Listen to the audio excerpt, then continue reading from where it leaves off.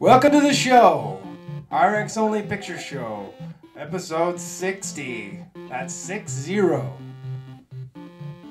Wow. Extra special guest, SB Alger. And Jim.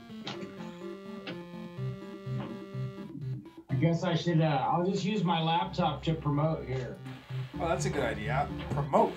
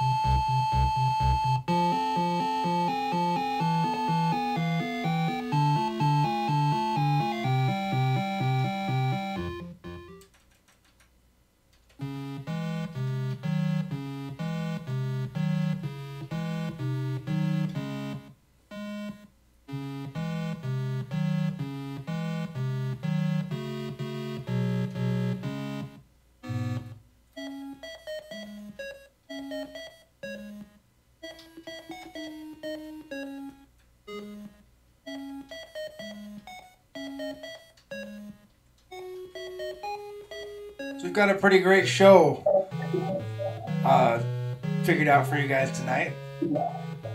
We're, we're gonna we're gonna be making art, so we welcome you to go find your uh, your drawing supplies, your painting stuff, your rune making clay, whatever whatever it is that you'd like to do to express yourself artistically, and join us for some making art and listening to uh, stories and whatnot.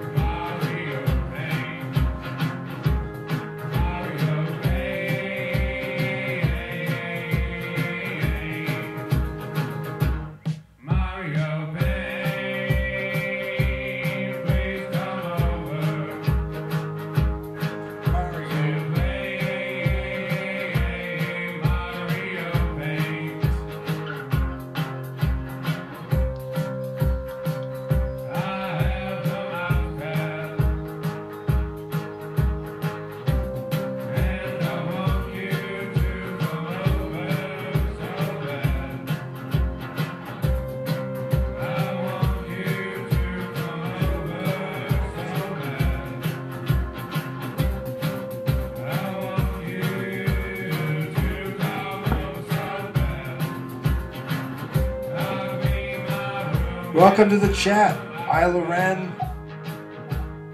Misty Miner, and Windhammer. It's nice to see you folks here. Yes, welcome. Welcome to another RX Only Picture Show. My computer doesn't work yet, so I'm using my brand new telephone. And I'm trying to promote our show with my ancient laptop, and it is not impressed. I love ancient la- laptops. What happened to the music? Um, let me go see. It looks like it's uh, doing that thoughtful, uh, spinny sort of load thing. Ah, here it is. There it goes. Oh, that was scary. What song is this one?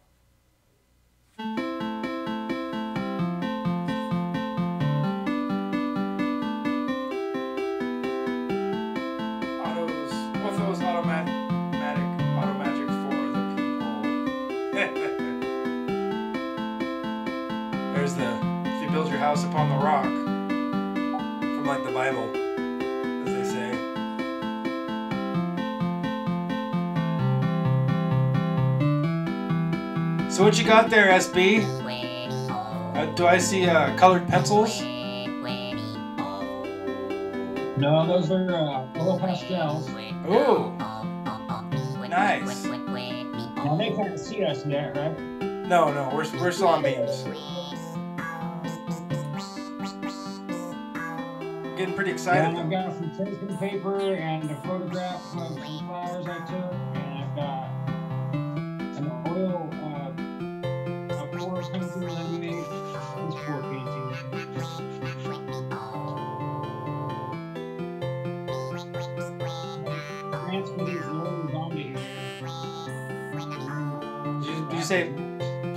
zombies?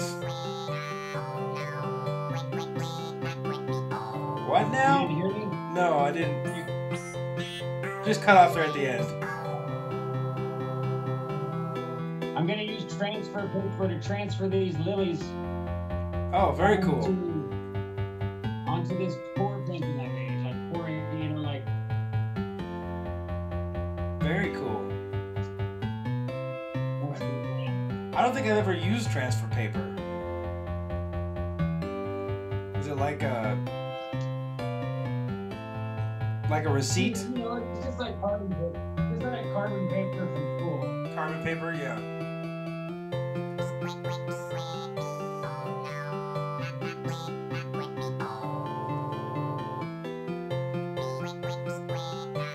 What's up, Steven Sorensen? Glad to see you in the chat.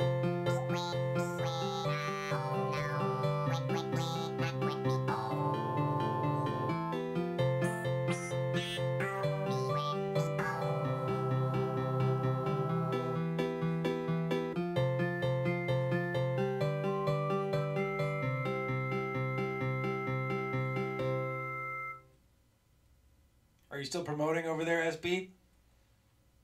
No, I'm all good.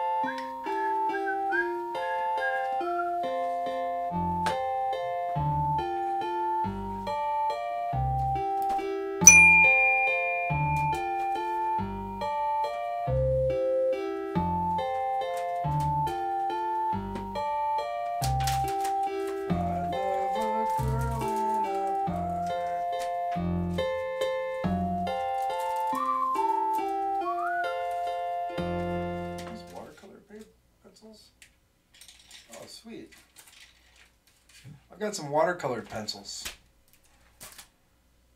That should be fun. Oh. I was gonna Right. stop it there. That's all right. A bonus song.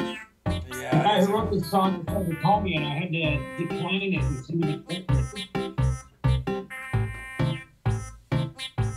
Just hoping it went through, so he's not offended or something.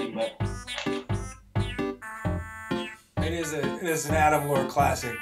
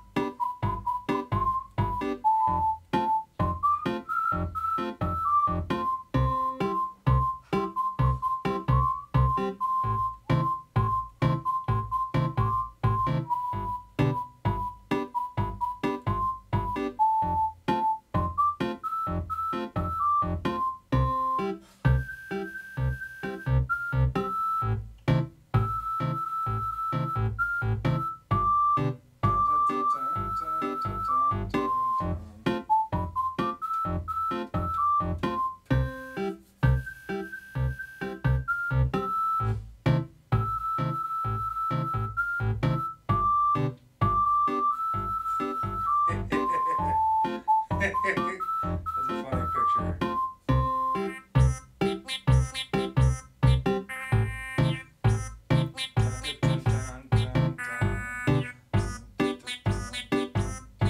Okay, so you're gonna pull the trigger into this one? Yeah, I think I, I think I'm ready. Are you ready after this one?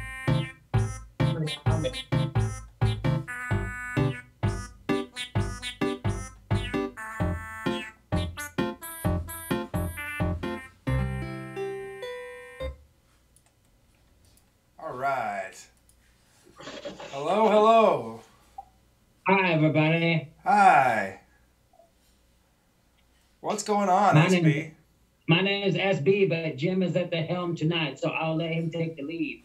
Well, hey, it's me over here on the. I can't hold.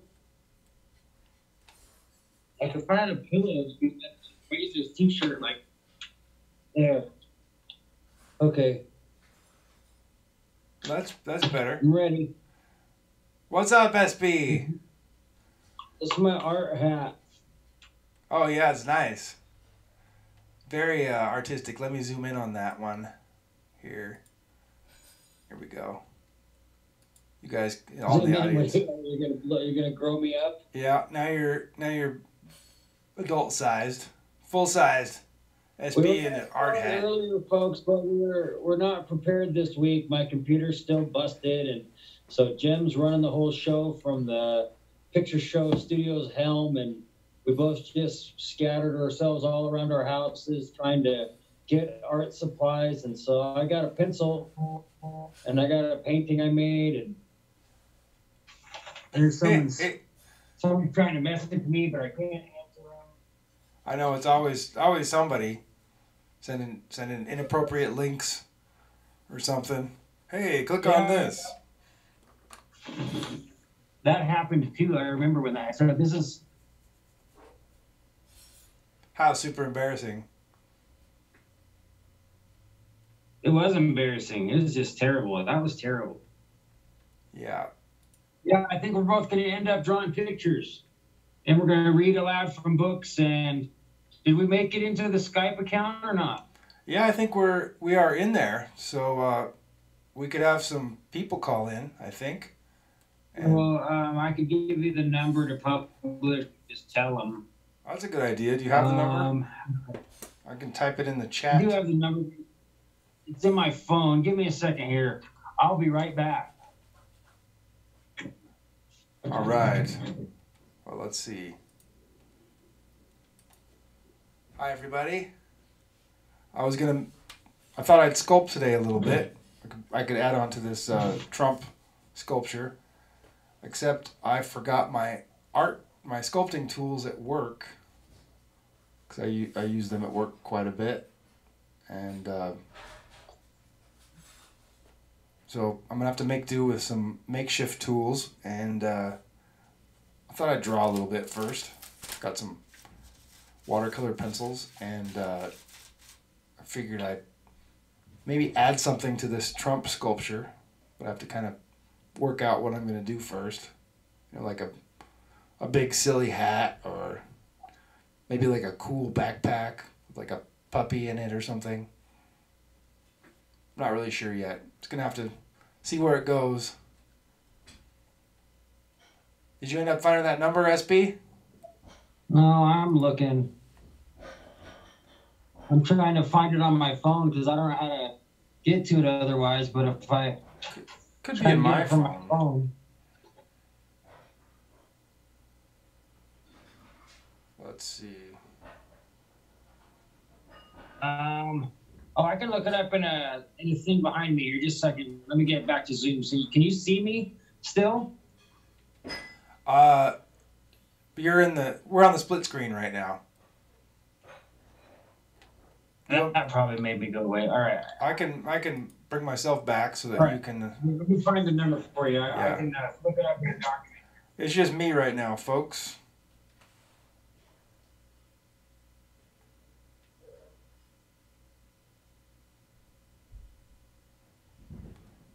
Um, let's see. Did I know that I wanted to be an artist when I was young? Uh, yeah. I, I always kind of wanted to do that. I kind of grew up around the art business. Um,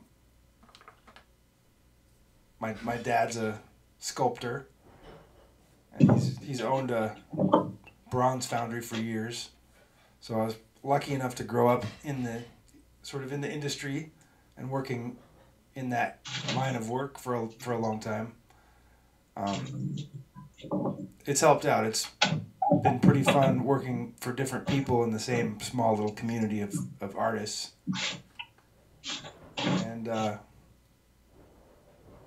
I don't know. I think it's making art is probably one of the funnest things you can spend your time doing.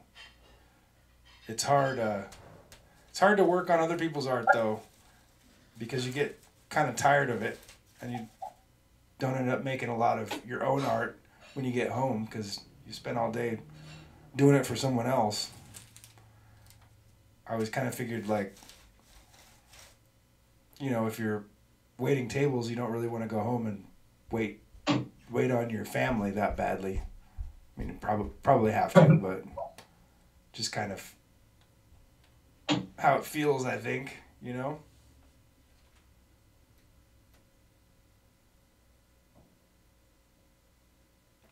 Oh, that's awesome, Isla Ren. Your son wants to be an artist.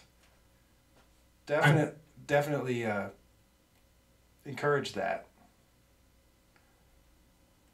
It's it's really awesome. I, I think it's it's like like music, art is a super brain expanding exercise. Um, makes you smarter. In a lot of ways. Sorry for taking me so does reading. Are you still over there look finding that phone number, Mr. SB? Yeah, it's not, it's not working here. Let me try a different way here. I think uh, I might have it in my phone. Uh, I do. I, so I was just going to do that and, and try and give it to you that way.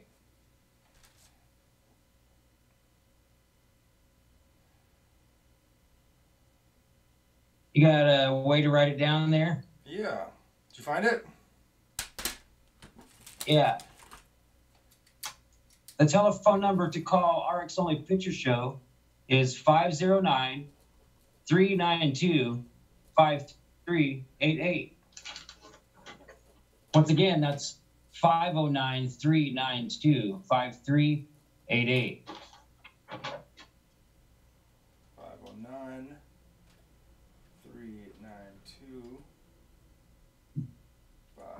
eight, eight.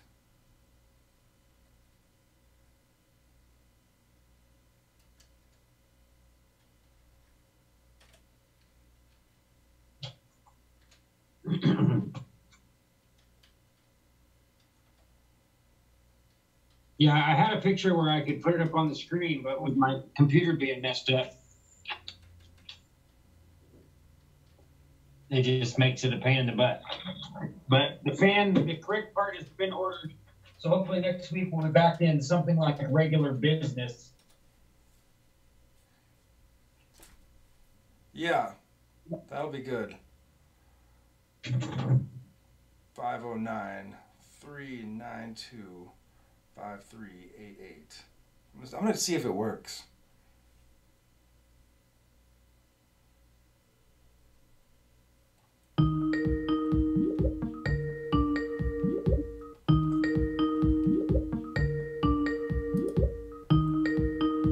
Like it's working.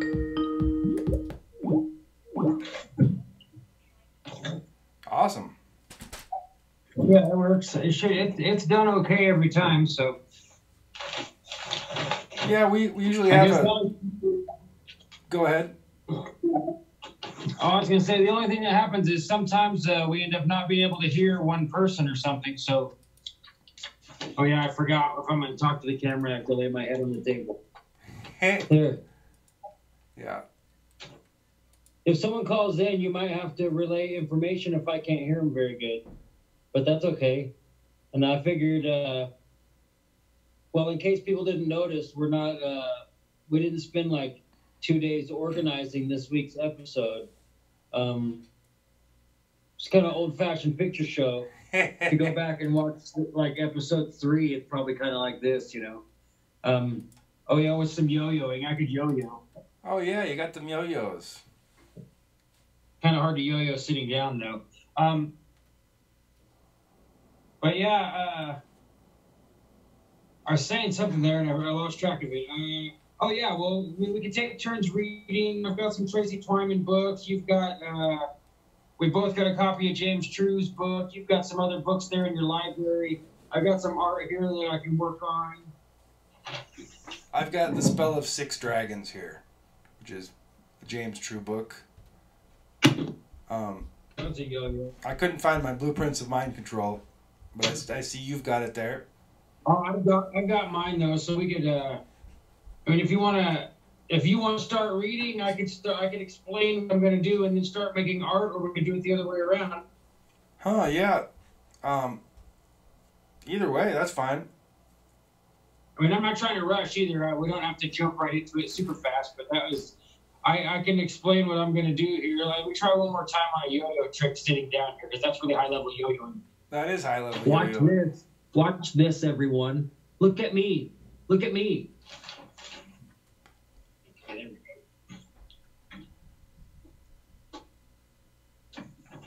Oh. Ta-da. Ta- ta-da! That was fantastic. Takes a lot of slack for yo-yo sitting down. I can't even really yo-yo standing up. You know? I'll bet you those jugglers don't ever, ever practice juggling sitting down. Well, some of them might. With it. The boomer jugglers probably practice while they're sitting down in their La-Z-Boy chairs, looking at their effective crashing of the stock market because of their self selfish picks with their broker. What do you think? Yeah. I don't let standing up Was while timing yo-yoing hold me down. That a that was that was bad timing on trying to throw the boomers under the bus. We should make an app called "Throw the Boomers Under the Bus," where like you get to choose a millennial or a Gen Xer or even a Generation Z guy, and he grabs boomers and from some location he heaves them up underneath the the moving bus. You know, like off of a bridge or just off the curb, or maybe he gets them out of a big basket of boomers. And it's That's just an app where like make it like Candy Crush where you don't have to pay for it. It's free, but you can pay like an extra five bucks to get uh, you know, bonus boomer blood or you know, to get boomer throwing gloves so you don't have to physically touch the boomers when you grab them. and- it's a great idea. Boomer bash Throw, throw the boomers under the bus app. app. And every time you throw one, you can have him say another boomerism. Like you let him go and he goes, I'm praying for you. Or you just gotta get off your ass. A boomerism. Yeah, because we all we've all heard them. You know, it just well, what that guy needs is a job, yeah. right? That's a boomerism. Well, we put a man on the moon, so we could definitely find There we go. a, a lost hiker in the forest. Yeah, earlier uh, this week I was talking to Jim about a similar idea that we should make a uh, a boomer deprogramming um, product where boomers have to go and confirm their deprogramming as a way to, to earn trust from all the other generations. Like so, they'd have to go and you know admit that they're self-centered assholes, and then confirm a bunch of things that they were lied to about by their television sets Yeah. and then like they'd have to go redundantly through it and memorize the right answers. I mean, ideally they would actually believe the truth. Like we never went to the fucking moon. It didn't happen. It was a great big military propaganda operation that they disguised as space travel. Just the same as we never like really we didn't do all these scientific advances like people think either. That was all all the science we did really was to make better poisons and better bombs. But they put a guy in a li- white lab coat and they have him work for Kellogg or Nabisco Corporation, and then it's like, oh, it's fine.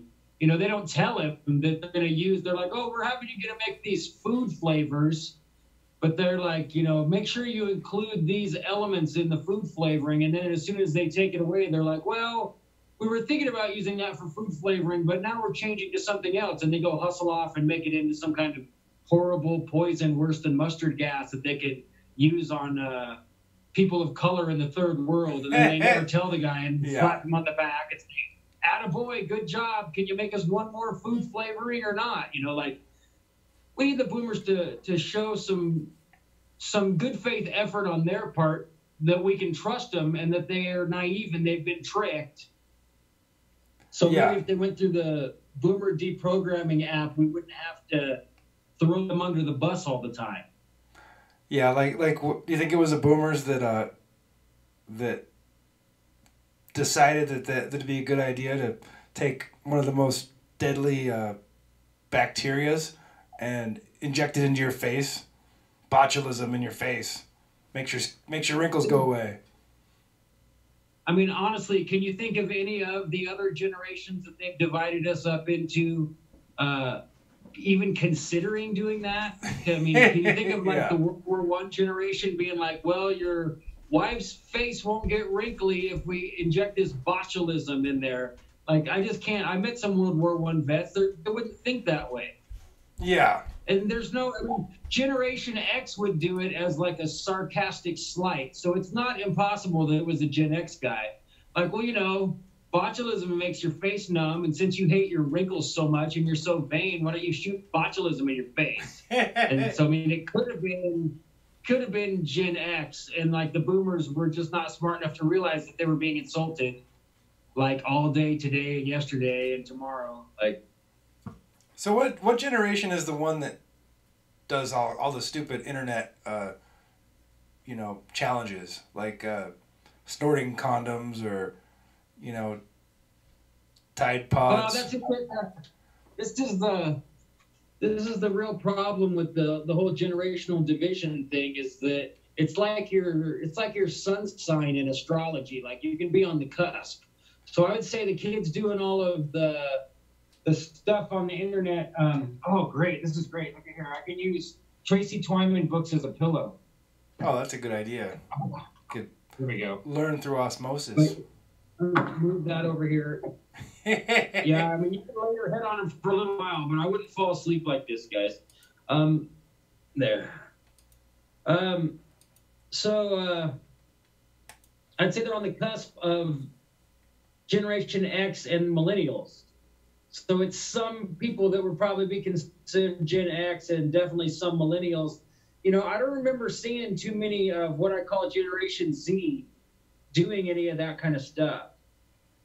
I have a hard time imagining them even doing it. I mean, I don't know. I consider anybody like under the age of 17 either Generation Z or on the cusp. oh, you mean right now? Yeah, you know, that's the there's if you look all the all the all the guys from the internet boards that are so controversial like 8chan and 4chan, like all of their hope uh, is in Generation Z because Generation Z is like, to hell with all of you people. You know, they're just like they're they're not believing anything. Oh, that's cool. They're not they're not playing. They're just like they're just ready. They're just gonna grow up and be like, you guys lied our whole lives and said you were gonna have a civil war, but we're not lying, and they're just gonna open fire. so uh, that's gen- Generation Z. Are they Yeah. are they after millennials? Yeah. So it would go boomers, Generation X, which would be me and you. Yeah. We're both pretty firmly in Generation X. And then um, a little bit younger than us, you're getting to the beginning of the millennials. And I would say that that lasted all the way until, gosh, it's got to be until what, 10 or 12 years ago, right? Uh, I don't know. I mean, Yeah. Well, it's it's, usually like BuzzFeed or something that defines the years. And then when you look it up on Google, it gives you a year and then you believe that. But it's really, none of it's really true. None of it's true at all, right? Yeah. there's no there's no generations this is just yet another piece of uh, mind control it's mind control Yeah. It is mind control. because otherwise uh, we would see ourselves as one contiguous uh, group against invisible people that we don't like and then we'd beat them Yeah. and they don't want that so they say oh no and that's why they change the music every generation to something that the generation prior would hate Oh So we man. can't we, we can't be like, oh yeah. yeah. It is a, it is kind of a dividing uh, cultural divider music. Well, it, really started with the hippies because uh, that was the first generation. They say that was the first generation where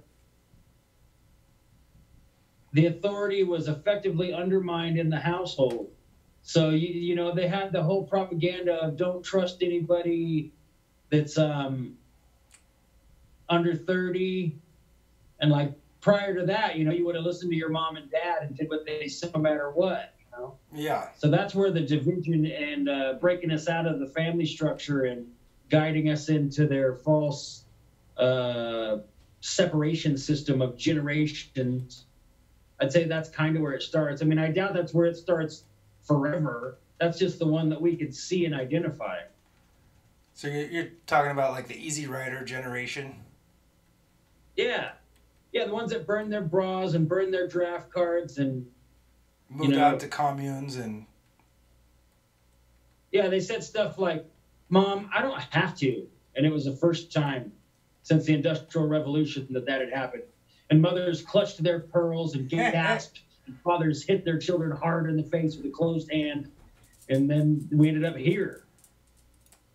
yay, yay America. Yeah, I don't regret it. The world. Oh, I see what that is. No, I don't want to leave. All right. Well, you. Uh, that was a nice little diatribe. That felt like a real picture show. So I got a message in the chat from Adam Lore. He's he's thinking about stopping by. Yeah, that's that's totally cool. Yeah, I, I turned a message back with him. He texted me. He could come to your place and help do art, but there's no way he'd fit in here where I'm at. So if you want to invite him over, you Sure, can certainly yeah. have him. Um, let's see. You want to send him, Facebook him my address? Or Yeah, you- well, he's been there before, but I I can I can Facebook it to him. I'll do that right now. okay. That'd be cool if Adam Lore showed up. Yeah.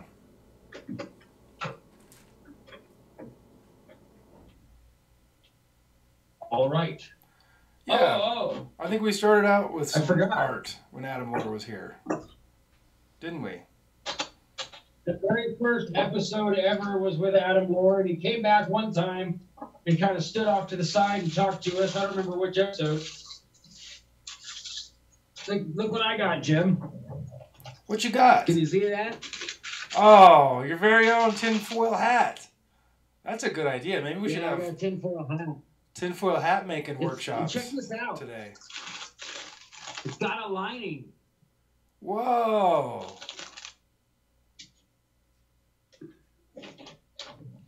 Nice. Where'd you get that? Did you make that or? Uh, we went to an awesome antique mall in Dayton, Washington. So is it an antique? There was a friend uh, of ours out there. Some friends of ours were out there doing hippie stuff, like uh, henna and tarot readings, and so we went out and we went and shopped and bought stuff. And I bought this tinfoil hat and some other items, like some books. I always buy books. yeah, books are great if you can find them.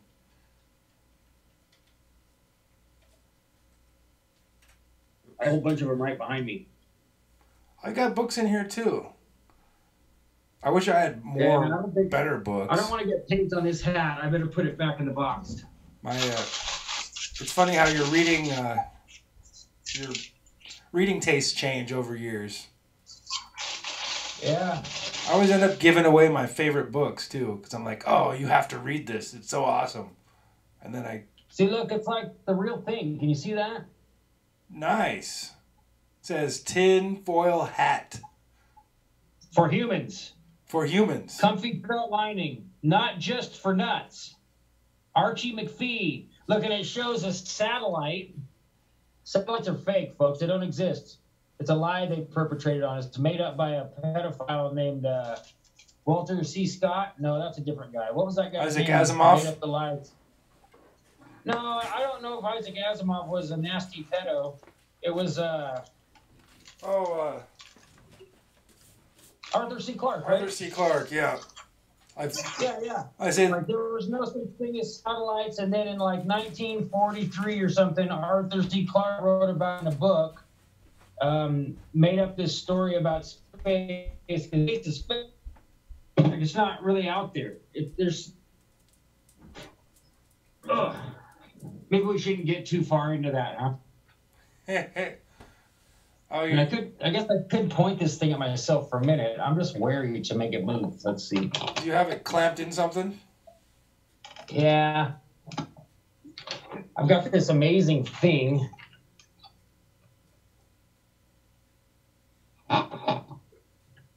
It's this clamp is substantial. But if we're gonna wait to start drawing, then I can do that. Oh, that's funny. Victoria V says that you look like a Hershey's Kiss in your tinfoil hat. Yeah, I can see that.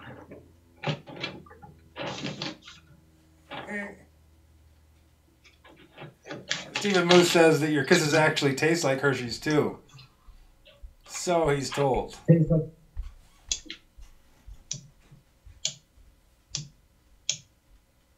Tinfoil hat gives you powers. See? Oh wow, face uh, lighting up powers. That's incredible. It charged me right up. They say it's supposed to protect you all these years, but that turns out to be propaganda too. You put the tinfoil hat on, it charges you up, and it makes you uh, kind of do this strobe. It feels really good too. It feels like when a cat is purring, it's kind of the same feeling. Nice. Well, what you gotta do So is is better? sew is magnets okay? in. Or should I do this? Hmm. I like the uh, washed out one. Just kidding. So this is better washed out like this? No, uh, let You me like see number one, white? number two again. Okay. One or two. Whoa. the camera really reacts. The Yeah. camera's like, "What are you doing? One or two? you got your white balance working overtime. You know, I think just switch back and forth between them that out. throughout the night. Is is that uh, like a banker's visor? Oh, No, it's a yo-yo. it's a yo-yo. It's another yo-yo. I could go like, oh, oh, this is harder than it looks, guys. But yeah, before our dearly departed friend Tracy came and joined us on Picture Show, this is a lot more like what the episodes were like back then. yeah, it was fun. This is this is a good yo-yo. Whoa, whoa. Oh, God. You know, I guess I could describe what I'm going to do if we do make some art. So, um, two years ago, I took some pictures of some lilies out in my yard, and uh, my lilies look kind of like this. Can you see that's a black and white picture of them? Interesting. Is that? Oh, I mean, yeah. it says Turn it. you see them. Turn it a little bit. Uh, one way or the other. There it is. I mean, that should Yeah. you, you should be able to see that that's a couple lilies. Okay, these are. I told my girlfriend I like lilies, so- so she planted them fucking everywhere, and it's beautiful, and they're all like six feet tall and huge. Like, this is as big as my head, you know. And um, so I printed these off in black and white so that I could use them along with my Saral brand tracing paper. I bought the red kind. You can get graphite, white. You can get white tracing paper, Jim, so you can transfer onto dark surfaces That sounds cool. says that the graphite is the all-purpose tracing medium. So that would have been like the carbon that used to be on a credit card machine, or the kind that they would use for triplicate forms at the doctor back in the day. Remember all that stuff? Yeah. If we don't document it here, it might be completely forgotten about Oh yeah. because it's gone now. But there's a blue, it says non-photographic, and then yellow, good for reverse work and works well on metal, and red, easily seen on dark light surfaces, fires out of ceramics. So you could actually, like, we could make some porcelain plates uh, and uh, draw on them, and when it fires, this will be gone. So we wouldn't have to worry about trying to touch it up. But so what I'm going to do is I also have my uh, my oil pastels here. One set of them. I've got more than this, and uh, this is a painting I made probably also about two years ago. You've got your oil pastels By, uh, very well So, I mean- organized. have I showed you some of the pour painting phenomenon, right? Where you put all these different colors in a cup, and then you like really carefully put it up here, and you lift it off, and it starts dumping out, and you're like, whoa, Yeah. whoa, whoa, and you, you, you it's called pour painting, and it's all it's, it's all the rave right now. Like everybody's doing it. So what I'm going to do is I'm going to take my black and white paper, I'm going to set it on here like probably about like that Oh right in yeah. the middle there. And then I'm going to take uh, my regular pencil here, wherever I put it, and I'm going to take some of my transfer paper and put it underneath my black and white picture, and I'm going to transfer these flowers onto here, and then Ah, start then start to draw them in um, with the oil pastels and see if I can, you know, I might even take it like and flip it another way. You know, I could, I figure I could use this three times. You know, like get one at the top, one in the middle, and then another one at the bottom, and make this whole thing so it's full of lilies. there you go. Is that So, is that wax on that board or is that paint? no, this isn't wax. It's just acrylic paint. oh, cool. It's it looks good. And I don't know how close. If I put it up close, I don't know if you can. I don't know how good that's going to turn out. it looks really good. But you can see, to me, in the middle, it's kind of washed out. Like that's the real secret to this pour painting is to figure out how to get the colors to really separate from each other. Yeah. And so this one's kind of washed out. You can see it's better at the ends. See that? It looks it looks like some marble countertops.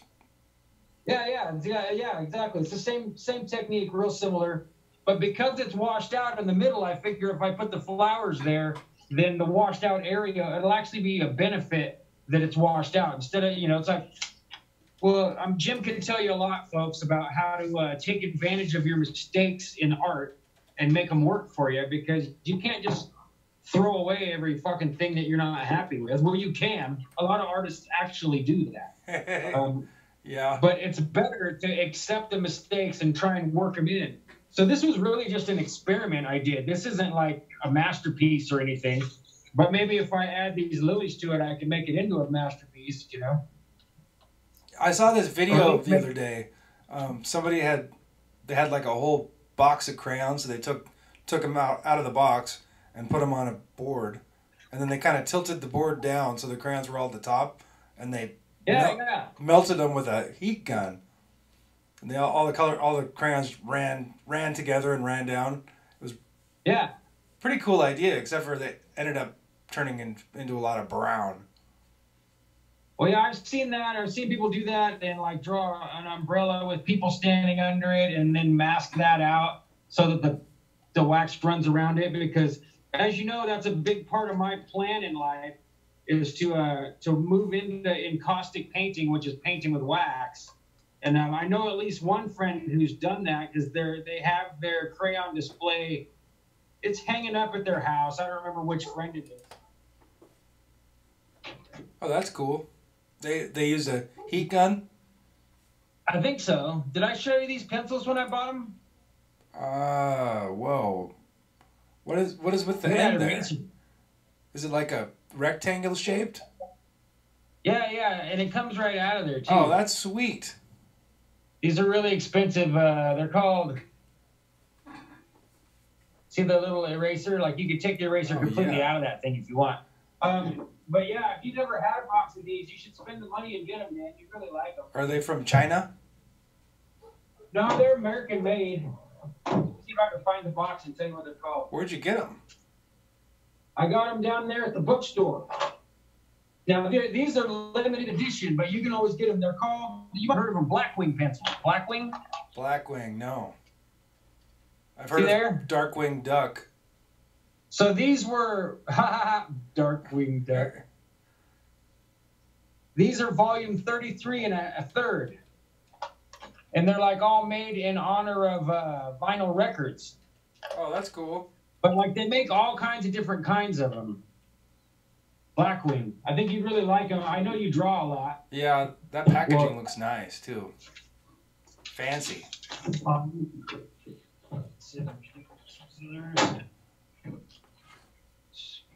All right, I'm gonna cut some tracing paper here and see if I can get started. Well, uh, should I start reading something? Yeah, sure, man. Here, I'll readjust my camera down so people can see what I'm working on, and you can start reading. Sounds like a plan. Okay, I'm gonna sharpen up some pencils. And uh, forgive us, folks, if we can't answer your questions in the chat as well as we usually do. It's going to be a challenge to uh, to do both this week. Yeah, if, if you But guys are just joining us, we're gonna we're gonna make art and uh, listen to readings of uh, books and stories and interesting stuff, and uh, just kind of have a laid back uh, conversation and create with creativity. So if you've got uh, some kind of artistic thing to do, definitely recommend uh, grab it and. You know, get drawing or painting or rune making or whatever. Yeah, grab your art supplies and you know get your noodles and your gold spray paint and do something. And I know that uh, one of our well, one of my most favorite picture show fans that there's ever ever been, old Snake Jones. Uh, Snake Jones said that he made his first set of runes during one of these episodes, didn't he? Yeah, definitely. Yeah.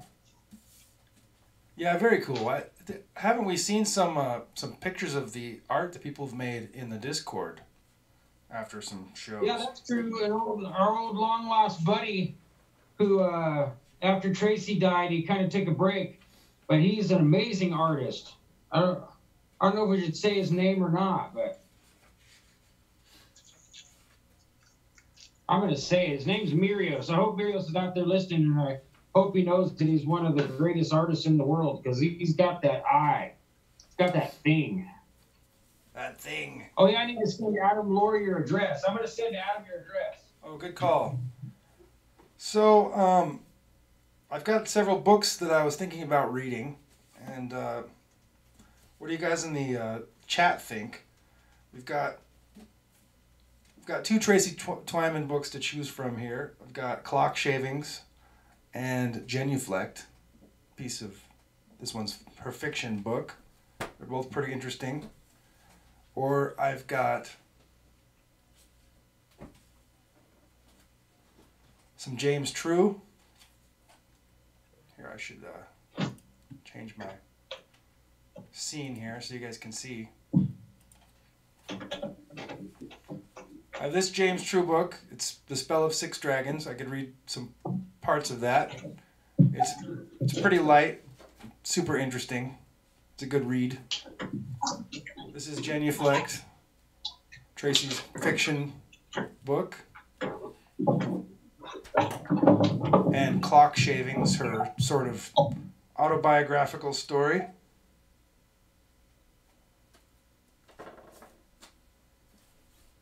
Oh yeah, uh, my, my computer died. So here I'm trying. Oh, did you? uh I'm I'm doing it right now. My I unplugged my laptop Cool. and uh, it died. So it should be charging again now, but Should I just should I just tell Adam like geographically where it's at? You know, not the address, but I could say it's it's halfway between 7-Eleven and another store that's that's big.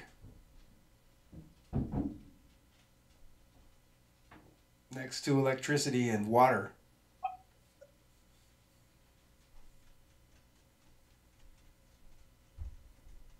your truck's in the driveway. Uh yeah. It's black. Okay, I gave him all the details he'll need. Perfect. I like I like And some- Somebody brought me soup and a sandwich. Can you believe that? That's awesome. Yeah, Parsnips from our garden. I haven't ate yet. I'm getting kind of hungry. I'm doing this uh, I'm sorry. I just uh, the last couple nights eating too late's really messed up my stomach, so I'm trying to eat before it gets too late. Yeah, I'm doing late eating because I I started intermittent fasting a couple of weeks Oh ago. Oh yeah, how's that going for you? It's pretty good. It it definitely feels different. I feel like I have more energy, and it also feels uh. It feels like I have a lot of personal power when I don't eat, you know, for half a day, for sixteen hours. It's uh sometimes You I, mean just like just the feeling of uh of exerting your will? yeah, mind over matter. You know, Yeah, that's what I should have done that day that I I ate so late and I kind of stuffed myself. I just kept me up all night because I kept running the bathroom. yeah, I mean, I eat a pretty healthy diet, but I still have the compulsion to eat, uh, like eat too much or eat sweets. You know. Yeah, it's it's the toughest thing for me in this uh, intermittent fasting is uh, after when the fasting begins. You know, like the last meal that I have, you know, dinner. I, I usually fast until lunchtime and then and then eight eight hours later. But it's been kind of I've been like eating later at night, and so my fast is kind of creeping on, you know, starting later, and then I, it ends up being later the next day. So, um, yeah, Yeah, but you just started, so you'll probably get a r- routine down, huh?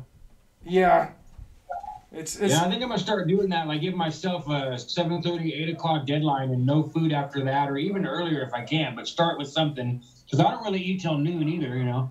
yeah, yeah. I I find that if I eat breakfast, then I'm hungry all day, and that's just kind of something that uh, that I, that I've always noticed. Like if I eat Yeah, it, I, I just, I just, I just have bean water for breakfast. bean water. Yeah, bean, Colombian bean water. Yeah. Oh yeah, that's good stuff. I love I love bean water. Sumatran bean water, Colombian bean water. S- sounds like uh, we've got a special guest here. Oh, cool. Hey Jim, What's up, Adam? Come on down. how do I come down without being on camera? Oh, you're you're safe here. Um, the camera starts. I can't reveal my true identity to the internet. You can you can sit here. You'll be off camera. I'll, sh- I'll show some artwork though. Cool. Um, this bear over here. Got a, got a big bear.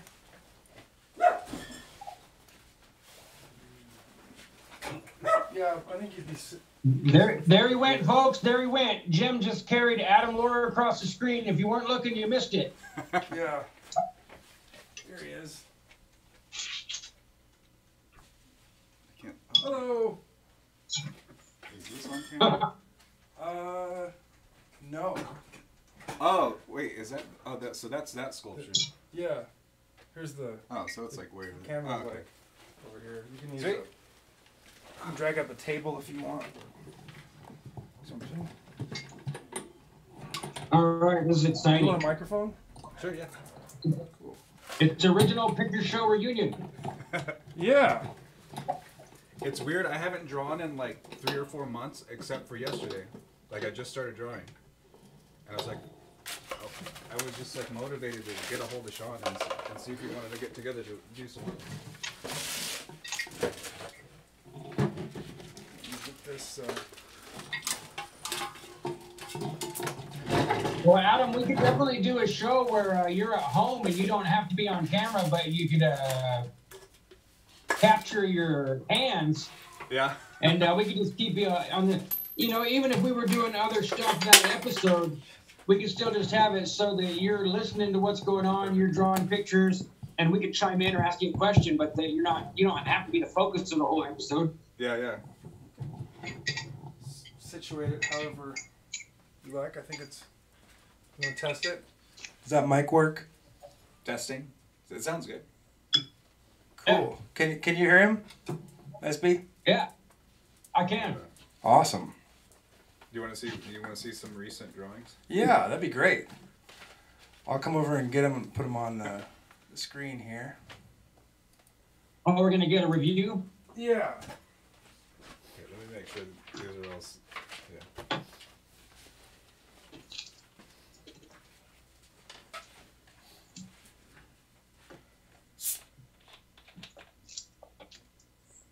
That's cool. What's what's this?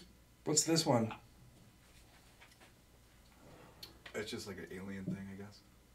I was gonna say, it looks like an alien overlord.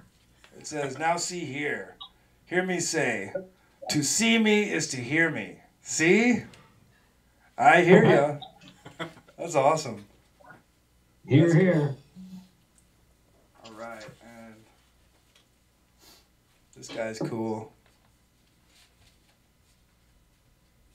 He's sort of a yeah, like a lucha libre wrestler.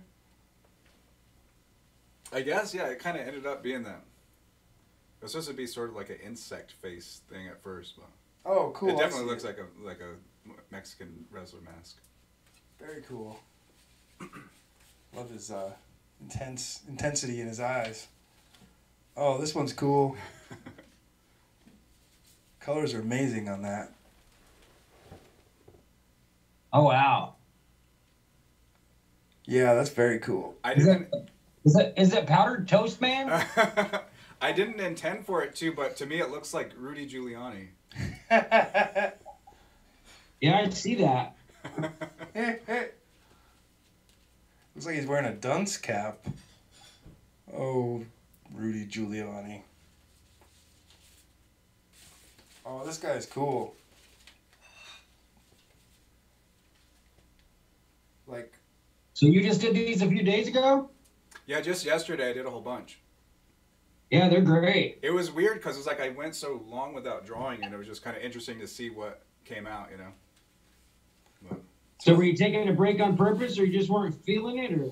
um. Well, I've been busy, but I just it's like my attention span has been fucked lately. Like I can't really read a book or sit down and write and draw lately. So these are just kind of I I realized like if I just kind of drew and just whatever came out came out, it was like not a conscious thing. You know, there was no. It was just kind of stream of consciousness, so it wasn't really like stopping me from being productive. But if I was like trying to plan a page of comics or something out, I just I can't concentrate on it for some reason. So this is this is Adam Lord just kind of free flowing. Yeah, yeah. Yeah, It's that's gonna like- make people mad. As if all that songwriting wasn't good enough. These are Adam beautiful. sits down, and this is what just comes out of his hands. Yeah, and I had Now, some people, some go new, ahead. some new like uh, I can't remember what they're called. It's like Doc Martens India ink. It's it's some like liquid ink that's similar to watercolors that I bought I don't know months ago, but I just tried them out for the first time. So So those are like yeah, I hope people realize. I'm being at least somewhat sarcastic. Adam has been practicing drawing for almost as long as I can remember. So he's got a much better chance at uh, free flowing and coming after making something just off the top of his head because he's put in thousands of hours of carefully practicing. Uh, well, carefully practicing a whole bunch of stuff, man. I, I can't even list it all off. I remember I came out one time and you were just sitting there um, using Bill Watterson as a guide and just drawing little pieces of his strips Oh, yeah, just yeah. as a way to, you know. Yeah, actually, Jim, if you want to show, since he just said that, I have Yeah. I have a Bill Watterson study right here in the sketchbook. yeah, study. That's what we call it. Yeah, this is from there. There was one where like Calvin is reading a superhero comic. So this is that was from that. Very cool. Yeah, that's far out. Or They use the negative make space big. there with the space girl. Yeah, I love the uh, the contrast. Mm. Blacks in the in the white, the shadow and the bright light. Very much juxtaposes your eye. First you see the, the, the girl and then the gun and then the the hole hole in his chest. Uh, It's very cool. Yeah, it's hard for me to see the perfect detail, but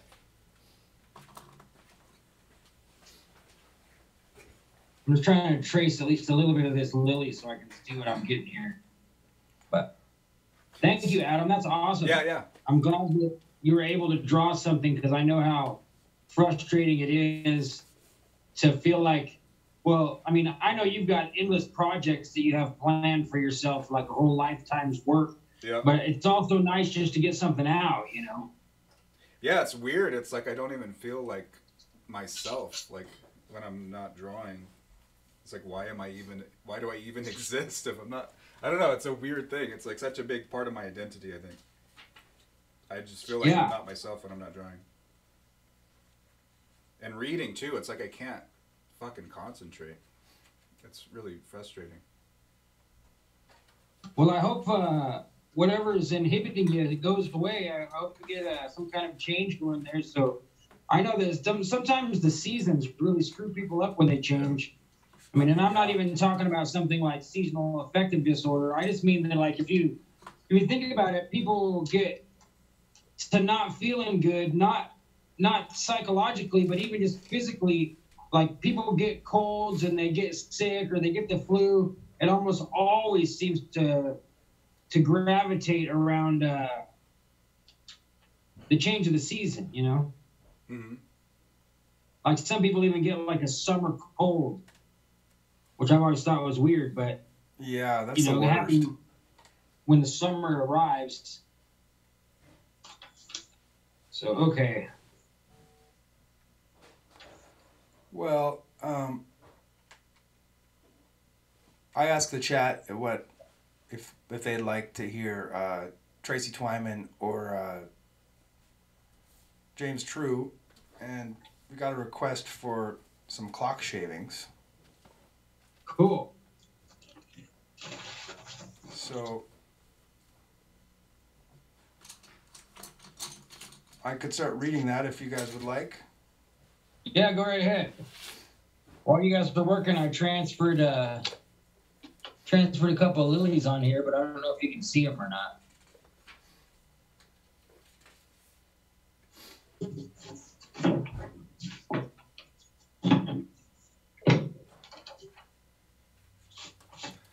So I guess uh, I'll start with the. I'll start at the beginning here. I wonder if everybody knows what the uh, premise is. That's, that's probably a good good point. I could. Okay, so uh, go ahead. our dearly departed friend Tracy uh, wrote this book as a memoir about her um,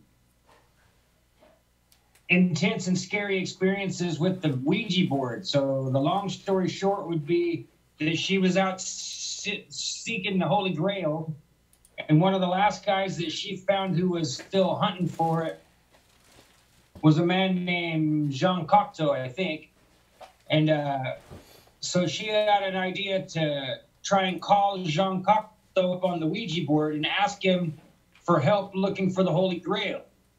And uh, she got a hold of somebody when she asked for Jean Cocteau, and he answered a few questions this entity did on the Ouija board, and then said that the questions were too much and that she would have to instead ask Cain, like Cain and Abel, like Cain of the Bible. So she got referred from the artist Jean Cocteau to the biblical Cain. And so Cain answered some questions, and uh, then from there, Cain ran out of answers too and told Tracy via the Ouija board that she would be better off to talk to Baphomet, the infamous symbol of the devil, most famously made uh, well known by uh, the occultist Eliphas Levi. And so she started uh, communicating with Baphomet on the Ouija board, and um, it turned into like a really long, terrifying journey um, of her starting her own secret society and having people join up with her. And um, so that's the story behind Clock Shavings. It's the memoir by Tracy Twyman. God rest her soul. Um, specifically, it's her memoir about her experiences trying to communicate with entities on the Ouija board. It just seems so nutty. Like if you don't Yeah. know about it, it's like the most outrageous thing. But I've already read the book, and of course, we became pretty close friends with Tracy, so it seems normal now that someone would do something so uh, far out. But Yeah. Well, uh, you did such a good job describing it. I'm not sure if I should start at the beginning. Maybe I should. Uh, should I dig into some uh, Ouija board communication with Cain or something? well, uh, you know, Tracy was a big fan of bibliomancy. So maybe you should just thumb through and pick a spot and Okay. open it and just see what happens.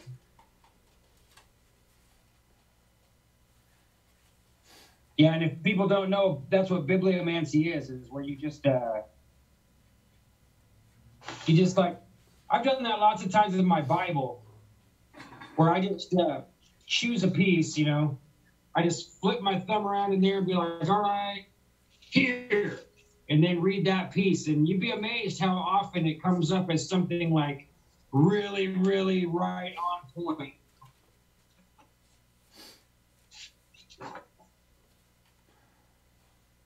Okay. Well, I uh, I flipped through the book and landed on chapter thirteen, "Strange Service."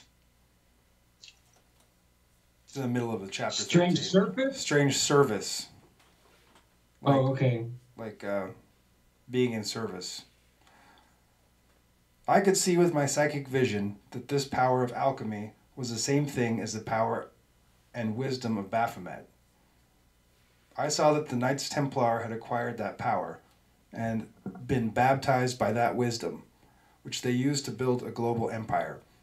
The Templars confessed under torture that they worshipped Baphomet because he made them rich.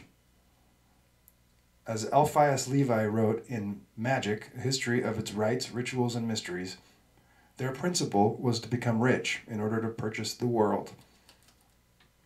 The more I thought about it, the more I realized that this explained everything about the enigmatic biography of Berenger Saunière and the alleged treasure of Rennes le Chateau that made him rich. In a fit of mania, I auto wrote the following passage in about 20 minutes. The secret of Saunière's wealth.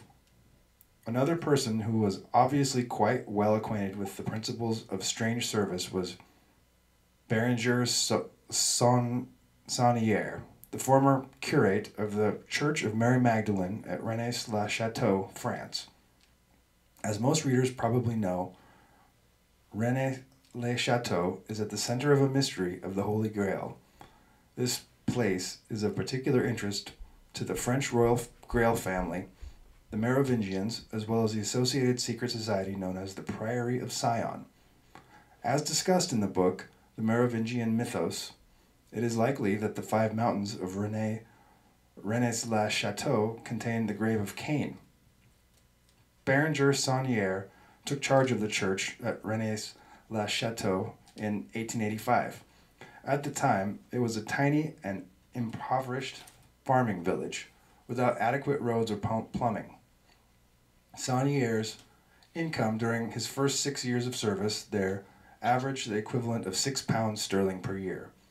However, in 1891, while performing some renovations on the church, he purportedly discovered four coated parchments underneath the altar that had been left there by the church's previous curate. It has been widely speculated that these parchments somehow contain clues leading to Saunière to a buried treasure. Some think it was the Holy Grail, or perhaps the grave of Jesus Christ. Saunière is said to have taken the parchments to the seminary of St. Sulpice in Paris, where Abbe Bieil and em, Emma, Emilia, uh, Emily Hoffet purportedly helped Saunière to decipher the parchments.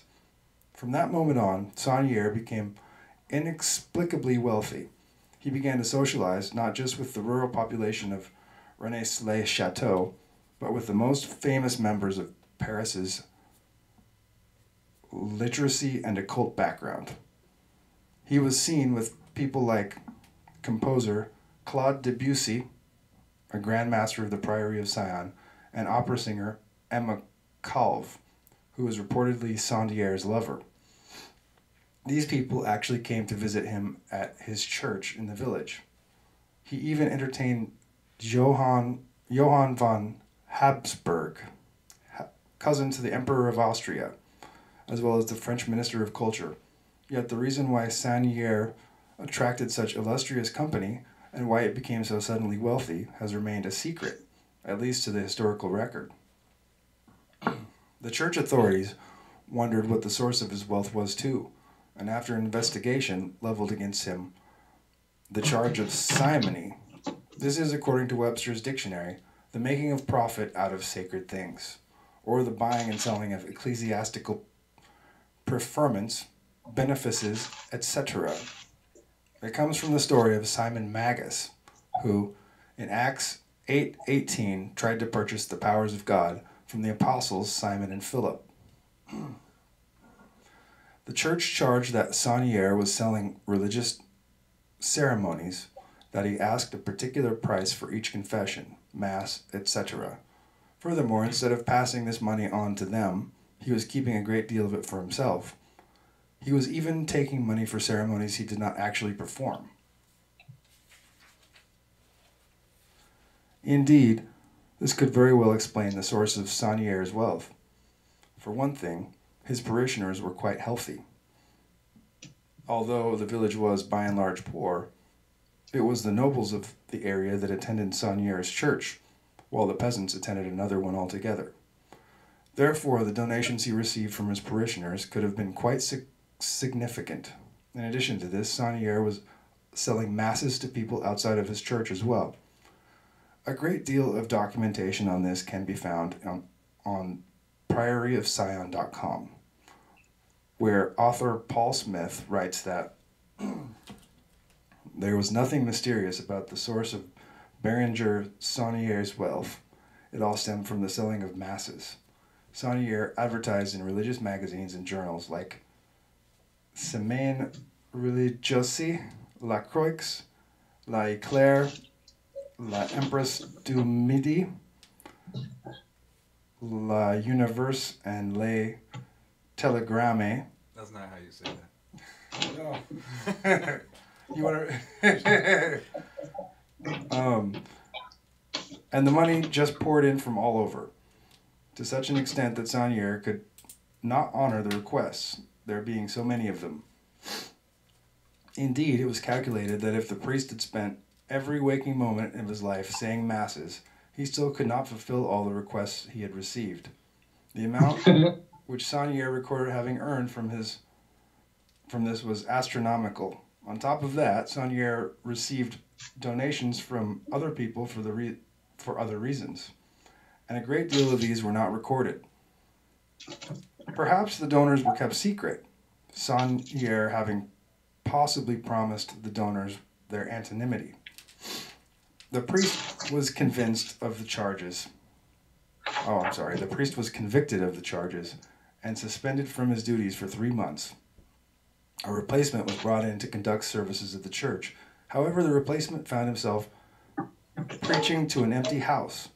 All of Saunière's parishioners chose instead to attend his ceremonies, which he continued to conduct against the orders of his superiors in another building on the church property.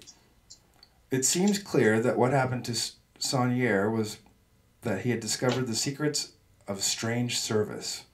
His selling of masses is no different than soliciting seed money or tithes in exchange for prayer requests. The more followers you have, the more spiritual power you have, and thus the more people want to follow you and give you things.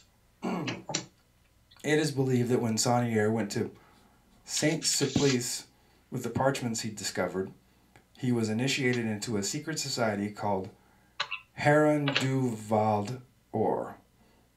This has been described as a quasi Masonic, traditionalist Catholic royalist order that acted as a front for the Priory of Sion. While ostensibly Catholic, this order seems to have possessed some strange beliefs, apparently including Gnostic, Hermetic, and Luciferian elements.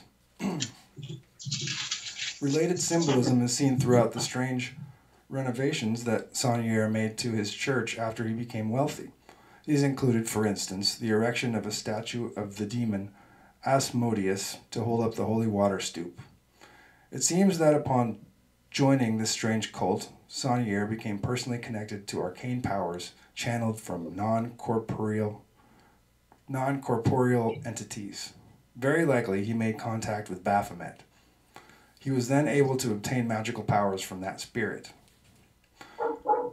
When, when his parishioners recognized that he was now in direct contact with the divine, they were more than willing to pay big bucks for the privilege of having him pray for them.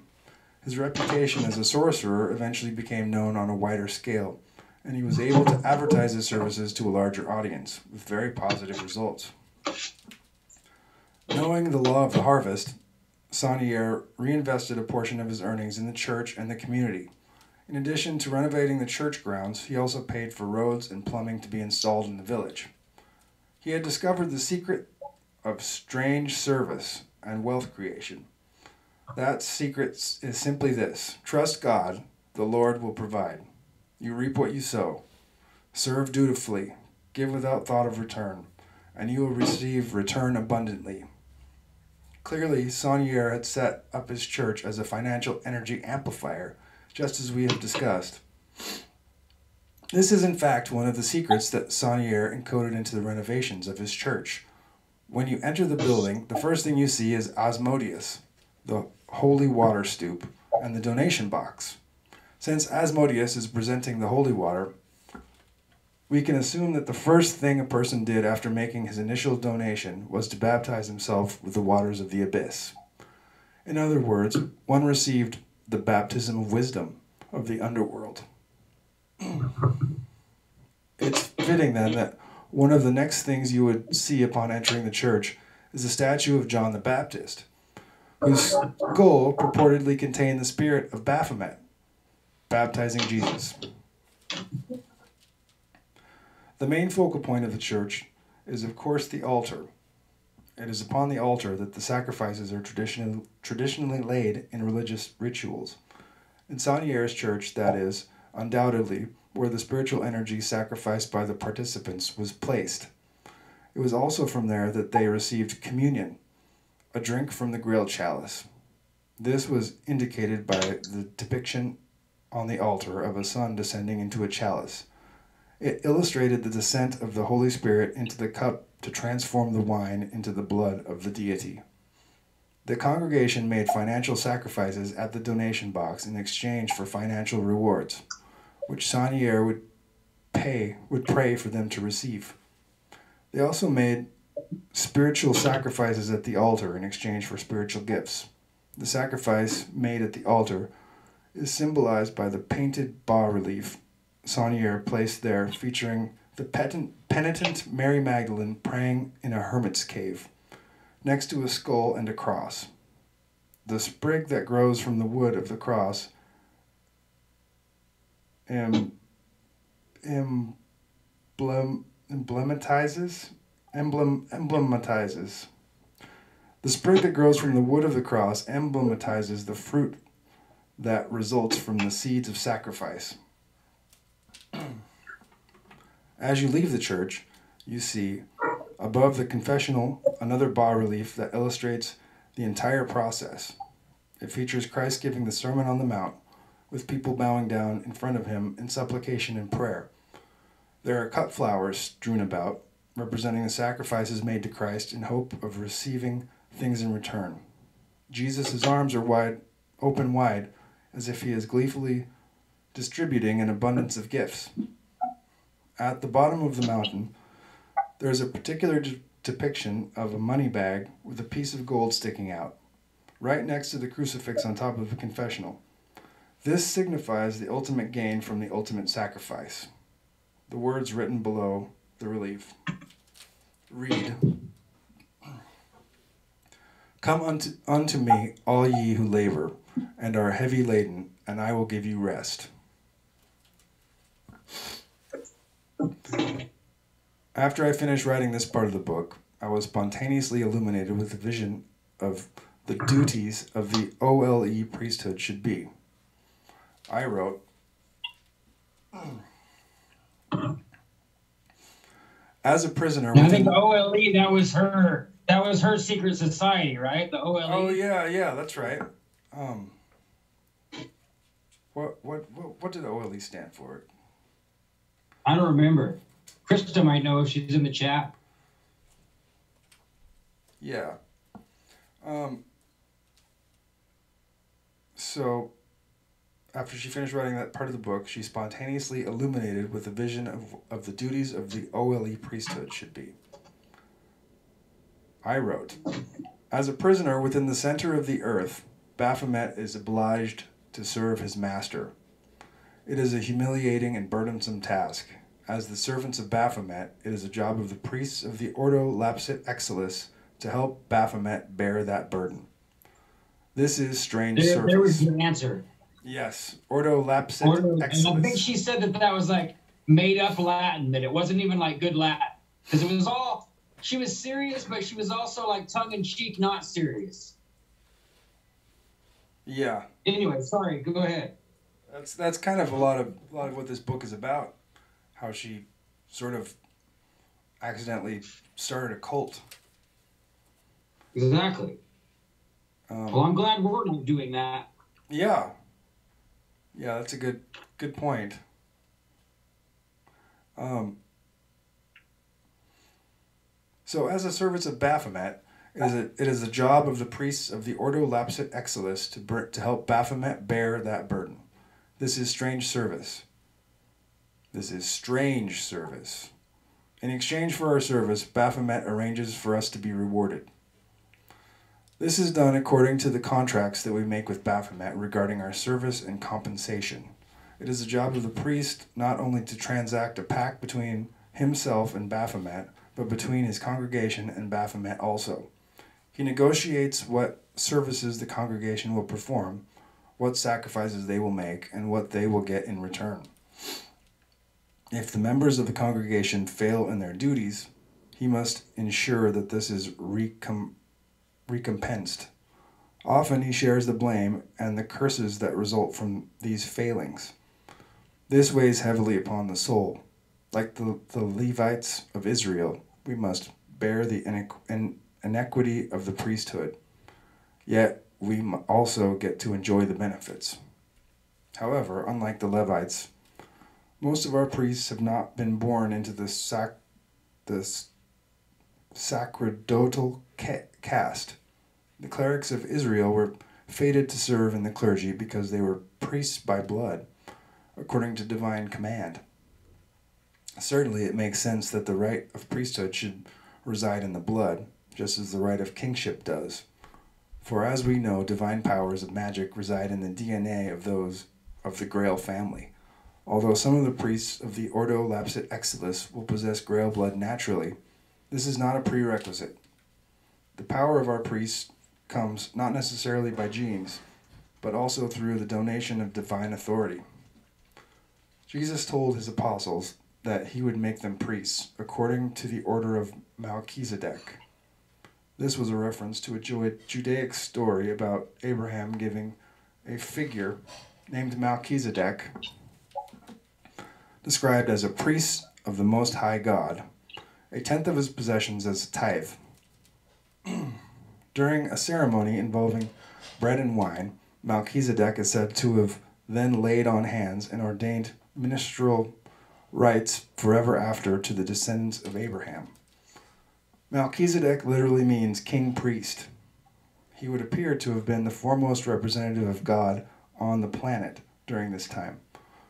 The symbolic lord of the earth, just as the Grail King is.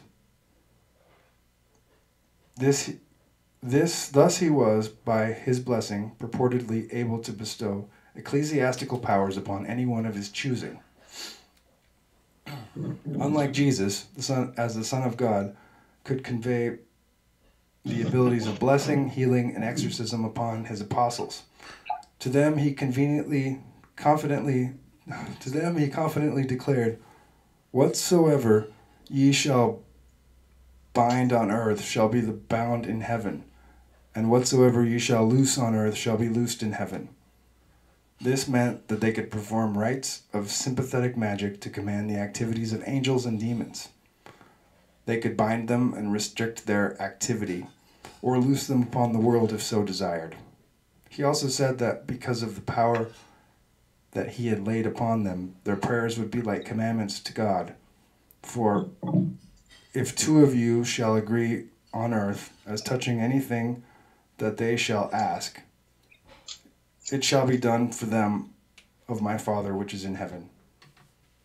Similarly, the Ordo Exilis has been granted the right to form a priesthood by divine authority.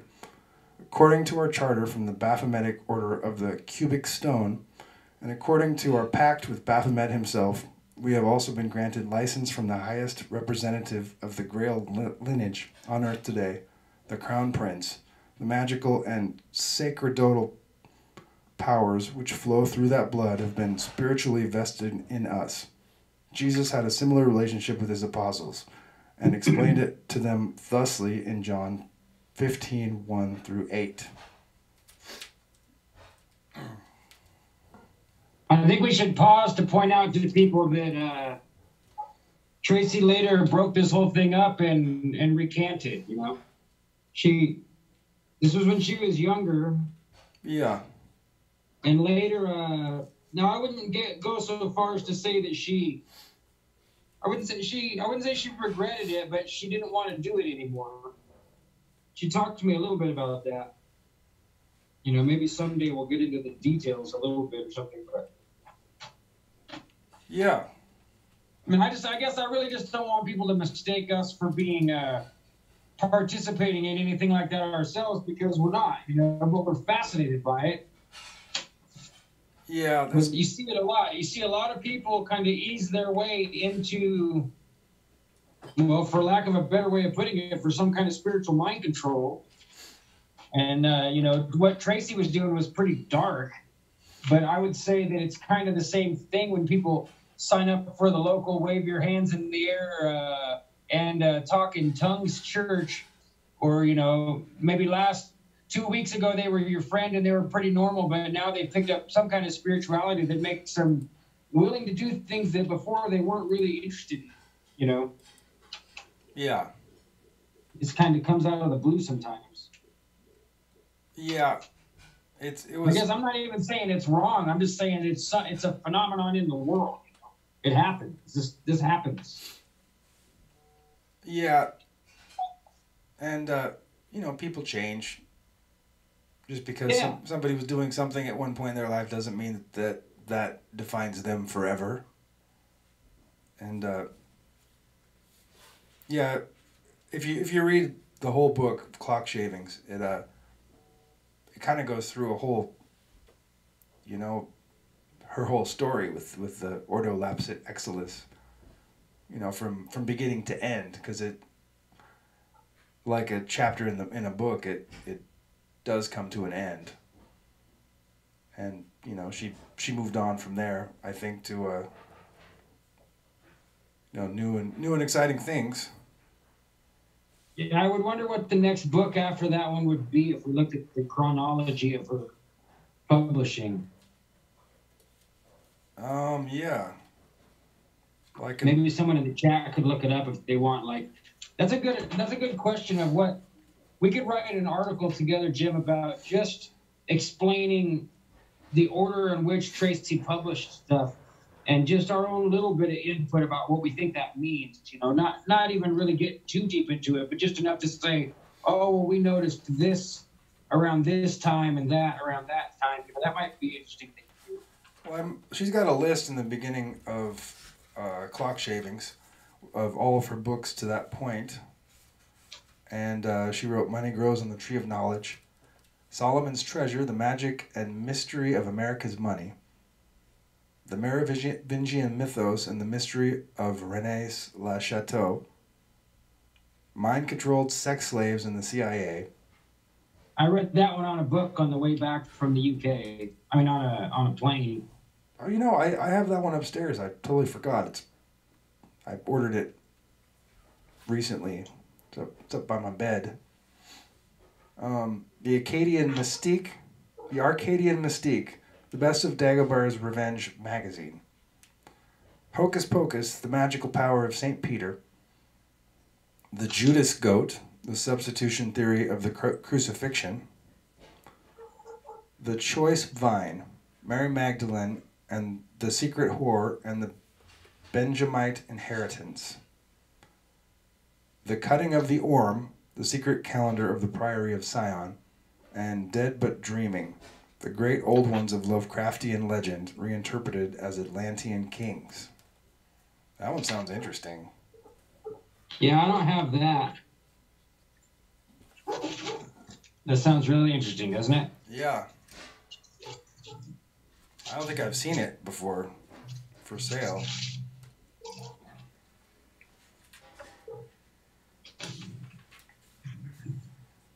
I got my uh, Tracy signed my copy of Clock Shavings. You guys That's awesome. can see that. You know, I don't think I ever uh, got her to, to sign one for me. That's really disappointing. But then again, you never got to come with me and go meet her either. So I we know. both have regrets. Yeah, that's beautiful. Terrific. Yeah. So you can make Jim offers in the chat. And he can laugh at you and say no. Where do you want to go? Yeah, her, her books are going for quite a bit of money. They're all out of print, I think. Except for, uh, I don't know. Are they all out, all out of print? But right now, it's going to be up to all of us as fans and people working together to figure out how to to get them back out there.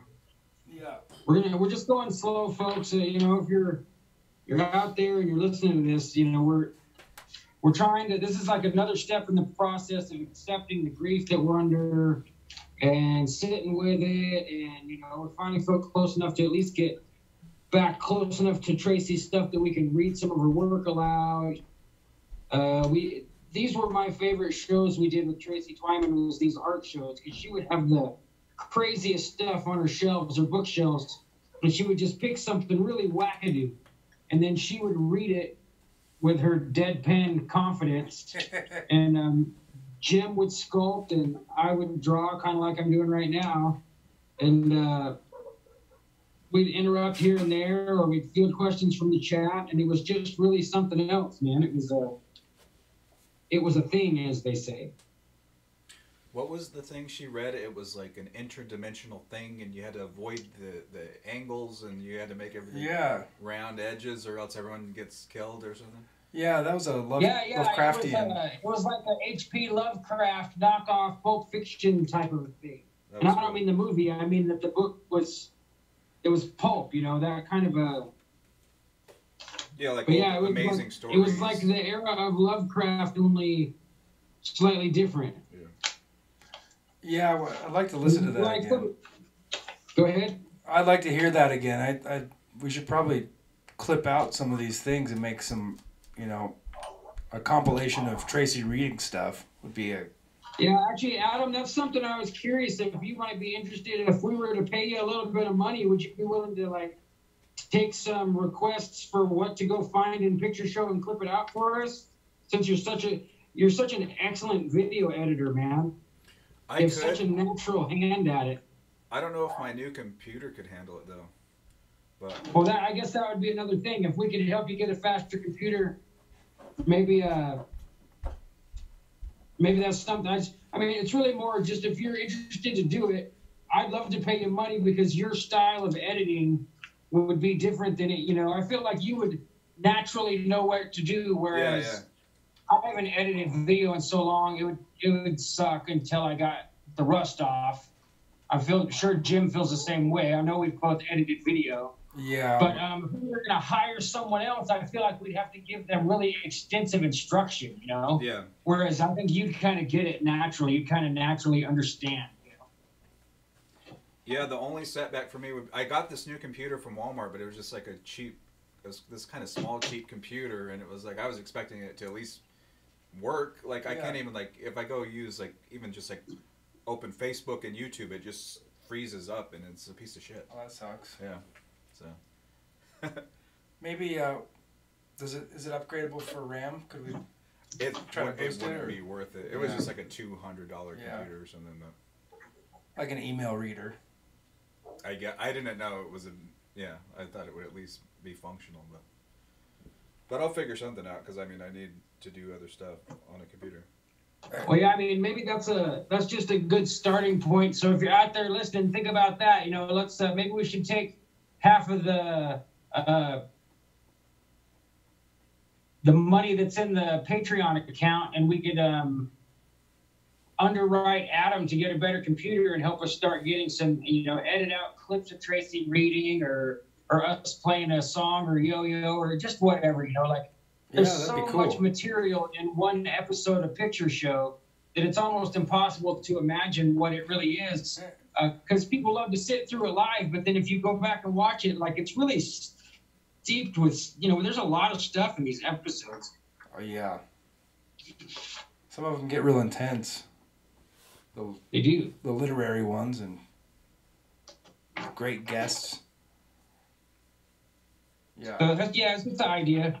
But yeah, so I mean, if you're, that doesn't sound like a no answer to me. So now you got me thinking, how, how can we get Adam a fast, fast computer? Fast Yeah. enough to video edit. I would probably be up for it. I've I've been kind of wanting to do some editing lately. Cool. Well, let's, uh, That's cool. we'll- everybody put your thinking cap on there. And um, Maybe we Adam, have you ever put one. any of your songs up where you could get money for them? Um. Like on iTunes or anything else like that? uh-uh. no, I haven't. Because I've always thought that was another idea too. As, as much as we've uh, played your songs every week, there's people that would probably be willing to at least toss a buck here and there to get some. But I don't know. I guess I don't Yeah. know if any of the quality is you, you consider it good enough that you would just uh, let them give you a buck for particle target or whatever. Yeah, some of that stuff. It's like most of the album that um, Particle Target is on Abyssian Squelch. Like most of that album is something I would feel is presentable enough. But Yeah, it's good. That's the one I used to listen to the most when I was on the road. stuff. driving as when I back in the when I was a wheelchair tech. I used to listen to Abyssian Squelch. I love the opening song. What's it called? Apple Tree or Tree of You. Tree of You? That's right. Yeah. But one yeah, of the Tree like of You is one or two of instrumental. those songs I would want to probably re-record. The the Lemonade song, there's a part in it where I say um, pink lemonade, and I just couldn't think of something better to say at the time, but it bugs the hell out of me, and I I it really should be sweet lemonade. But it's not about pink lemonade. Like it's, it just ruins the whole thing for me. I'm like autistic about it or something. I hate it. It ruins the whole album. Well, we could we could always go dub that before we make the published version. You could dub good enough now that it wouldn't be obvious. So you could just drop out where you say pink and then uh, Yeah. you could go delete that part of the track without it uh, sounding too stupid, and then dub in sweet pretty easy. Yeah. Well, I think I think I still have the original files and stuff of like the separate, you know, parts of the song, so I could just. It's just a matter of going and doing it. Yeah, I, I love your videos too. I'm excited to consider that then. We don't. I mean, the our audience doesn't really get to see your the videos that are attached to your songs, but Uh-huh. there's some pretty awesome videos. Yeah. Yeah, maybe we should make a little tiny screen in the corner of the memes that show the videos. I didn't think Yeah. of that. We could have memes with Adam Lore video at the same time. Yeah, I was thinking at some point we should just play the the actual song uh, songs with the videos because they're they're pretty worth it. Yeah. I think I got you guys in trouble once. I have breasts in one of my videos. Oh, that's right. I remember that. Our breasts. Which one is that? Uh, it's not a. jam. Mary had a. No, well, that has girls in panties in it, but it's um, I don't know. To me, it's like as an artist, that's just like a model, you know. But Yeah. It's like people interpret it like sexually, or per- as a perversion or something. Well, it wasn't explicit. It's It like was- a you have a tree, you have a sunset, you have some boobs, you know. Yeah. It's, it's just nature. a classic nude. What else are you gonna depict? You know, it's aesthetic. Yeah, yeah. It's not For like sure. a sex thing. Did we get in trouble for that? Did they? We get a we get a strike or something, or not a strike, but a. No, I think we just noticed. That's all. I think that happened also when we played. Uh, we played uh, um, down on the boardwalk, dawdling on the boardwalk with my dad's best friend. Oh friend. yeah. Wait, what happened? We got we got noticed that uh, it was like a warning. Yeah, though Tra- Travis must have his uh, his copyright hounds out, making sure if that song gets uh, heard. But I don't think it um Oh no. it didn't.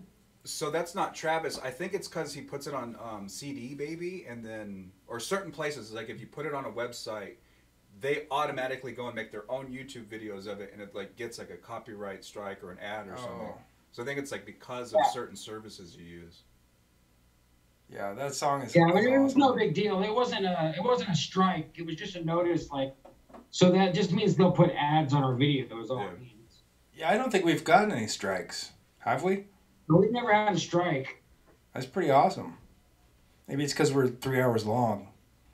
Well, you guys have never gotten a I strike. mean, we're, No. we're pretty careful. I mean, I know We've gotten kicked off it's such a before. Big, big deal, but you can be careful I've and not. so many strikes before. You know, we're on YouTube. YouTube's free. It's pretty awesome to have a free service where you can do all this stuff. And people really complain and, and bitch a lot. And I hate where YouTube has come from where it used to be more than anybody, but it's still free, you know? Yeah. It's not, you can't really bitch too much when all you have to do is type in your password right and you're on, you know? Yeah. And you can comment on anybody's, well, anybody that leaves comments on. That's, that's pretty cool. You can watch somebody's content and then tell them what you think. I really like that.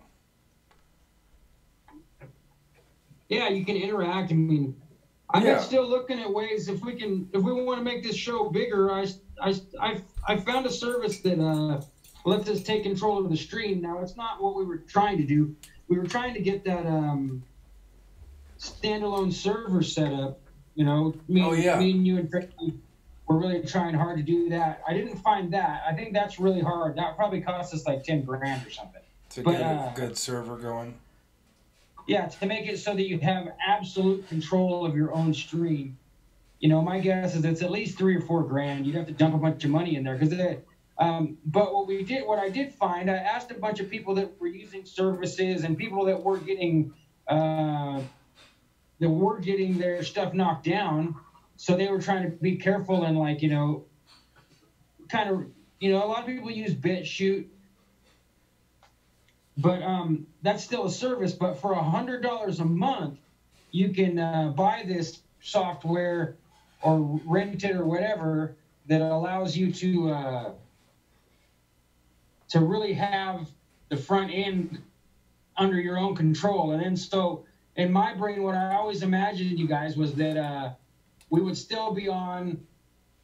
And honestly, this would be, it's pretty much we'd probably end up needing like a server there at the studio where you're at, Jim. You know, so we could be Yeah. on YouTube, and we could be on BitChute, and we could be on Facebook, and we could be on D Live, and we could be on whatever other streaming. Uh, what's the main one? Twitch. Like we could see how we would do on Twitch and all these places, and um, but the source would be our main thing. You know, that hundred dollars a month would be allowing us to capture and control the main source. And the guy that I asked about it is uh, he was the guy who found Jordan Peterson and then realized Jordan probably wasn't the most trustworthy guy, so he started doing his own thing and kind of exposing Jordan Peterson along with like Vox Day and uh, like he's kind of an Owen Benjamin fan. I can't think of it. The Rational Rise is the channel, and I listen to a few things on his channel sometimes. It's interesting, you know. But Never- that's who I, I asked him. him in a private message, and he was kind enough to answer me that that's what he was using. But it's a hundred bucks a month, you know. Yeah, it adds up quick. I mean, just just for the internet internet service is, you know, uh, it's it gets expensive. All, I mean, the like bottom line is that as long as if we can kind of recover from losing Tracy and keep this going like we're trying to, eventually we should be able to make it profitable enough that we all enjoy having picture show, and that it's not that we're trying to like get our Ben Shapiro promo card codes ready. yeah, um, Oh God. You know, just that we all agree to put in enough money. I mean, I know that you're spending extra for internet. I'm spending at least thirty or forty bucks between uh, Zoom and other and uh, Skype, and so yeah, all of us together agree that we're willing to put in blank amount a month, then that underwrites the big picture so that we can have a show. You know, yeah, yeah. I it's don't. better.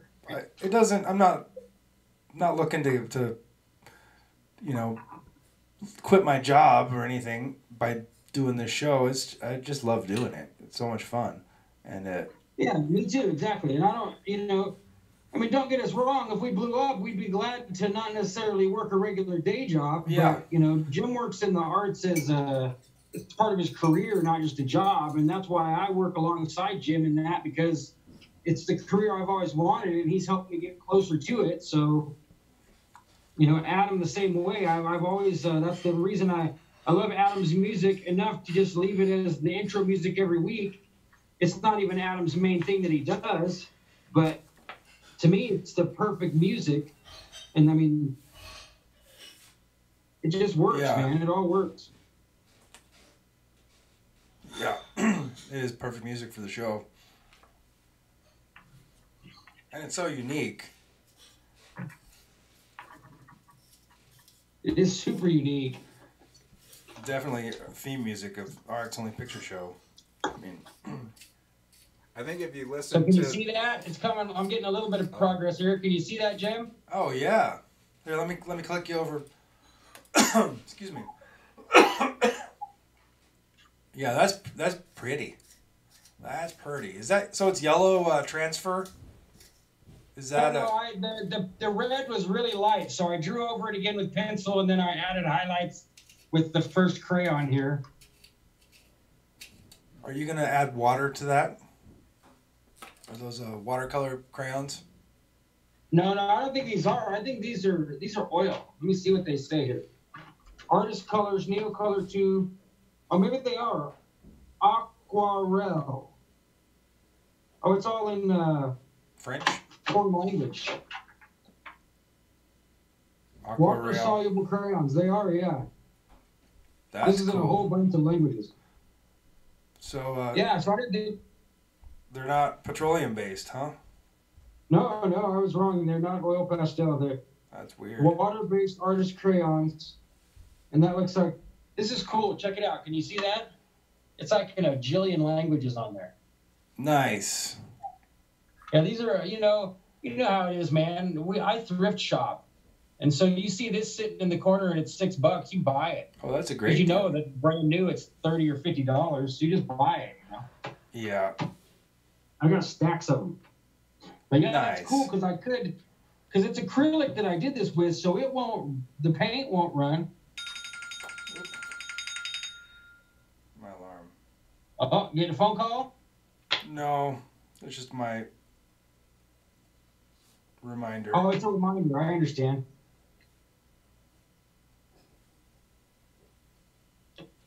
It's 7:30. All is well.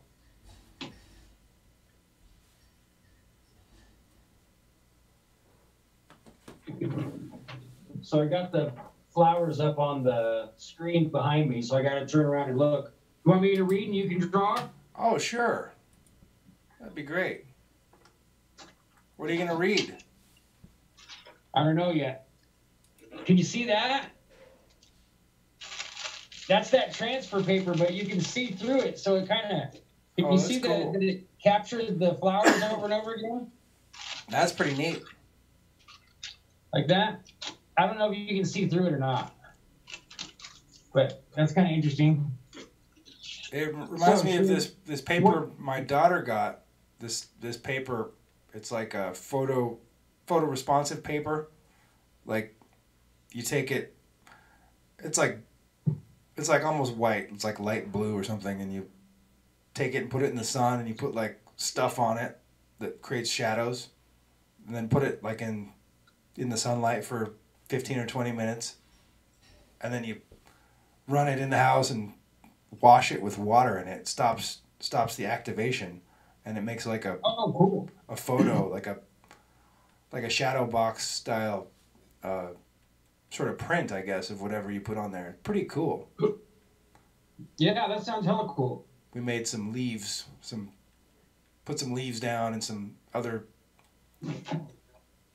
other cool shapes. It turned out pretty neat. But yeah it's, it's what what your uh, transfer paper reminded me of. It's anyway. Swiss made. swiss made. Yeah. cool. That, that, now they're sitting on top of the tinfoil hat. Now that we know they're the time was right to set the Swiss made art supplies onto the tinfoil hat with the soft lining. yeah that I found a cool tinfoil hat for sale, Adam. Like Oh, yeah. in a box, like like a product. Is that anything more than just you make a little hat out of tinfoil, or is there like a more elaborate one? Uh, he's got one that he bought Here, I'll show you. Here, I'll bring it back out just in case new people have tuned in. So here's my tinfoil hat. And uh, I'll unbox it again here and switch. Take my artist hat off for a second. And uh, do this here. So, so. so it's not really tinfoil. It's more like uh, plasticky wrapping paper stuff. But it's got a little uh, chin strap on it. wait, you you purchased that?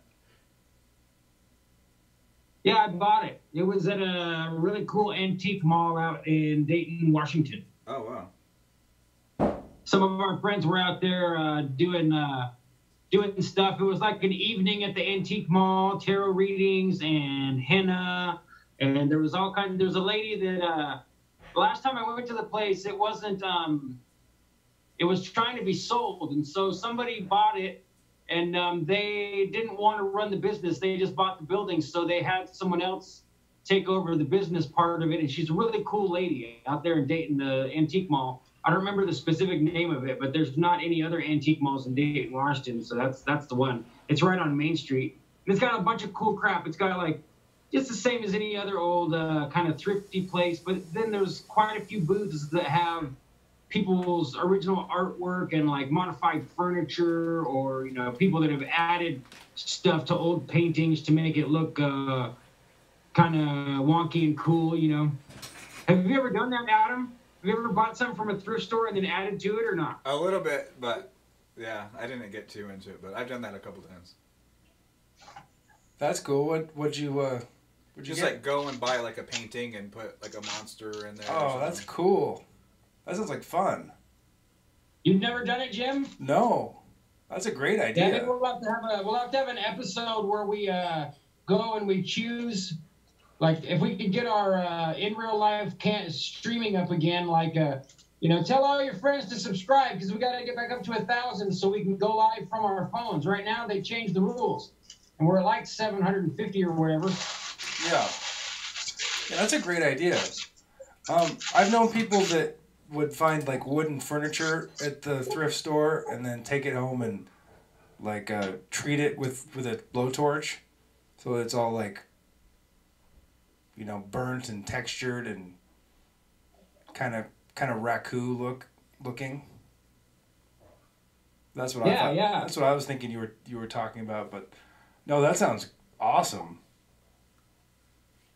All right, I got to give you guys some more info. I didn't realize this hat. It says contains one tinfoil hat, protects against alien and government mind control, HAARP and gamma rays. That's H A A R P. Like HAARP is, you know, like the weather modification research or whatever. Uh, electromagnetic fields, RFID tracking, Oh, nice. and it, it says not just for nuts, ages 14 and up. Um, it's got a black helicopter on it. Oh, sweet. And it says also available tinfoil hat for cats. We gotta look that up and get one for Tom. Yeah, that's a good idea. It says replace after six weeks. I mean, I bought it used. I don't know how long they wore it. How- And it says the Bilderberg Group and Trilateral Commission don't want you to recycle this package. I, is it Alex Alex Jones approved? That's by a guy named Archie McPhee. Archie McPhee. Is that yeah. Nanny McPhee's brother? like to hear- I'll read the copy here. Archie McPhee. This tinfoil hat for humans offers protection against mental and psychotronic attacks from both the government agents and alien intruders. They've been targeting you for years. Don't let being a targeted individual limit your life. Wear this hat as you go to the grocery store, a football game, or even the DMV, and they won't be able to read your thoughts or modify your behavior. Our unique cutting edge design blocks all electromagnetic fields and reduces HAARP and gamma rays by 70%. Includes a soft felt lining for the ultimate comfort needed for 24 hour use. Tin foil hat for humans. Replace after six weeks, not just for nuts. Also available, the foil hat for cats. So what was his name again? Was it Bob Ar- It's McPhee? Archie McPhee. Archie No, that's my name, Ob. Ah, Short for Obscene. yeah. All right. And with, and with that, I think if you're going to draw, then I'm going to read some James True. All right. I opened automatically to chapter 23, so I think that's where we're going to start. Oh, do you have James your? Uh. Uh, sorry, Say again. I didn't mean to interrupt you. I was going to ask you if you have your uh, numerology book. We could look up uh, six, 60 later yeah, I can do that. because it's episode 60. So, um, James True has been a regular guest, and we intend to have him back sometime soon. I know he's getting really close to being finished with his next book. Jim has one copy there called The Spell of Six Dragons. This is James True's second uh, public published work called Blueprints of Mind Control. And um, it says AI, alters, archetypes, atheism, cannibalism, carbon footprint, ego, equality, Hollywood, magic, mutilation, multiples, NASA, patriarchy, psychopathy, racism, relativity, scientism, Satanism, sin, supremacy, trauma, truth, Zeticism.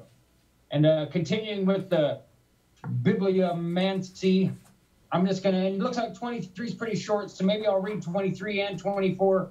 But chapter 23 is titled Manchurian Idol. so here we go.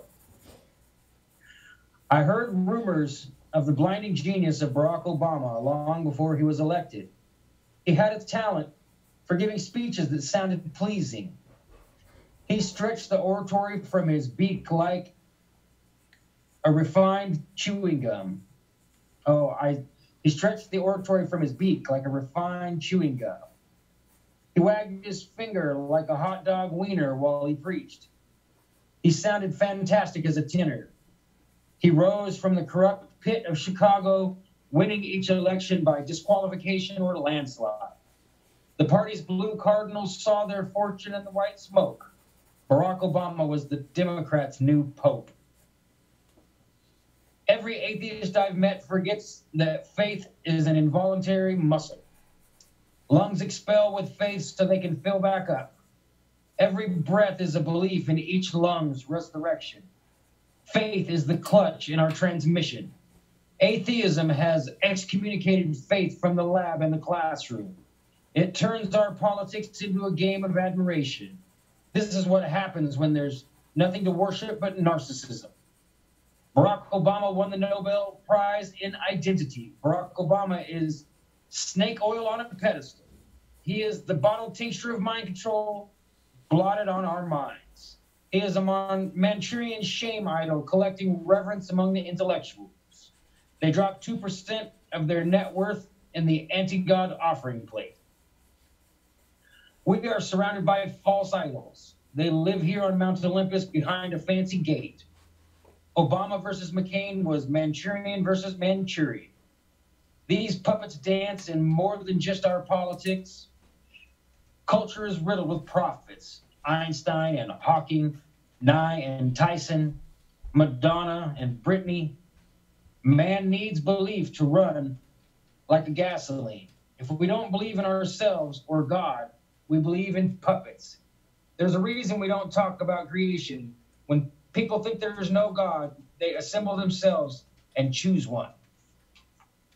Interesting. I don't think I ever uh, read that or I read most of these when they were kind of rough in article form, but I don't think I'd ever heard that. But I, I'd have to agree that people are hoodwinked pretty big time by Barack Obama. I, I found out a lot of things about him that I didn't know, and certainly gives you pause. I don't think he's the good person that he pretends to be. So let's uh, moving on to chapter 24. Gnosis of missile craters. If you can see a hunter in full camouflage, you are using the power of gnosis. This requires an understanding of hunting equipment and the shape of the human body. It is only through this wisdom that you can discern the danger from the scenery. Once you understand the threat, you know its shape in the wild. This is the power of gnosis. We can use gnosis to find the psychopathic elite entrenched in our government. The truth of the Lusitania gives us gnosis into the Gulf, Gulf of Tonkin. The Gulf of Tonkin into Pearl Harbor, Pearl Harbor into JFK, JFK into 9 11. The clues are everywhere once we accept the possibility. Our eyes must be willing to see the danger. here. They must awaken from the false reality of being safe. If we don't do this, the trauma will keep ringing like a bell. A vast human trafficking network was uncovered in Haiti. Laura Silsby was caught on its border kidnapping 33 children during a natural disaster. Her camouflage was a her camouflage was a humanitarian mission rescuing orphans. Just like the hunters, she was hiding in plain sight. Once you know the danger, it becomes easier to accept elite psychopathy is real. Psychopathy. I like saying it that way better. Psychopathy. Psychopathy. So once you know the danger, it becomes easier to accept elite psychopathy is real. Do you think that the psychopaths drive uh, psychoth- psychopathy jalopies? Psychopathy jalopy? No. no. I think they drive bulletproof, customized, fancy pants cars. Psychopathy jalopies. That's good. The the psychopathy jalopy. That's what they throw you in the trunk of when you say too much. Yeah. And you ooze out of the trunk. You don't walk out when you know too much. No, no, you ooze out. So here, I'll use that sentence. Here we go. So, as you ooze out of the trunk when you look at the damage to the Pentagon on 9 11, you first thought would be to accept the narrative that a Boeing said, and uh, that doesn't work, does it? When you look at the damage to the Pentagon, Pentagon on 9/11, your first thought would be to accept the narrative that a Boeing 757 hit and disintegrated on impact. You might also accept the narrative that Flight 93 went down in Shanksville and also disintegrating on impact. The power of gnosis allows us to unfold the picture. Understanding the psychopathic threat reveals details like the light poles still standing at the Pentagon, or an eyewitness report of a tiny plane no bigger than a vehicle in Shanksville. One can use Gnosis here to reveal the true story of what happened. Gnosis searches online to reveal the Air Force JASSM. Our military stocked 2,000 of these autonomous air to ground precision missiles as early as 1996. A JASSM could hit the Pentagon, yet still be small enough to dodge the streetlights and disintegrate on impact. JASM, huh? The JASM? The JASM. I, I just couldn't help but say it. I was trying not to. So That'll- let's see. That'll them. This same missile in Shanksville left its signature crater in the field. If the plane parts are missing, there were no planes. This is what Gnosis gives you when you ask, "Is that true?" That's a that's a that's a James Truism. It's just that simple, folks. You just have to say, "Is that really true? Are satellites real? Is that true?" Is it true? Well, it's Good question. I guess you're gonna have to get your Gnosis finger out and wiggle it around. Yeah. Well, they put a man on the moon, so Wait, how does how does gnosis? I don't understand the connection between gnosis and this type this type of stuff. Now, I'm speculating because James True isn't here to uh, answer for himself. But what I think, Adam, is that he's saying that uh, first he compares it to being able to distinguish someone in full camouflage, right? They're there, they're right in front of your face. You can see them if you look, but if you don't look, it's really easy for them to hide. So he's saying that that's something like your gut feeling or your deeper intuition. Oh, okay, yeah, okay, that makes sense. So then he's saying that that's true about any other thing that might be hiding in plain sight, you know, like the Pentagon or 9 11 or uh, JFK, that there's details there. Like the moon landing's a pretty good one. The details on the moon landing to me are pretty hilarious anymore because it just seems really obvious that, uh, like, it doesn't look good anymore. Maybe it looked pretty good still even in 1985 or something, but now it looks pretty hokey. You know? you know, um, I thought that what gnosis was was when your sister's wearing camouflage shorts and you're like, you know, sis, I can't see your legs. Oh, I just got to say something for the people that didn't get that one. Whoosh. Whoosh. You should have said G, you know, sis. G, As a- you know, sis. the sis. silent G at the beginning. yes, that's correct. Thanks, Adam Lore. That's great. G, you Gee, know, you know, sis. sis. That's a that's a good joke. That's going in the joke It book. is. We're gonna have to. We're gonna have to write a lot of G, you know, sis jokes. Gee, you know, sis. So here it goes. Uh, the last little piece of this chapter says, "Awaken your gnosis so that others may awaken theirs." Let's uncover psychopathic rat holes together. All it takes is the wisdom to understand the threat is real. This tells us what to look for, and the enemy reveals. Exercise this skill daily in public. Call bullshit when you see it. Make it uncomfortable to ignore gnosis. Wear it like a handgun in a Western saloon. Remind everyone there's danger in the wilderness. The illusion of safety is the camouflage of the hunter. He wants you to feel like everything is fine. Gnosis tells you otherwise. That's really interesting that he uses gnosis almost like, like um, Carl Sagan's bullshit detector kit, or it's like a like an intuitive bullshit detection, right? Yeah. Huh. Yeah, I didn't know that about Sagan. Well, he calls it baloney detector, but you know he what he meant. But did you, you never did you ever read any Carl Sagan? Um, Demon Haunted World was the one where he goes into a lot of that stuff. no, Uh, I, I started heard about that it. one, but I never did read it. It was pretty good. He he wrote uh 2001. No, No, that- no, Sagan's like uh, the predecessor Oh, yeah. to Neil deGrasse Tyson. Billions and billions of stars. That Yeah, yeah. Although Yeah. he never said billions and You billions. say you say millions and millions. Well, he never he said billions. Billions. And then I think it was like Johnny Carson or something did an impression of him, and it became a thing. Yeah. just became known for saying billions and billions. Yeah, I think I'm I'm remembering the joke. He did a Probably. book though called Billions and Billions. Billions and billions. commentary on it, after it just became a thing, you know. Yeah, no, I haven't read any. Uh, He was also a big like um, weed advocate. Like he wrote this Really? like scientific paper about all the medical benefits. He wrote a under an alias, and then like later on he revealed it was him. nice. Kind of interesting. Yeah, yeah. Sagan was big into token up. Wonder what, what, what wonder what his alias was. I think it was just Mr. X. Billions and billions. Mr. billions. X. Billions and billions.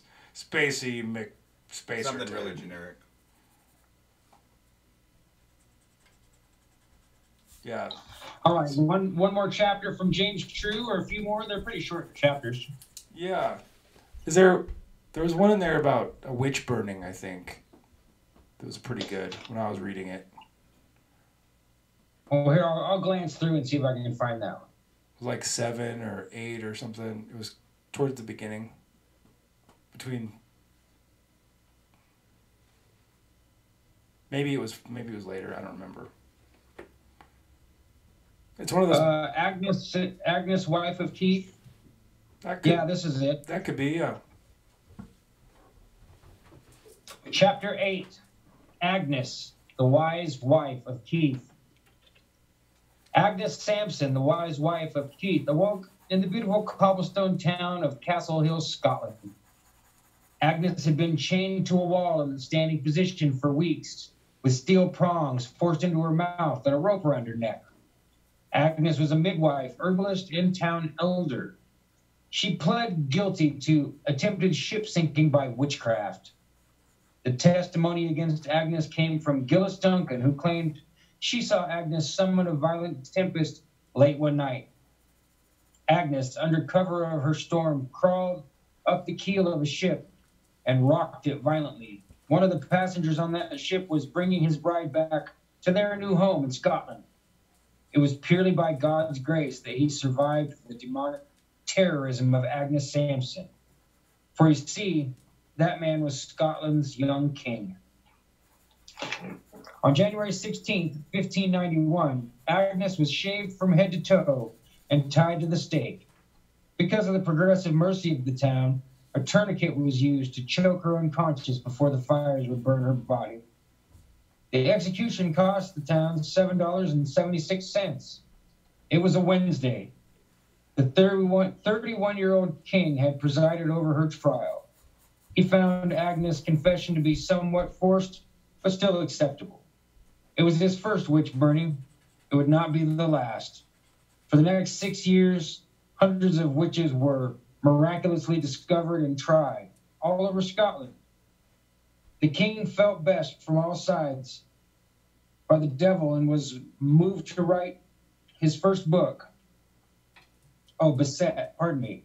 The king felt beset from all sides by the devil and was moved to write his first book, Demonology. In this philosophical work, the reasons, methods, and justifications for witch hunting are outlined, decreed, and sanctioned by God and King.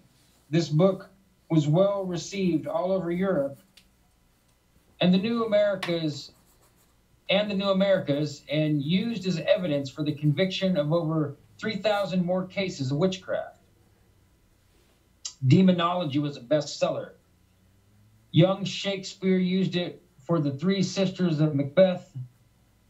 This king had more to say to his people. In 1604, King James would begin his second literary opus as managing editor of the Bible. Terrorism and piety have both been used effectively to control a populace. One is a political motivation, and the other is a spiritual one. Both leverage fear, but from opposite poles. It is important to remember that the people who tortured and murdered Agnes Sampson thought they were right and decent people. Some were patriotic and believed in the grace and divinity of their government. Others were motivated by a quest for purification. Regardless, the populace approved of its reflection. Society could do no wrong in the people's eyes simply because they were part of society. Let me read that again. Society could do no wrong in the people's eyes simply because they were a part of society. Its members could be found guilty, but society itself was always good. The absurdity of this dogma is why we repeat our history. When has a mob looked at its behavior and thought, wow, we are evil? That's not how evil works. Evil thinks itself is good. Evil makes itself righteous. Evil gains power in the sanctity of its own opinion. Government is not an umbrella of righteousness. Government is the child of the people. Children without guidance will steal things. Children without supervision will hurt others. Even today, as we adorn each other with medals of freedom, 55 people rot in prison in Cuba that's so illegal we can't house it in our own country. I don't, I didn't get that. Even today, as we adorn each other with medals of freedom, 55 people rot in prison in Cuba. That is so illegal we can't house it in our own country. Interesting. Okay. I, I guess I don't know that story. He's talking about Guantanamo Bay. Oh, okay. That makes sense. Yeah, we can't have them here because it would be illegal. Torturing. It is a real, it's a crazy contradiction to have your military base and you know what they've always told us is this horrible communist country and then go do the sketchy stuff down there. You know. Yeah. Well, they can get away with it down there. Yeah, we are fully justified because we are on the side of freedom.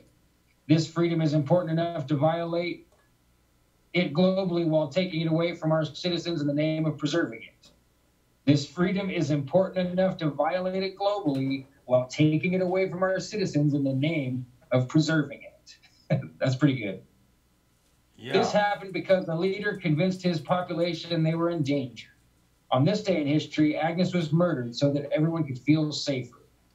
Nine of the 55 prisoners in Gitmo died to make us feel safer. Did it work? Well, for some of us it did, unfortunately. yeah. I don't I don't feel safer when they kill people. It never makes me feel any safer. I do. When they killed um, oh, Bin Laden or whatever, Yeah. I wanted to say Obama almost. Um, yeah, that was that was great. Felt very secure and safe. Oh yeah, for It's like sure. It should be a holiday. Yeah.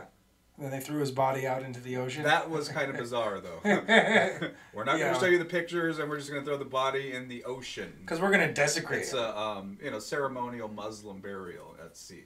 Yeah. It was like the opposite of, the, of that. It's like uh, Well, uh, Adam, did you never hear the theory that Bin Laden actually died in like 2002 somewhere in, in uh, they reported it in China, but then he like died in a hospital because he was having kidney failure for years. Like Oh. even when they were accusing him of all that stuff, they he was like on dialysis. So that used to be my joke. I would ask people like, "Do you think he's like planning the next attack on a dialysis machine in a cave?" Uh, But yeah, it was published in the Chinese press that he died like just a year after 9/11 or something like that. huh. He had like all kinds of lookalikes and stuff too, didn't he? Like what do you call Oh, that? yeah, A yeah. decoy, like a bunch of de- decoys. A whole bunch. You know, I've heard some uh, some theories. I, I don't remember who it was. I think it was uh, Polarization Na- Nation, may, perhaps. W- w- Was he the one that was saying that he thought that um, Barack Obama played Osama bin Laden in some of the cave videos? Yeah, I don't know if that was uh, Polarization Nation that did that, but I remember those videos, and uh, to me that's interesting. Okay, so Barack Obama's playing Osama bin Laden. Supposedly, maybe uh, Bush Jr. is playing Charlie Manson. It's like, are these guys really Yeah. assigned opposite roles? Like they have to be both parts? Or, or the new That's one crazy. that, that you showed me, uh, Jimi Hendrix. Jimi Hendrix is yeah, that? yeah. I was I shared that on Facebook for a laugh. Now that one doesn't look very convincing to me, but yeah, that Jimi Hendrix is actually uh, alive and he's uh, he's Morgan Freeman. it's pretty funny. Uh, I can see a resemblance in some of the pictures. They're uh, Yeah, I wonder if they're not just going on that alone. It's like if you can get any resemblance, then that's good enough. should I pull pull one up? Are you? Uh, Well, if you think you if you think you can do it quick, but you don't have to. yeah, I'm not sure. Let's see.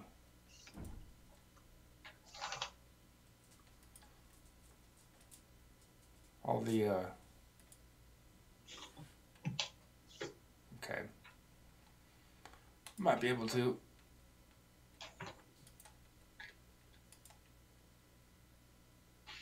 Well, not super quick. Well, I can keep reading here. Yeah, that works.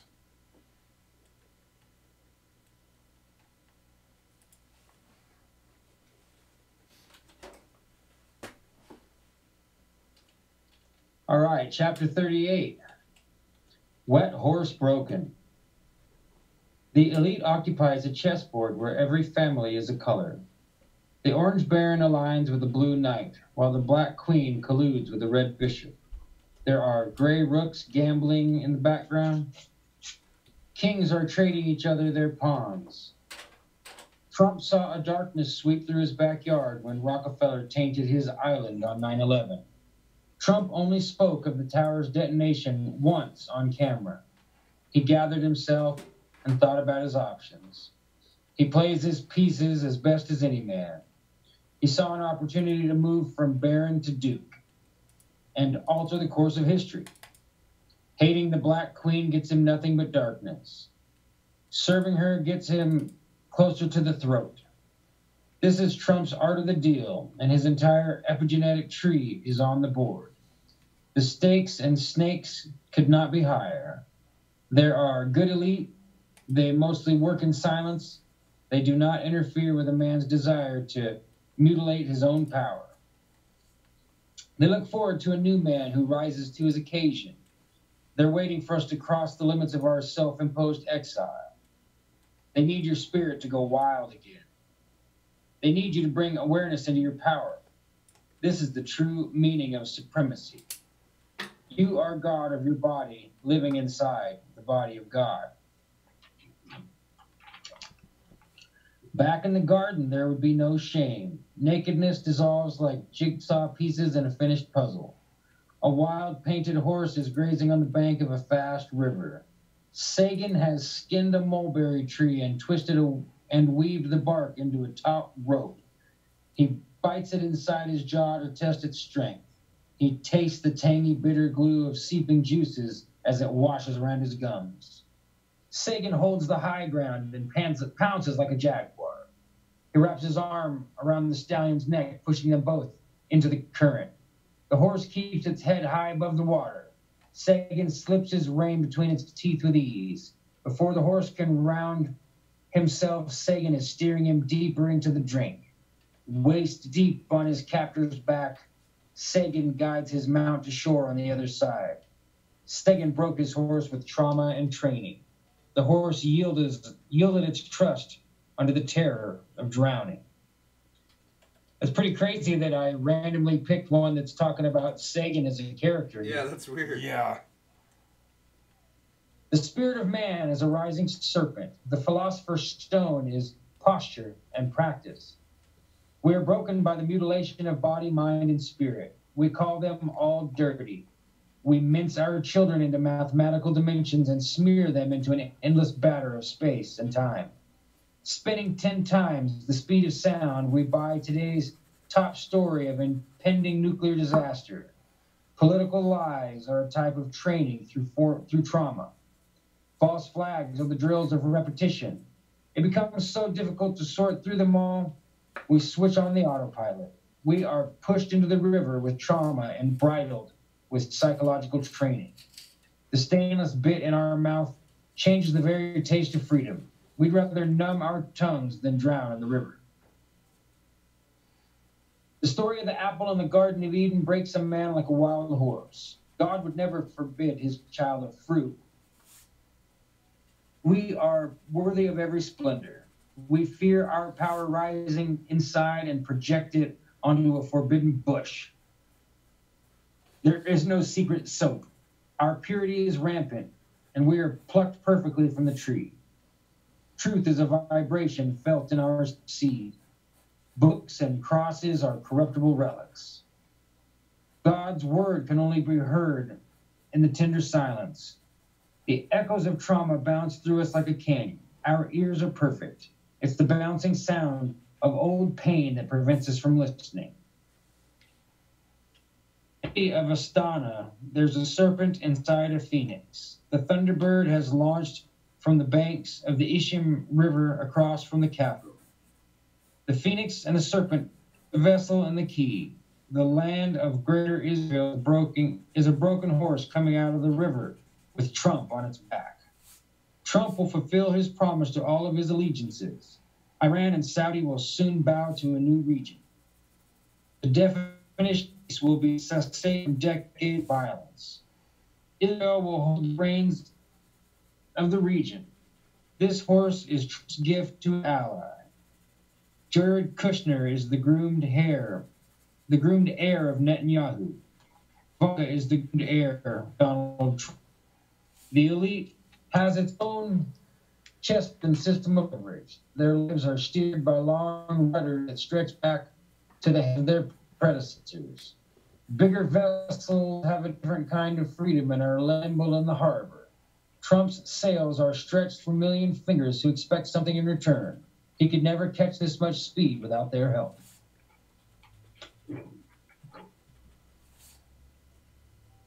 What is that that you're reading? Uh, it's a book by one of our past guests, a gentleman named James True. The title of the book is Blueprints of Mind Control. Huh. And um, he wrote a lot of them as uh, rough ideas in his articles, or, you know, not rough, but like he wrote them as articles and published them and then uh, compiled them all into a book and added some ones that weren't in there ori- originally. He's very poetic. with His prose. Yeah, I know that it seems like uh, that book that you have is uh, the Spell of Six Dragons is even more poetic. Yeah, I was just flipping, flipping through titles here. Maybe we'll change James True to a little bit more Tracy Twyman now. yeah. I can read some of some of uh, Spell of Six Dragons or something else or whatever. If uh, Oh, you wanna you wanna change and read? You wanna show us what you got? oh, art wise, or books. You don't have to, but Yeah, let's see. no, art wise. Art wise, I'm just kind of doodling at the moment. Um, Okay. Do you want to show what I've been working on? yeah. Gem, I guess I should say. Gem, right? Not Jim. Jim. Gem. Jim. Jim. Oh, nice drum.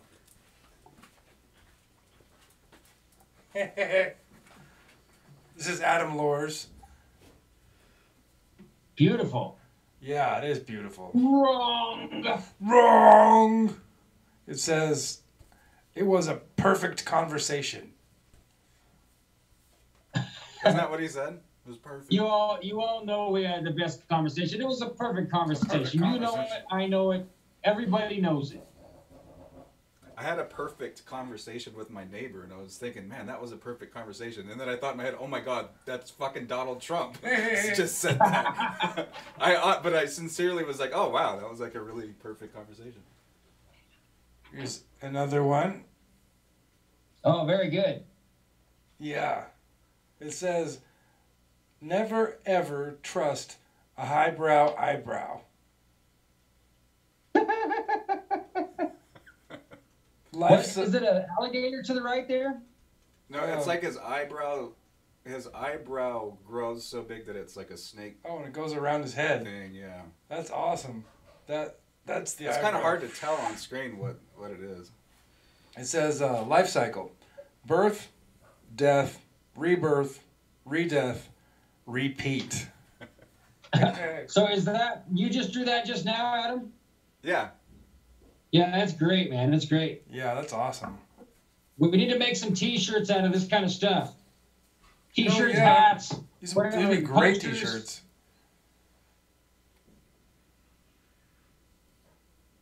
You could have the T-shirt come with a stick-on eyebrow that goes around your head. So here's here's another one. Get my fingers out of it. Whoa. This is nice paper too. This is like it's just cardstock, It's cardstock. penny. Yeah, sheet, same same price as normal printer paper. it's not Usually. really. That's it's Usually, yeah, if you're like buying like printer paper just to print something, Yeah. usually cardstock is either the same price or really similar. like eight to twelve bucks or something. just like five bucks for five hundred of them. Oh yeah, Yeah. it's nice paper for drawing. Yeah, we're going to start buying that instead of regular paper. Yeah, I usually just buy printer paper, but this is this is way nicer. Mm. And it has kind of you probably can't tell on screen, but it has kind of an off white. It's almost like a bone color, like a warm, a warm, uh, like almost ivory, but a little bit more orange, I guess. So it says, uh, caution: do not put infinity in parentheses, please. And then inside of triple parentheses, it says a public service announcement brought to you by the National Infinity Safety Commission for Humans. And you can see there up at the corner here, there's uh, an infinity symbol, and it's in parentheses. And this guy, So it says not. It says not to put them in parentheses. it says caution: do not put infinity in parentheses, please. And then in, in triple parentheses at the bottom, it says a public service announcement brought to you by the National Infinity Safety Commission for humans. Adam must not know the the meaning of three parentheses. Oh, does that have a, a meaning? That means it's Jews. What? It's it's like if somebody's trying to say that it was the Jews. The, they're just like they put triple like brackets or yeah, triple, triple parentheses has become a see what it was is that jewish Hmm. people started to put their names in triple parentheses on twitter because they were like using it as a way to be proud that they're jewish and so then all of the people that are critical of things that jews might do started using the triple parentheses for anything that they could point their finger at and uh, accuse the jews of doing Oh, weird. so triple parentheses now really is like a symbol of meaning it's the Jews. Wow. Yeah, that's funny. I had no idea. I would. I just thought it'd be funny to put the the little side note in a bunch of parentheses. So it's a warning about not using no, I. I, I wanted to tell you just so that you know because uh, it's you know people will read into it now. You know, not Yeah. that it's going to matter with that art, but it's just good to know. It's you know it's something that's happening in the world right now. Is that triple parentheses means something? You know? Yeah. I didn't Yeah. I used to always do that. the the okay. I, I used to love the okay sign, but it's Yeah. like Yeah, every freaking like racist on YouTube has that in their thumbnail now. It's- really, it's a racist thing now. Yeah, it's like a white. Well, they say it's like a white. It's like a WP white Oh. power thing. That You know- sucks. Do you know where that came from? Where'd that come from? It's because 4chan came out and said that they were intentionally gonna like troll it into existence. Like they said, everybody go and claim that the OK symbol is a white pride symbol, and it worked. They got like hundreds of people to. First, you know, lots of people pick it up and say, "Har har, I'm going to do it." Look, oh, here's the OK sign, you know, and make everybody think they're white nationalists, or maybe they actually are. And then, uh, of course, then the media picks up on it and says, "Oh, look at what they look what they've done. They've taken this symbol that we all love and they've stolen it." And it was all just a troll. You know, it's just all Yeah. it's just for the lulz. It's for a laugh. You know. I thought it was for a meditation pose, you know, or six six six, as they say. Yeah, I mean, back in the day, this was six six six, right? Yeah. Or doesn't it mean like, hey asshole? Yeah, in some countries it does mean like this means asshole, just like that does too. Like, Yeah, that that one means uh, where the sun don't shine. yeah, exactly. Insert thumb or whatever. get on booty. But yeah, if you want to keep reading, Jim, I'll draw a little bit more here. All right, I can. Let's see.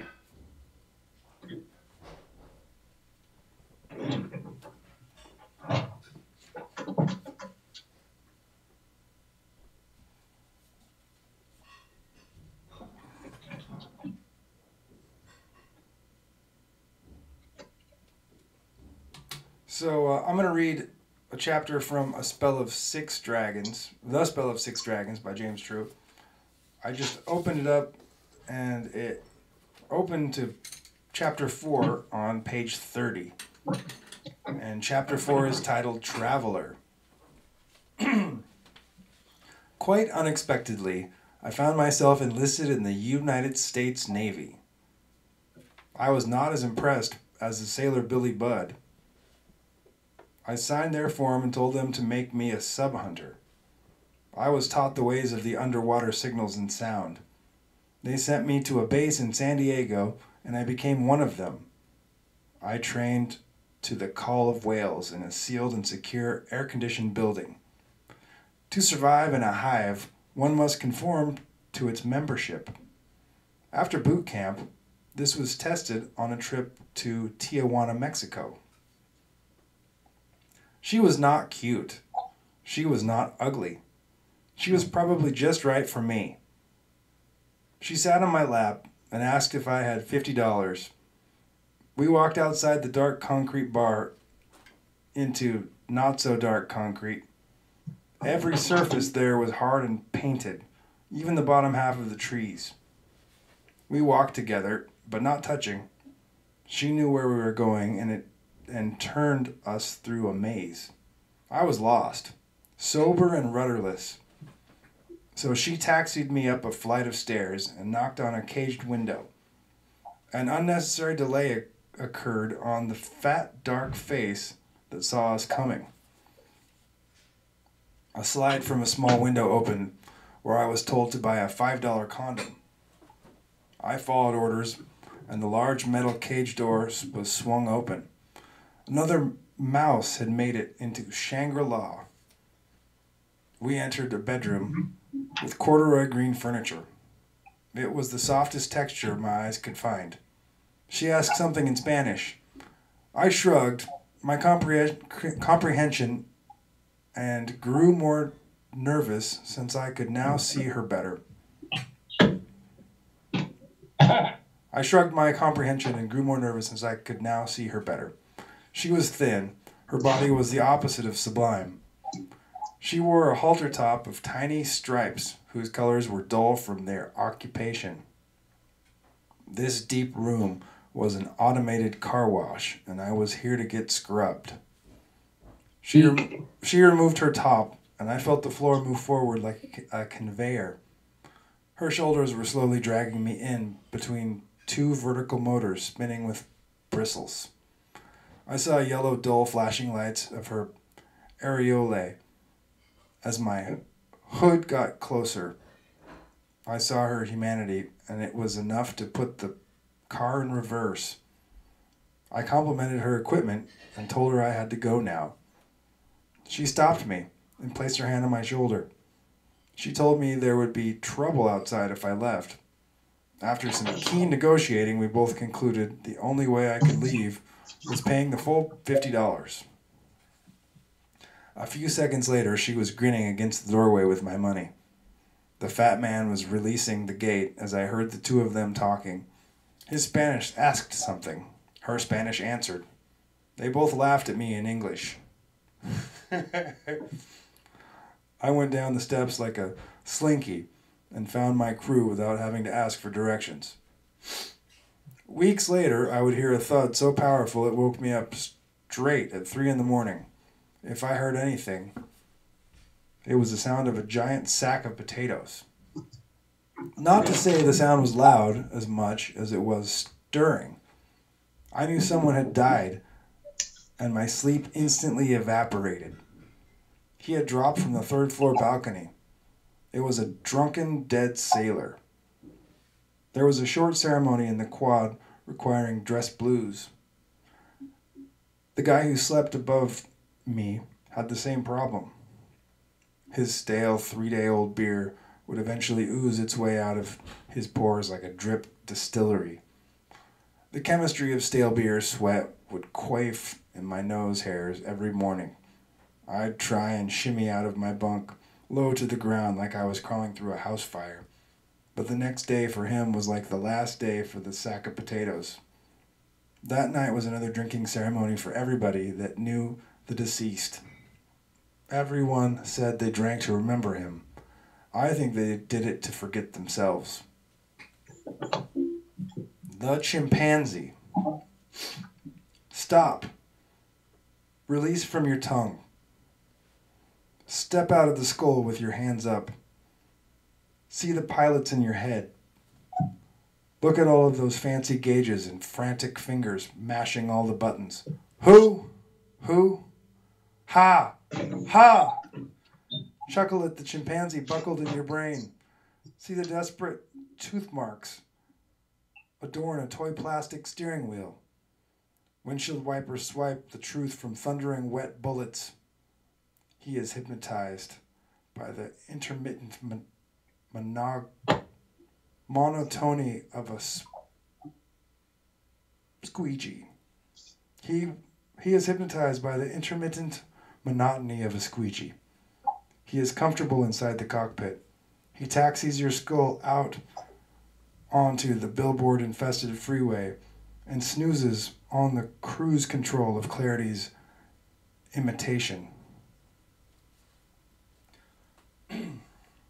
After my retirement, I left from Springer Mountain on the Appalachian Trail.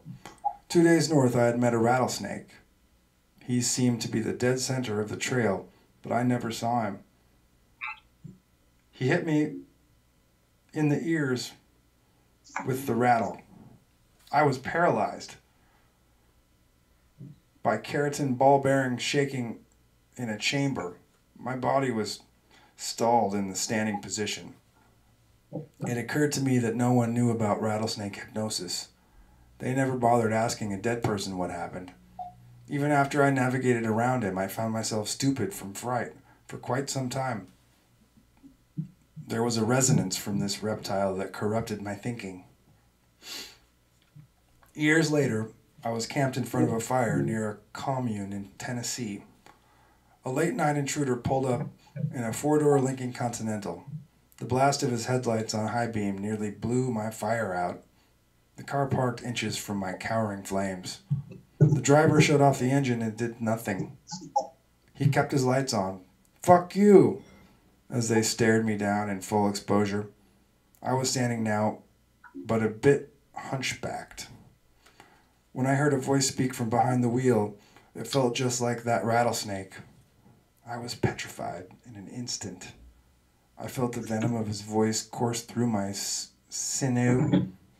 I do not remember what he said. I was interrupted by a foreigner who came in and took over my tongue. A deep voice inside my stomach told him to shut his lights off. I could tell this voice wasn't asking. The Continental gave me a test with a long pause. I was so impressed with my voice, I backed it up with my posture. That seemed to do it because he started up his barge and slowly backed away. I was so scared that night I wrote myself a lullaby. May the sky be your blanket, the earth be your bed. In fear may these treetops slip over your head. You'll be cradled in moonbeams and waterfall mist. The fragrance of cedar to rem- remember a kiss. A chubby brick church on the side of a state road had retired behind a chain link fence with no gate. Its bricks were overrun. The church had retired. The church, a chubby brick church on the side of a state road, had retired behind a chain link fence with no gate. Nice. Its bricks were overrun with kudzu trespassing out of the basement storm drain. The plain plate glass windows were stained with chalky brown grease. In the yard, a plastic teeter caterpillar rose out of the ground from a rusty automobile spring. The church was previously occupied by a family of devotee rodents who had found better accommodations. This forgotten brick temple was em- empty every Sunday. Inside, the ghost of a pipe organ played a eulogy for its congregation.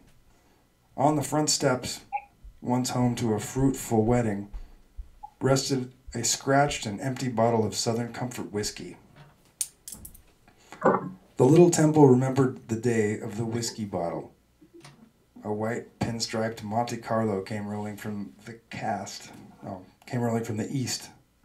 It pulled over abruptly right out front.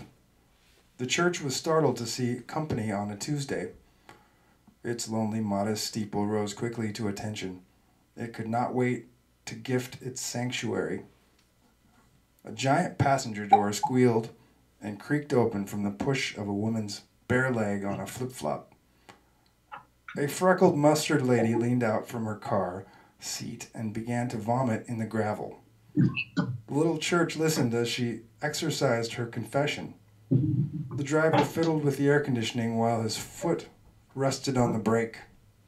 He never bothered to put the transmission in park. Before they drove off, she held her finger up in a gesture of pause while she gurgled and rinsed her mouth clean with the last drops of southern comfort. She flung it as hard as her drunken arms would let her.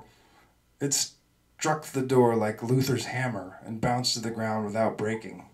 She frowned and fell into her car seat as the car kicked up an exodus of gravel. She left disappointed with the donation. There is another sanctuary in Summerville, Georgia, called Paradise Gardens. I had the occasion to sit many an afternoon with the good Reverend Howard Finster. I, pref- I preferred not to speak during our visits as much as he preferred not to listen.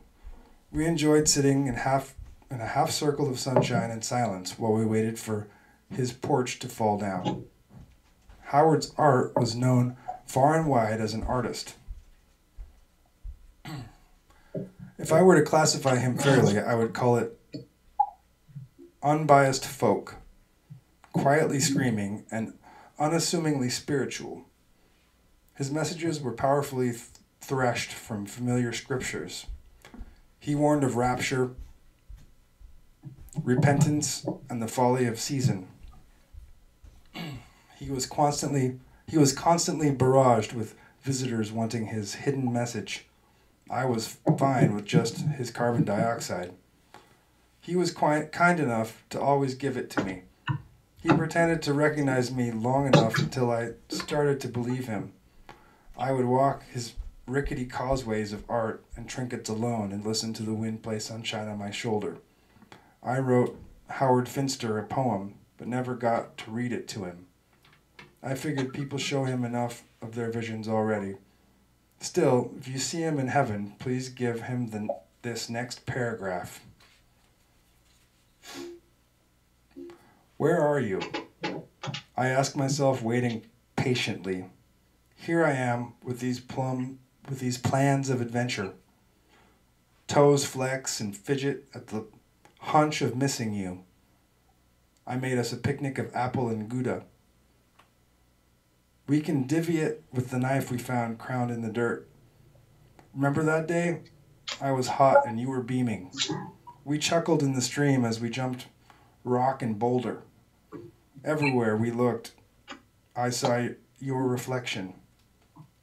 I needed you that day. I always need you. You are my reason to rise from my pillow. When you leave, I collapse and dream of the pretty pictures you gave us. I am your helpless child, your suckling young infant. You show me my shadow and remind me I am seen. On closing my eyes, I can feel your lights whisper. My eyelids are no match for your mighty burn. Sear through this fog that lies between us. Let me bask in your glory and walk in your way. You are my sunshine, my only sunshine. Please come out and play. I would not have assumed I was an artist when I met Howard Finster. I did not possess any sense of spectacle then. I simply felt closer to normal when I was around him, less unfitting. Howard, the person, was not a spectacle either. The part he liked the least was all the discussion. As if his art wasn't speaking for itself already. They would look for secret messages in lines of paint that were already written. They were pretending to read a puzzle from a spelled out Bible verse. Pretentiousness is the antithesis of folk art. So saith the good Reverend Finster.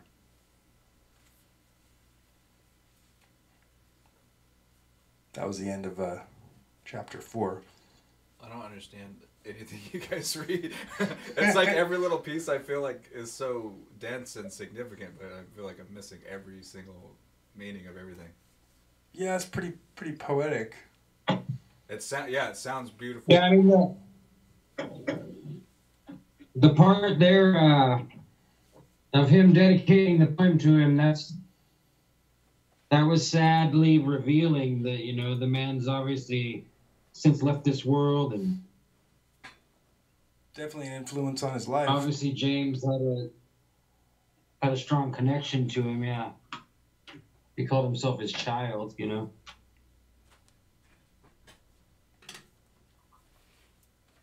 Yes. Yeah, I mean that's kind of the point too, Adam, is that like we're not gonna sit there and video or some from it. You know, mostly it's probably gonna be confusion, but maybe a little a gemstone here and there of inspiration or Mm. thoughtfulness, you know. I keep plucking the same little piece of skin off of my right index finger and causing it to bleed.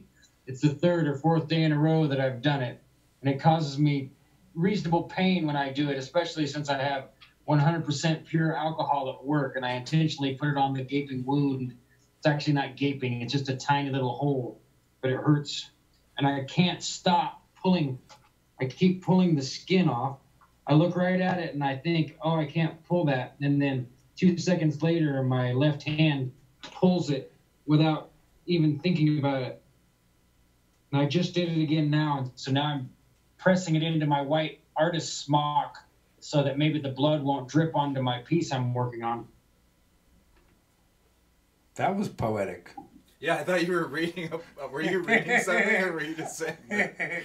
No, James True's poetry inspired me to be poetic. I'm absolutely a poet at heart. I I think and speak in poetry all the time, just a lot of the times not out loud. Um, Yeah, but now we've got like that. Now that poem's captured because we recorded it. So Yeah, we're gonna have to cut that one out. Put it on some uh, tote bags. and and well, not kidding. he Really did. I I waited all day to accidentally do it again now on the show. Oh, whoa! Put that thing away. Gross. Maybe get a band aid. That's uh, I used up all my band aids that were in my wallet. that's a good trick. When I was a, when I was a kid, like in the first grade, I had like had a little scab on my nose, and I kept picking it like all the time, and it never like the scab never went away, and so I had to wear a band aid on my nose Yeah. keep me from picking it. Band Aid worked though, so thanks, mom. Looking out for my face. Yeah, there you go. That's what I should do. Tomorrow or after the show, I'll put a band aid on it before I. Well, this is what I keep doing. I keep putting a band aid on there um, after I pluck it, and then it heals up, and then I take the band aid off because it gets dirty or whatever. Get some wax on it or something from work. Yeah.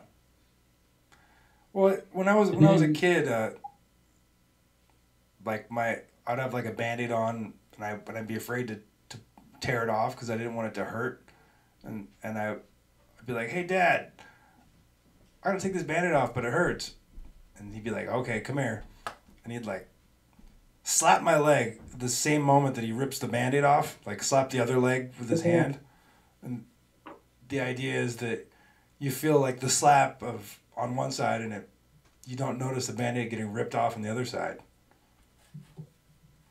Yeah. apparently they it's like a farmer's trick. They used to when they give horses a shot they would punch the horse the same time they'd give him a shot. And the horse didn't didn't know it was get, getting a shot I'd be afraid my horse would get mad at me for me punching it. yeah Yeah, I'd rather have a shot than get punched in the head. Yeah, but you're not a horse. yeah That's what I always tell people when they try to argue with with true farmer country boys, cowboys. I tell them, come on now, don't get in a fight with that guy. He's used to getting kicked by a horse and he's okay. Yeah. Like that could be the beginning of his day. Like, oh, that damn horse kicked me, and like lose his breath and check to see if he's got broken ribs and go back to work. Like, if I get kicked by a horse, I'm probably gonna take two or three days and just wish I was dead. yeah So you don't want to like if that guy says that you took his beer, then you say, "Yeah, you're right. I probably did. Forgive me. I'll go buy another one." You just don't worry about Yeah. it. You know. They used to call call cow cowboys cow punchers. Yeah, they are. I've seen a cowboy get mad and punch a cow hard in the head, and it's like, uh, yeah, I don't want none of that. They're They're, directional. they're on my short list of people you should never try and get in a fight with. Right along with anyone that lives on an island naturally, any indigenous tribe that lives on an island, Samoans, Hawaiians, uh, the Maori. Pacific there's, Islanders. there's never a reason to fight these people. Um, you should just accommodate them and be glad that they're being polite, you know? Yeah, that's true. Their women are tougher than me. I love uh, Pacific Island food. It's the best. Teriyaki uh, chicken and rice and Yeah, yeah. banana It's like the perfect mishmash, isn't it? Yeah. Macaroni salad. Ooh. Yeah, yeah. Short ribs. Good stuff.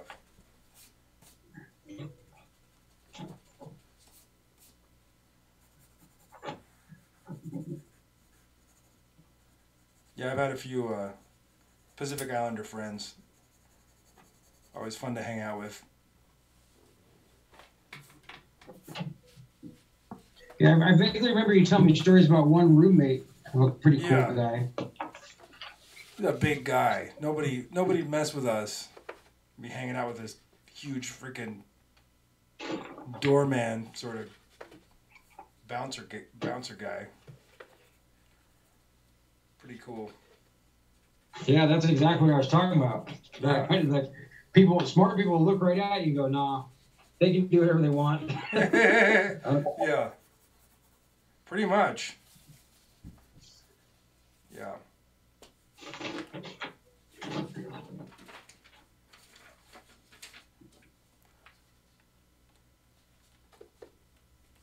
oh, I haven't been keeping track of time. I wonder how long we've been sitting here drawing and talking.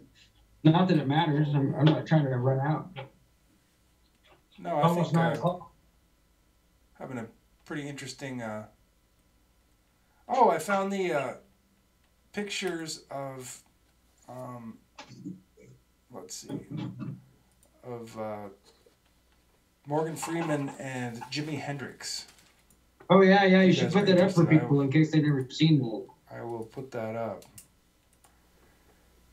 So here's uh, Morgan Freeman and Jimi Hendrix, and the way they're smiling, and sort of the the shapes of their cheeks and noses and I guess their heads, they look pretty damn. I thought I remembered Polarization Nation saying that he agreed to this one that he thought it was actually. It it could be. I mean, uh, Jimi Hendrix was sort of a guitar god, and Morgan Freeman plays God in movies. So there's that. Yeah, that's true. But like, I've I've never seen Morgan Freeman with a guitar. Maybe they're trying to hide hide the fact that he's Jimi Hendrix. Never put a guitar in his hand. Yeah, that's true. That that that might be part of it too, huh? That's like, well, that would give it away. Yeah, I wonder if I wonder if uh, if Morgan Freeman plays a rockin' guitar. Oh no, that would be the dead giveaway. Remember that was my joke I made to you. That if it was up to me, I could prove it really easy. Just throw the guitar to uh, Morgan Freeman with it plugged in and on the right settings, and you just level a machine gun at him and say, "Come on now, play us something." Play that song called Machine Gun. Oh, play anything. Play the blues, and we're gonna get some answers to our questions here. Yeah. So yeah, it's kind of an interesting, uh, interesting thing. I, w- I went to this. Uh, I went to the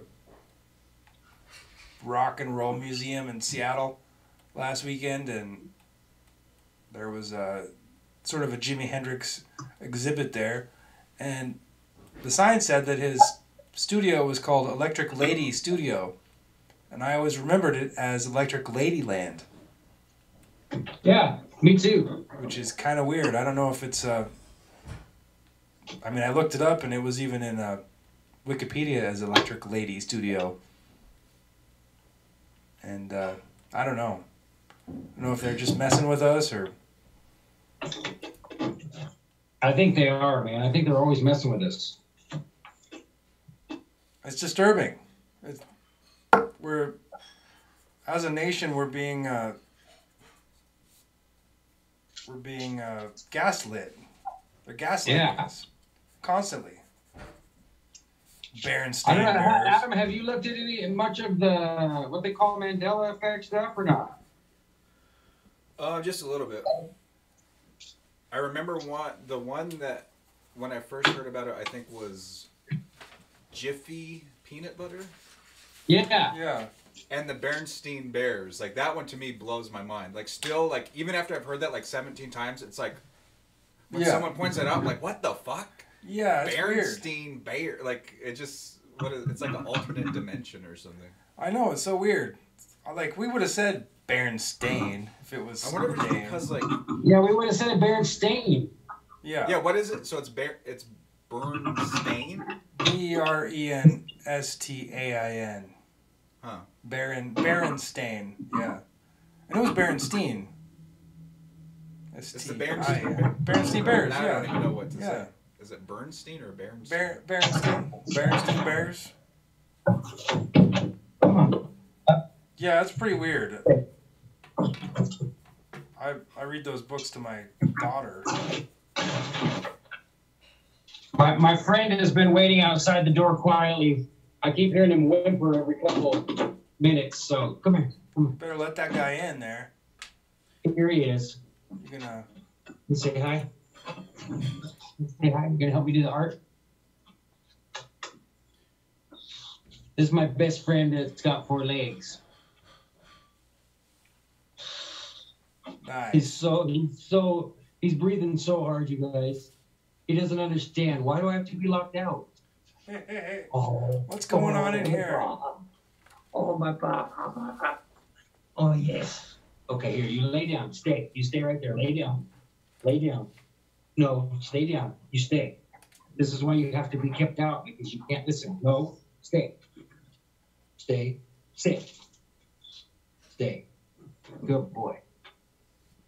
So the Mandela effect is named after people thought that Nelson Mandela died, and then when he died the second time, people were like, "What the heck?" He everyone thought he already died, Yeah. right? Is that Yeah. was? That's that's Yeah, that's the that- theory. That's the gist of it. Huh. That's the gist of the whole theory. Now, if you want to look it up, uh, like if you find the Reddit, uh, the subreddits and stuff, like that's one of the main things that'll pop up if you try searching for it. And uh, the one that the main one that's on there you'll find is uh, it seems like hokey and silly and not like very serious, you know. So if you keep looking and find what they call retconned, the retconned one is better like R E T C O N N. What's what's the difference? Like that one's better. For what? Well, like the retconned. Like if you're gonna try and look at places where people are actually saying they're seeing more of it or comparing new examples, that's the place I seem to have found it to be a little bit better. Was on retconned. Do you remember? Uh, do you remember there being a Sinbad movie where Sinbad was a Shazam, where Sinbad was a a genie? Because that's supposedly Yeah, one. yeah. I I totally remember that. And I and I remember They're when saying uh, that didn't happen. yeah they're saying that didn't happen, and even Sinbad made a uh, like a mock uh, trailer for for the movie, like you know like after that became a thing. yeah, after it became a, a Mandela effect. Huh. But I remember it because I remember uh, when the Shaq movie came out, where he was a genie. It reminded me of the Shazam movie. Yeah. So I don't know. It's it's pretty weird. Hmm. It is really weird, man. It's really weird. Or like the the Mister Rogers theme song. It's a beautiful day, and Now wait, what about the Mister Rogers theme song? Do you remember how that how that goes? It, it's a beautiful day in. In the neighborhood. Yeah, that's that's what I remember also. But I think that now it's a beautiful day in our neighborhood. What? Yeah, I'm pretty sure. I'll have to double check. Now, check. I know he says this sometimes. He says it's a beautiful day in the neighborhood, and then sometimes he says it's a beautiful day in this neighborhood. Won't you be mine? Stay. But yeah, I'm, it one makes me wonder how it really works because some of it seems absolutely impossible, and then sometimes it seems like they're just kind of agreeing to change details enough to get our, our brains clicking, you know. Like Jif and Jiffy, like cup or noodle. I know if you look it up, it says that now because now it's cup noodle. Yeah, Wait? And so, but if you look, if you look that one up, they say, oh yeah, we used to be cup or noodle, but we changed it, you know. Oh, So they admit on some of them, and then other ones they don't, and they act like we're just all crazy. So yeah, I looked it up, and it's uh, the Mister Rogers theme is. It's a beautiful day in this neighborhood. A beautiful day for a neighbor. Would you be mine? Could you be mine? It's a beautiful day in this beauty wood. A neighborly day for a beauty. I don't remember that part. Yeah, the, I remember the lyrics being kind of goofy like that. I vaguely remember that. Um, yeah, I, I had a friend that said that their mom used to draw a smiley face inside of the O in cup of noodles. Yeah, Wait, was it cup of noodles Cup, or cup O Uh. noodles. Cup O with an O. cup o noodles? Cup O noodles, yeah. And Jiffy. It was Jiffy, wasn't it? I thought that Jiffy was. Yeah, I remember Jiffy, and now it's now it's Jif, and apparently it was always Jif. Well, they they say it's skip like people mixed mixed up Jif and Skippy. And Skippy, Yeah. I remember Jiffy and Skippy. yeah, there was both. Yeah. Or no, was it Jif? Choosy moms choose Jif. and now they're saying it's Jiffy. oh, it's Jif now. I always it- thought I before I heard that I thought there was Jif and Jiffy Jif and, and, Jiffy. and Skippy. Not that Jif Yeah. became Jiffy, but Yeah, it seems like they they both were right. I remember Jiffy though. Maybe it's wrong. Um, Kristen in the chat said, "Mirror, mirror on the wall, who's the fairest of them all?" Yeah. Now it's changed to uh, Wait, that's changed to something else? yeah.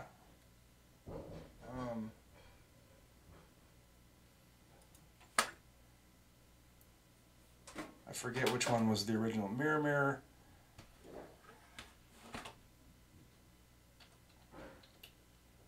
Oh, now it's magic mirror on the wall. Oh, come on now. We all know that's not it. Magic mirror on the wall. Who's the fairest of them all? It Yeah. was mirror, mirror. Totally Who in the world mirror, could think mirror. it was magic? Mirror? Yeah.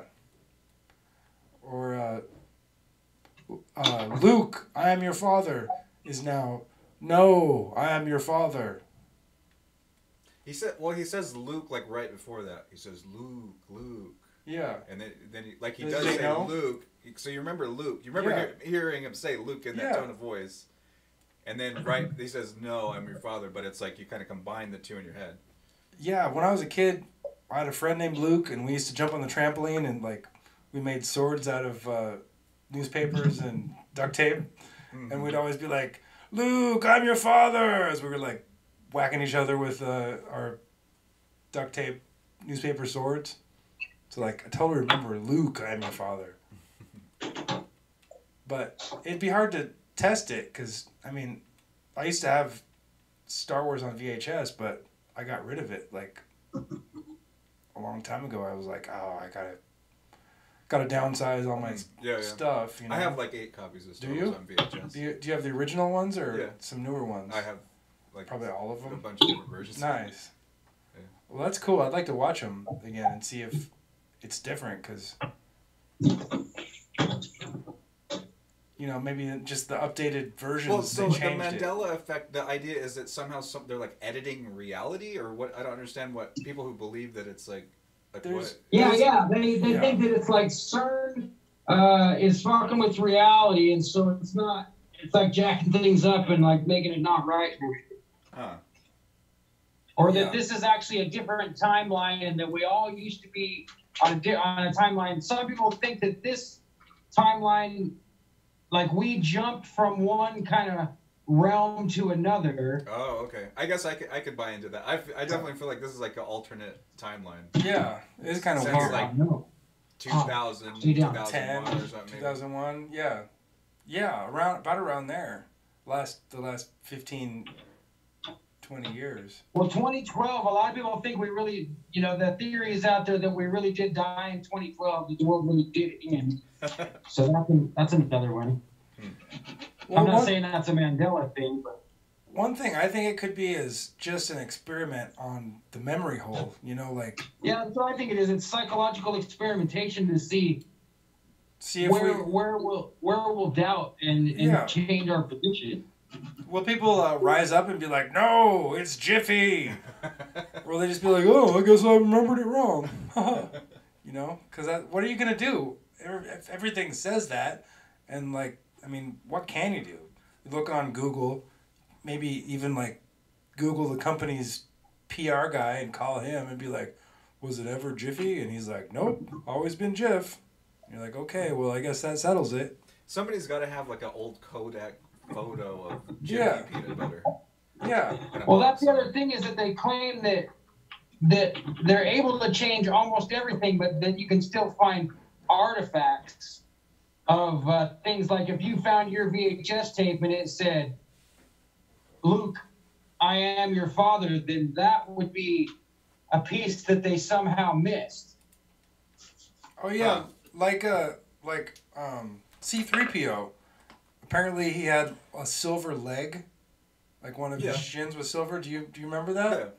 Well, I I remember that because I'm a Star Wars nerd and I've I've obsessively studied like details of Star Wars. Do you remember it always being silver? hmm yeah. I mean, I didn't notice at first because it's it looks pretty similar to the gold Yeah, in most shots. it really it really kind of does. But like, I don't know.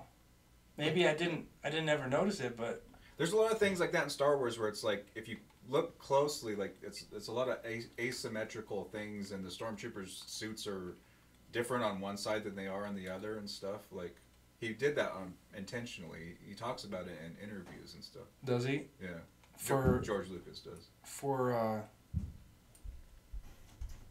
just artistic uh, license or Yeah, I, I don't know um, some kind of like the, creative idea he had or expressing something that. the reason the same reason why uh, Leonardo's uh, Mona Lisa has uh, hills going up on one side of her head on the back and, and a different shape going on the other side and they don't really line up Huh. but they mysteriously line up right behind her head Yeah, that's interesting. that's kind of a, a cool thing There was a thing sort. This isn't a Mandela effect thing, but I just recently found this out, and it's related to product names. oh yeah Um, I'm gonna. I don't want to say it because I don't want to influence what what you think. But what, how do you pronounce this product? N U T E L L A. Nutella N- Nutella Nutella. Nutella yeah Sean. I always pronounced it Nutella. Nutella. Nutella. Yeah. So it's actually supposed to be pronounced. I always hear people say Nutella, and I think that they're stupid. But it is supposed to be pronounced Nutella, Nutella even though it's hazel. It's hazelnut spread, Nutella which is based on the word oh. nut. It's named after Yeah. nuts, so you would think it would be Nutella, but it really like the, they gave like an official statement. It's Newt, like N E W T, Newt. Well, that's Newt. crazy. Nutella. Nutella. But this is why. So I thought that was the dumbest thing in the world, but this is why it, it isn't dumb. It's it's Italian. So they took the English word nut and then they added the Italian prefix or suffix. and they made a new sort of Italian word, Nutella. You know, it's like a Nutella. It's supposed to sound Italian. So Nutella. in in Italian, the U would make a ooh sound. So it's new. It's like new, Nutella, but it means nut. But it's Yeah, it's they're saying Italian. nut, but they're Yeah. saying nut with an Italian accent. There's a this funny song. It's, it's a Nutella rap song. Oh yeah. This guy, uh, one of my one of my friends, uh, his son, like has all these. He's like a little little guy. He's like eight or nine, but he's got a mastery of YouTube that I just bow down to because he Uh-huh. like whatever little kids just crawl around on YouTube, I guess, or whatever, and they find a bunch of cool stuff. He found this this guy called uh, it's like mango sauce or something. Hmm. I forget what it is, but he's got a he's got a Mango Sauce is the rapper's name. well, it's not really a rapper. He's like a little kid. He's like a rapper for kids. Like he's got a song about fidget spinners and he's got a song about Nutella. It's pretty pretty funny. I don't know if I can play. All it. right, I don't know. I'm, I'm afraid to do anymore because I might mess it up. So, what do you guys think? Oh, just a second. Let me uh, bring you in.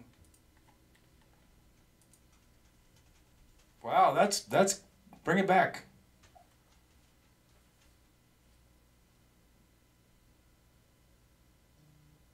That's pretty. Yeah, I was thinking now to get the the water because I I have some watercolor pencils too. So now that I realize that it's water soluble, I could probably take a just barely damp brush and make this really uh, kind of fade and blend instead of having to draw so much to get the blend. And I just made it into one long stem, so really it's not quite anatomical to a real lily now, but I don't care. Is it gonna be vertical or, I- or horizontal like a panorama? I think you could do it this way. But it's better this way. Yeah, I like it like that. It's better horizontal. There's a staple in it. I kind of like that. Right there is a staple. It looks like it's like a classy floral print, you know, in a in a fancy sort of hotel suite where the the lights turn off. Yeah, thank you. Yeah, that's exact. That's exactly what I was thinking. And now, what I should do so that it still remains inside of my uh, my concept, my lifelong concept, is I should find a way to hide some shoes in here. That's a great idea. Why Those would why, why would you hide cute. shoes in, in your floral concept piece? Uh, some some few years ago, I was inspired to make a lifelong uh, art project of flowers and crowns, and the flowers always go with shoes, and the crowns always go with melons, and it's deeply symbolic of the the nature of how we the, the philosophy of how we choose or how we feel forced or influenced to exist in this world. That the flower is natural and it starts by your foot. So it goes with a shoe and it's a natural thing. A flower is like the most normal thing that could happen, you know? And so it's the same as growing up and, you know, getting, learning to stand on your feet. It's symbolic of a beginning or a foundation. And then the crown is symbolic of uh, digging in the dirt um, and risking your life and wasting maybe your health to get precious metals so that you can melt them down and melt them down until they become pure and break them out of the rocks until they become pure and then form them into a crown and give yourself a position of authority or maybe even believe that God gave you a position of authority to put a crown on your head. And um, that it goes with a melon because it always or a melon or a, or it could be any kind of a squash too. Like you know like you could put a crown on a pumpkin or a crown on a spaghetti squash or a crown on an acorn squash or even a crown on a cucumber or even a crown on a zucchini you know like it goes with that like the crown always goes with that melony and or squashy type shape and uh, so in a way it's like a battle between the good guys and the bad guys but at the same time the fla- the flowers and shoes can turn bad, and the crowns and the melons could be good. You know what I mean? Like the the crown and the melon is the bad guy because if you're dumb enough to think you need a melon on your crown, then you're selfish and self-centered, in my opinion. And the, and the flowers and the shoes are natural because nothing's more natural than wanting to protect your little soft feet with some shoes. And there's absolutely no uh, Lily shooting uh, a grows flowers. So, Can you uh you kind of so that's robot why? I would hide shoes in there. Can you uh say that again? The last uh,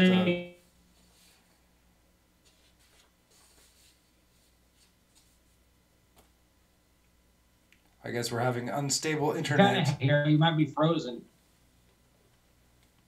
You're back now. Yeah, you're you're back. Well, I can see your your uh, prayer flags, and and part of your uh, your your head face there. There you go. The very last thing that was just that uh, shoes and flowers are are, are some symbolic of being natural. You know, the, the flower is the most natural thing because the water comes and it just waters the bulb or the seed and a flower comes up. And, um, you know, I guess you could argue that shoes aren't really natural, but they are one of the most common things that a human being will use to offer itself comfort or protection. And Well, without yeah. it, you can't do much. Most people nowadays, if you take the shoes, they're done. They can't even walk home, you know. Well, I think it's the first thing that, if you look at a creature that determines human or not human, is the presence of shoes. Because I mean, even if you got to choose shoes Yeah, or yeah, so- loincloths, you're gonna choose shoes if you're if you're trekking around. I would say, I mean, unless it's cold. Adam's shaking his head. Yeah. Would you rather go barefoot and have a? I'd A rather big- wear. I think shoes would be the last thing. I'd. I. I don't like um, being nude. Being nude, yeah. Well, I mean, Like I'd rather wear. I'd rather if I was if I had to choose between um, shorts and shoes or pants and no shoes, I would choose pants and no shoes. Yeah, probably pants and no shoes. What about if you were in the wil- wilderness, you know, and nobody else was around, and it was just like a survival thing? Still shorts. I would and... be. I would die in the wilderness because I'd be self conscious about running around butt naked. I would just Fair get enough. stuck. I wouldn't, be able to, I wouldn't be able to do anything. yeah, that's true. Yeah, I, I guess the, the answer is I you gotta. didn't hear what Adam said about wilderness, but I didn't hear him. Uh, it, I asked him if, if he was lost in the wilderness and it was a choice of either having shoes or or coverings over his his uh, areas, his the privates. He would. He said he would probably die in the wilderness. Pri, you know. What what did you say? I can't remember. Well, there were two. You asked me two questions. Like if I was if I was naked in the wilderness, you said would it make a difference? Yeah. And yeah, no, I would still be self conscious. Yeah. And I would probably just be stuck, and I would die in the wilderness Well, yeah. Yeah. because I wouldn't want to leave. Even if there weren't, even if if there weren't people, I would still feel So- like I was being watched, being Yeah. running around butt naked. Well, it is an uncomfortable thing, you know. Mm. If you're, I'm not used to walking around naked, you know, in the outdoors. So, so it's, I I figure it's the same same unnatural feeling that you get when you try to like pee in the swimming pool. What? Yeah, that's a good comparison. Because people act like they they can be totally comfortable naked, but it's not really 100% true. Like, because we're naturally just kind of trained, or even just naturally, maybe it's not training, maybe we're actually naturally ashamed Hmm. of uh, being naked. Yeah, So we don't really know. that's why it's such a thrill for people to be nudists, because it's contrary to the natural feeling of sort of personal shame. I think. I mean, I don't know. I'm not. I'm not. I'm not a. Hmm. Personally, I'm not a nudist. To me, it's not a shame No, thing. It's just like a, like a self, like the same way I don't want to be on camera right now. Yeah. Like I don't want to wear shorts ever in my life. I don't want people to see that part of my leg ever. It's just too revealing. Yeah. It's too. Unless get I, it. know somebody really, really well, they can see my shins. It has to be like a deep spiritual connection with a soulmate or something. I understand. Yeah. That's cool. That's that's deep. That's good. Like I don't even like people seeing my fucking toes. Like, I don't like to even wear sandals. Yeah, so maybe that's why the shoe and the flowers get along. Because the flower can't hide its nakedness and the shoe affords it a chance. Because I have a lot of them where the flowers growing right out of the shoe. Hmm. I used to have sort of a complex um, system of symbols like that in my art. Um, I, I've probably by now I've forgotten a lot of them, but one of them, actually, you would probably rec- recognize this one, Sean, is um, flower petals around the eyes. I Oh, used, yeah, I yeah. used to do that a lot. State. And it was it was Thank supposed to be like kind of similar to what you were saying with the flowers and the shoes thing. It's like someone who is still in tune with nature, like they haven't turned their back on nature. They're still in awe of the beauty. They have still a reverence for nature. I guess would be the simplest way of putting it. Right. Makes me think of a sugar skull. You know, like sort of a um, traditional Day of the Dead Mexican Hmm. designs, like a, a skull with like, you know, like like daisies where the eyes are, Oh yeah, and uh, but like the date, the center of the flower is like covering the eye. yeah, Oh. but it looks like the the round part of the daisy is part of the eyeball, you know, Uh-huh. and the flower petals go around that, so it looks like a, a bright, um, a bright eyed head, but it's a it's a skull with flowers for the eyes, you know. Kind of kind of a cool, I don't know, kind of a cool uh, design. I'm trying to remember some other ones. I remember one was an umbrella, but I don't remember why. I don't remember what it represented for me. There was one with a jelly, like a jellyfish was one of my symbols, Oh, that's cool. and an umbrella. I think a jellyfish was like emo- something to do with emotions, like. I don't know what I can't remember now. It's like I've forgotten the whole system of it. I used to identify with oct- with octopi. I think they're beautiful, trendily, like flowing. Jim Jim has an amazing animals. sculpture there somewhere in his house of uh, solid granite that he carved. Oh It's an octopus. well, it's it's uh That you carved out of stone. yeah it's uh it's white. Um, it's not granite. It's marble. Oh, that's right. Yeah, Marble, pardon me. it's a it's a chunk of marble that fell off of the uh, the Capitol building in Salem, Oregon, Hmm. when there was. I didn't earth- know that. Yeah, it was there was an earthquake, and some some some marble f- some blocks fell off the building, and I bought one. Bought it for like eighty bucks. It's like a a big chunk. I carved a an octopus out of it. Stone. Well, it was like a it was like a clinic or something, or not, not a clinic, Yeah. but like a, a class, right? Yeah, I took a class. It was like a a week long class. And you started out with a hammer and chisel, and uh, they worked worked you till you were sore for like two days, and then they brought the diamond tipped saw blades out and let you finish up for the at the end of the week. It's pretty cool. Oh, I see. So it was like a like when you're mechanicing on a car for the first time, and whoever's helping you lets you try to kill yourself, and then they're like, "Oh, here, Yeah, go down to the parts store and get the part we need to, to get this off easy." yeah. You you got to learn how to do it hard first. I mean, you could you could choose a big heavy hammer, and it makes a big chunk of rock fly off, but your your arm will tire out, you know, pretty quick with a big heavy hammer. I've got like a, Yeah. a couple five pound hammers that work pretty good for that. It was it's a lot of fun. I mean, you get covered in this like there's video powder. footage of the sculptor Rodin um, sculpting uh, out of uh, marble. Uh, his uh, the way he holds and swings the hammer, it just tells you everything about the you know his experience level. Like his the way he holds and moves the hammer is just like, oh crap, I could never do that because it's so perfect, you know. Yeah, I love I love It's like his, it's, it's the least amount of effort a person could exert while still having to take pieces off of the huge rock, you know. Yeah, there's a a a bunch of Rodin, well, copies of Rodin, Rodin's work. I think you saw him over at the uh, the museum, the Mary Maryhill Museum. I don't think they're copies, Jim. I think those are originals, bro. Those are the studies. Well, they were uh, they That were bronze. They weren't they weren't they weren't carvings. They were uh, bronzes, I think, Wer- weren't they? Or were they Is were that stone like Stonehenge? or they were stone. Yeah.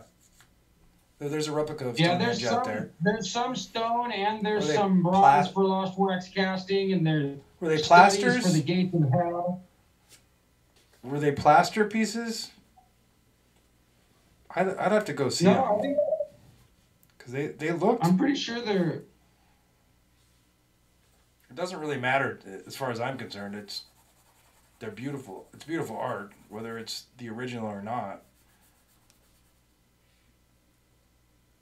Well, yeah. The the thing is about Sam Hill is that people really did give him their their stuff. So, you know, it's a real museum. It's not like a it's not like your typical like state-run museum in the United States where there's not really much real art in there.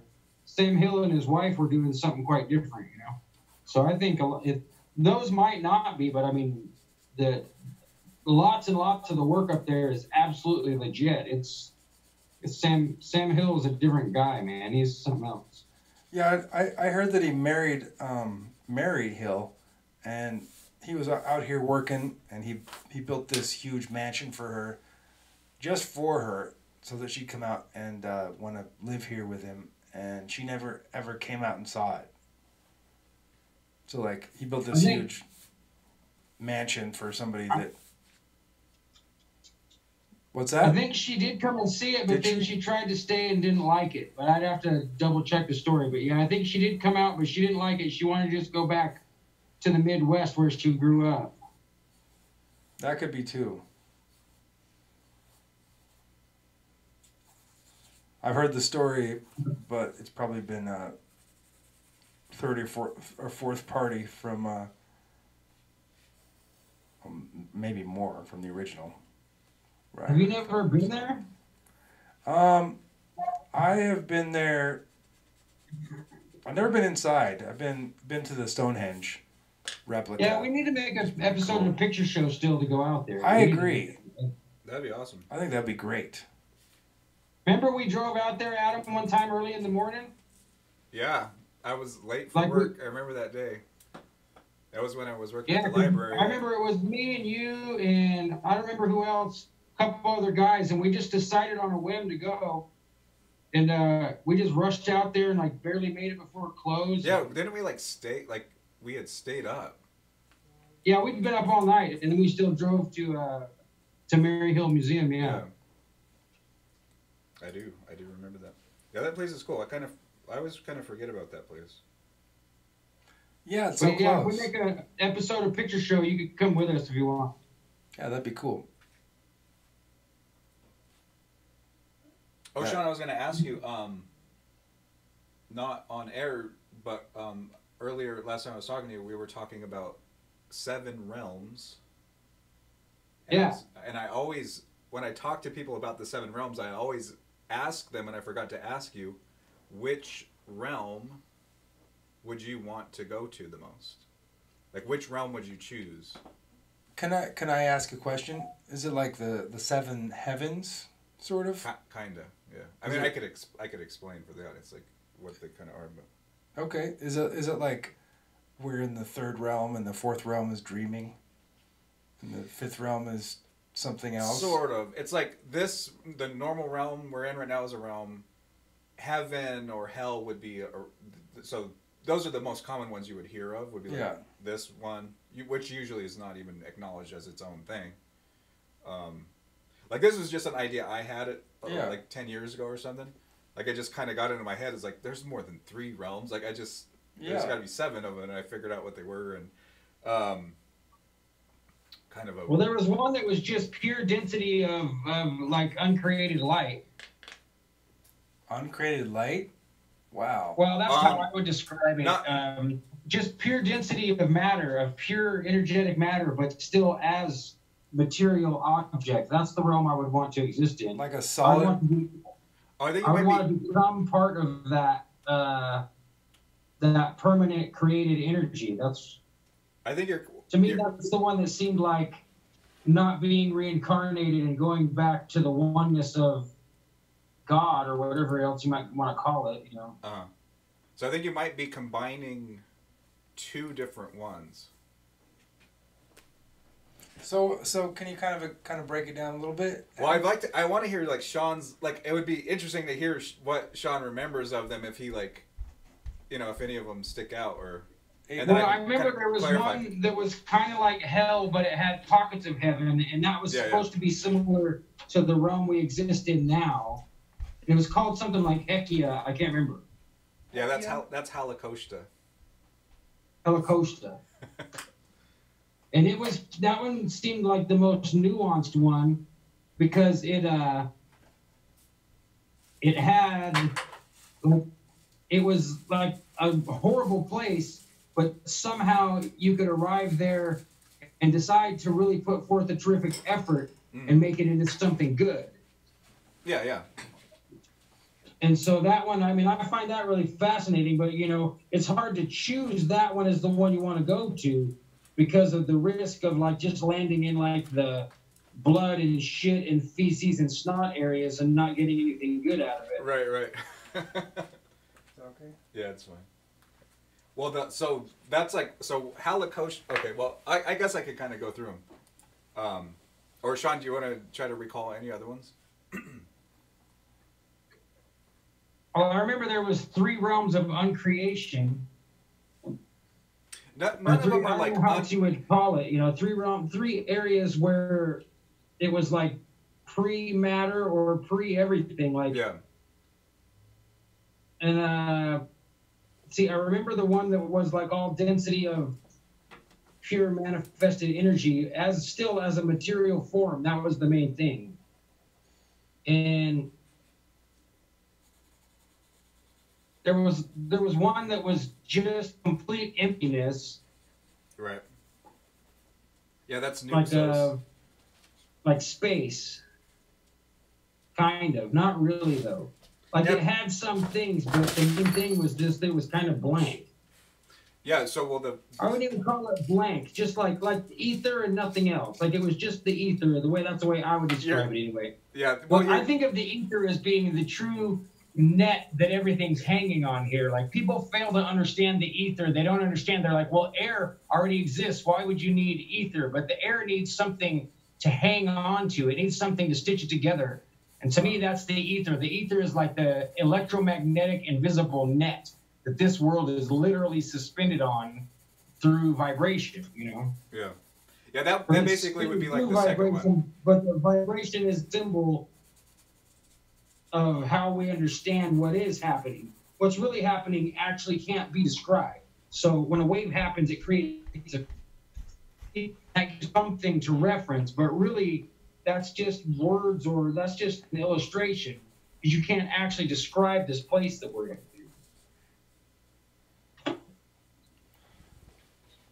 Um, But I've, I don't remember their names. I know I took the piece of paper. I've heard of uh, of seven realms before in spiritual teachings. You know, it's the seven heavens, and some uh, like uh, like we're like there are seven realms, and we're in like the third realm, Uh-huh. and the next the the fourth realm is dreams, and then the fifth Oh, okay. realm is like part of dreams where other entities can communicate with us or Wait, what, where did you see manip- this or hear this? manipulate us. I I heard this like I was listening to uh, uh, William Sch- Schnoebelen, this guy on uh, he's like a ex Satanist witch. He's like a now he's a messianic Jew sort of uh, guy. Huh. And I'm not, you know, it, either way, I don't. I was just listening to his uh, his YouTube because it's interesting. Um, and he was talking about the uh, spiritual realms, and you know, what he was saying is that we're in the third the third realm, and that the fourth realm is dreams. Wait, so what are the first two? The first two are less, you know, less spiritual and more dense, I guess. Oh, Didn't interesting. really get into that.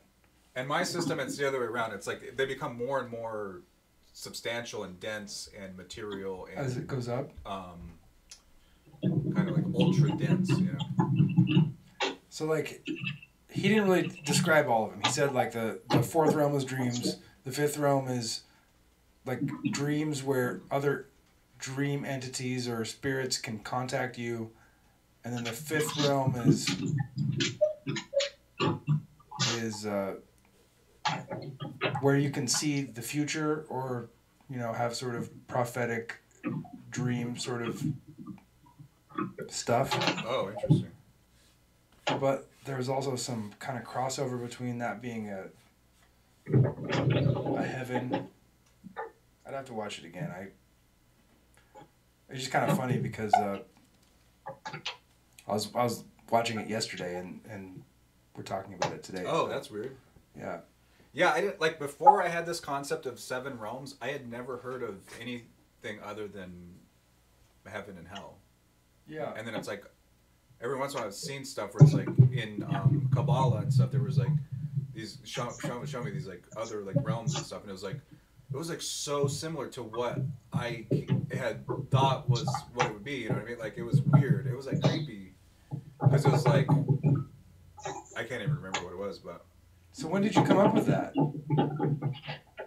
um, it was probably like 2007, 2008. And at the time, I don't know. I feel differently about it now because I don't really believe in it as much as I did when I was like figuring it out. But it wasn't. I didn't think that I was coming up with it. I thought I was like a prophet. yeah. Tapped Like I thought I was a prophet, like channeling this spir- this spiritual information.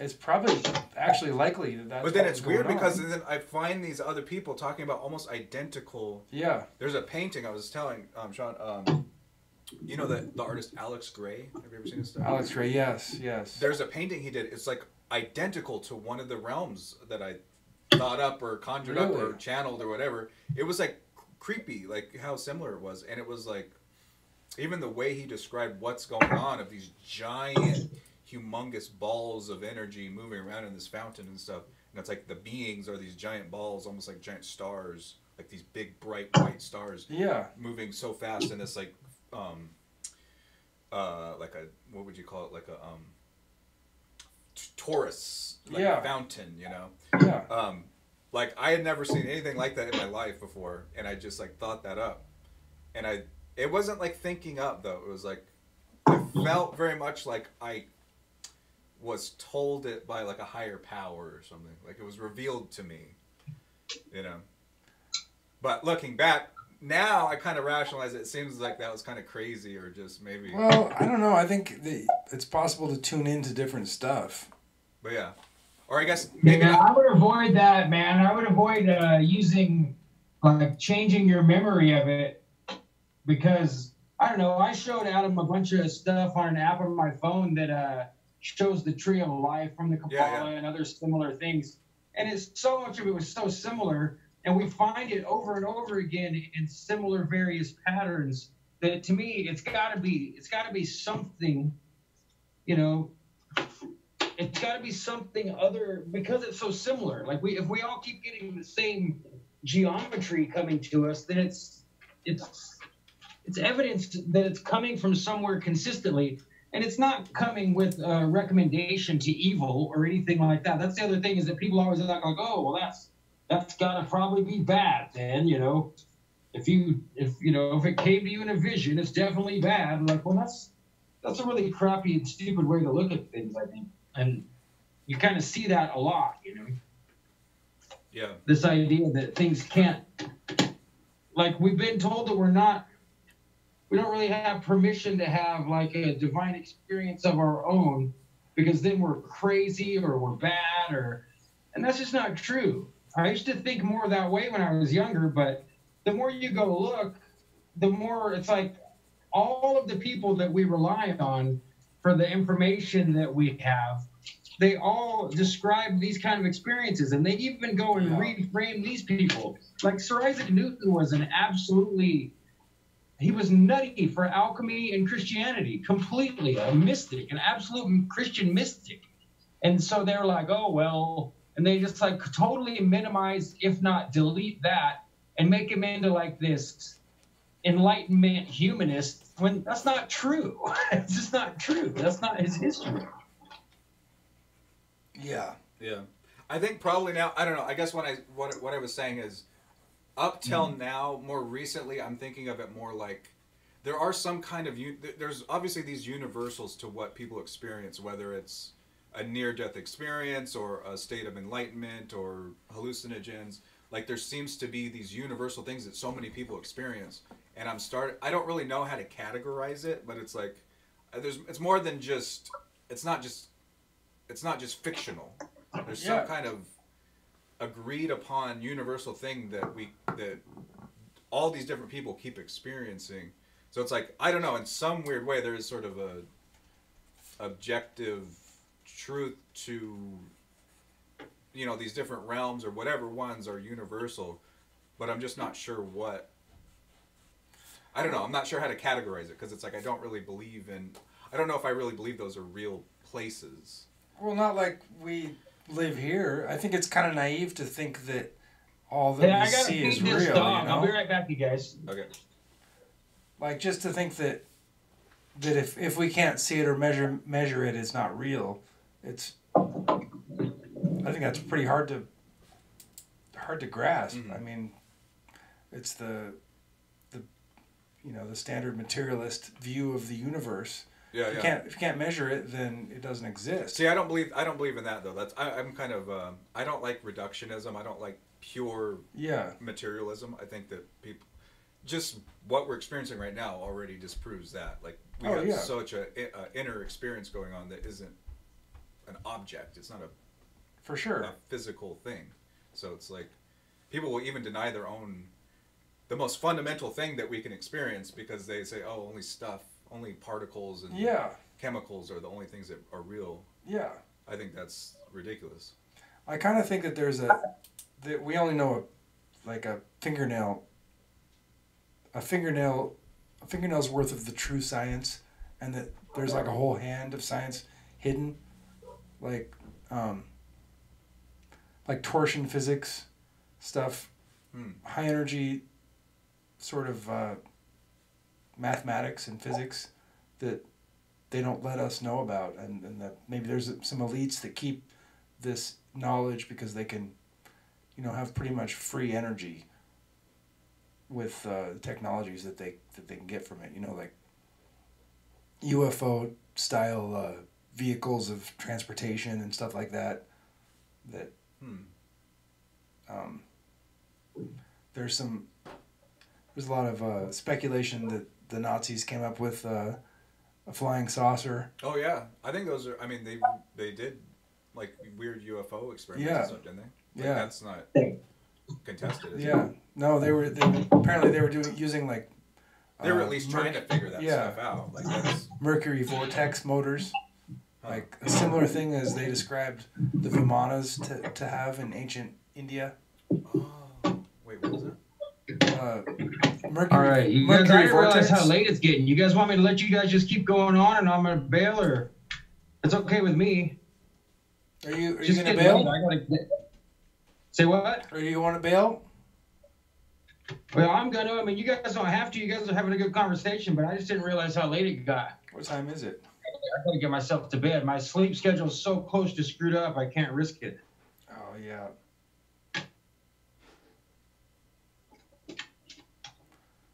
Sorry to come back from deep philosophy right into oh crap reality, but I just uh, I gotta. If you guys want to stay live and just talk, it's okay with me. I just lost track of time because I was making art. I love it. I'm very happy. Don't misunderstand me. I just have to. I can't let myself drift off to midnight on here and then not fall asleep until two o'clock in the morning because I already like lost half a day of work and just I gotta I gotta sleep. I understand, my friend. I'm not young anymore. well, thank God, all those problems with being young. It's damn trouble. Yeah, it is. But yeah, thanks a lot for coming, Adam. Really appreciate Yeah. it. Thanks for having me. We could still uh, we could still plan to eventually get you an incognito disguise so that you could be on camera Yeah, that'd be cool. and not Like- feel. Like a big sombrero with a veil. I think being off, just right off camera, is good. No, I think a costume is just funny. I mean, obviously, if you're in costume, that's that's almost worse than just being on camera.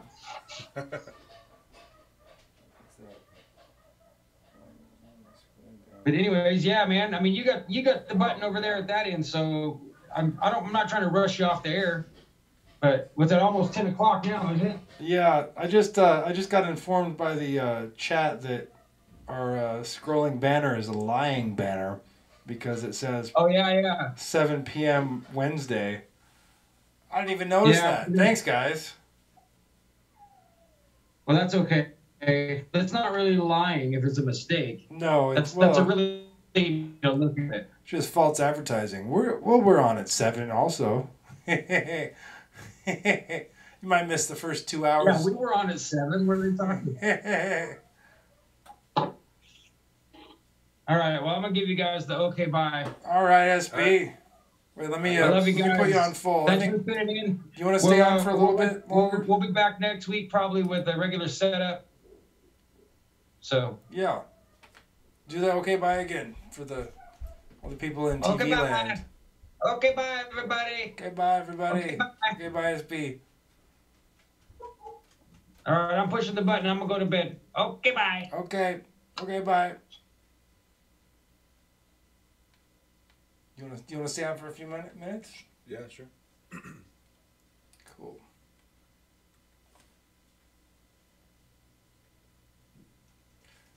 Yeah, everybody's uh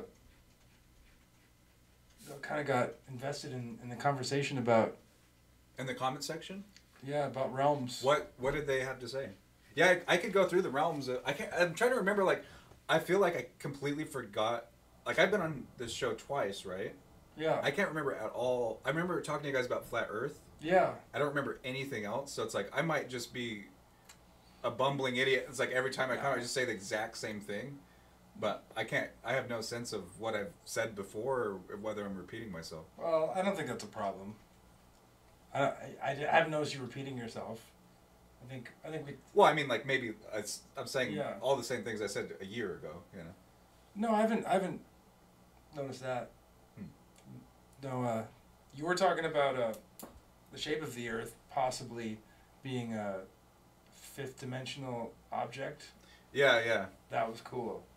I was tripping about that for a while. Well, the model that you guys have, the Enoch, the flat Enoch Earth thing, yeah, the way it's shaped, it's like very similar to like a projection of a four dimensional like um, tesseract. So it's like I don't know. That was kind of an interesting uh, angle of that. that does that does uh, kind of hold it up a little bit. The uh, the square flat Earth theory. I mean, who knows what the shape of the thing is we live on? Yeah, actually, I was talking to Sean the other day about. Um, we actually had a pretty good conversation. Some of this stuff that we're talking about now is kind of a reiteration of some of the stuff we were talking about then. But the um, concept that in that. So do you wait? You believe in the Enoch thing? I don't know. I, don't- I don't know enough about it. I Because part of it Yeah. that's interesting is there's a part where it's like at an angle like that, yeah and there's a part where the sky is so much lower than like there over here the sky is much higher than on the edges where it's very low. Like if you walk there, you your head would be sticking out of the sky or something. Well, I've I've seen some uh, photography of some weird effects. Like it's it's like a what do they call it? Like a sun dogs. It's where like um, when the sun's at one kind of spot in the sky, there's like a there's like parentheses around it of reflected Mm, yeah, yeah. refracted sunlight, and it like I've seen people reproduce that effect by putting a camera inside of a bowl and shining a light at the side of the bowl from the inside. I've seen. I don't remember So, if it was through you guys or someone else. I've seen that demonstrated. Yeah, it shines and reflects, and it makes like a sort of a sundog. So it makes me think that there is some sort of a a screen effect going on. That and like, um, I had a friend that was an ice road trucker, and he told me that there was a a permanent um, mirage in the north at the in Alaska towards the North Pole, like. When they Oh, look straight north, there was like the, the ground and the mountains came up, and then it was like a flipped upside down version of the same thing, and it was like it was like an inverted. The sky and the ground inverted, in this one area, Uh huh. and it wouldn't show up in photographs. Huh. But it was like the weirdest thing. I'm like, it. Yeah, that's in- that's interesting. If it wouldn't show up in photographs, why is that? yeah. I'm, I, I don't know what kind of equipment they had, but I know they had a bunch of pictures of it, and it was it just was it just looked like a regular mountain. But he was like, it's the weirdest thing. It, it's a mirage, and it won't show up in the photographs. So are there are there like active comments right now? Oh yeah, I can put them up on the on the screen here. Um, let's see. Because I could go. I mean, I can go through all the seven realms. It, it might take a second, but um, I don't know. It's interesting though, because it's like you kind of had you had different versions that you had heard about. Yeah, uh, some people were talking about that up here.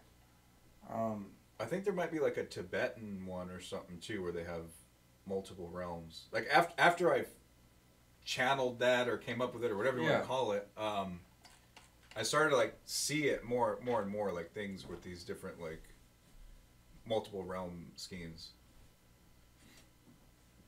shoot, my uh, tablet died. Um, yeah, someone was talking about. I think it was Krista was talking about the realms being uh, the lower ones being like hell and something under the ground. Hmm. Um,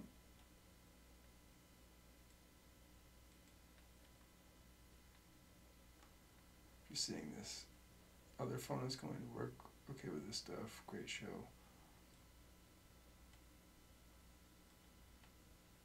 Bob and Aaron of the Open Scroll. Twice I've checked their countdown for the zero point and always makes it two days later. Oh, I'm not crazy. I've heard of the Open Scroll.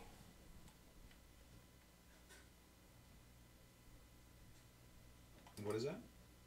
It's like a YouTube channel Oh. about some some stuff. Um, we found this one this one channel, and uh, gosh, I forgot what they're called. Um, Tracy turned Sean onto onto it, and these guys were kind of thinking that that Jeff Bezos was using Amazon to. Uh, do a magical spell to uh, reset time back to 2012.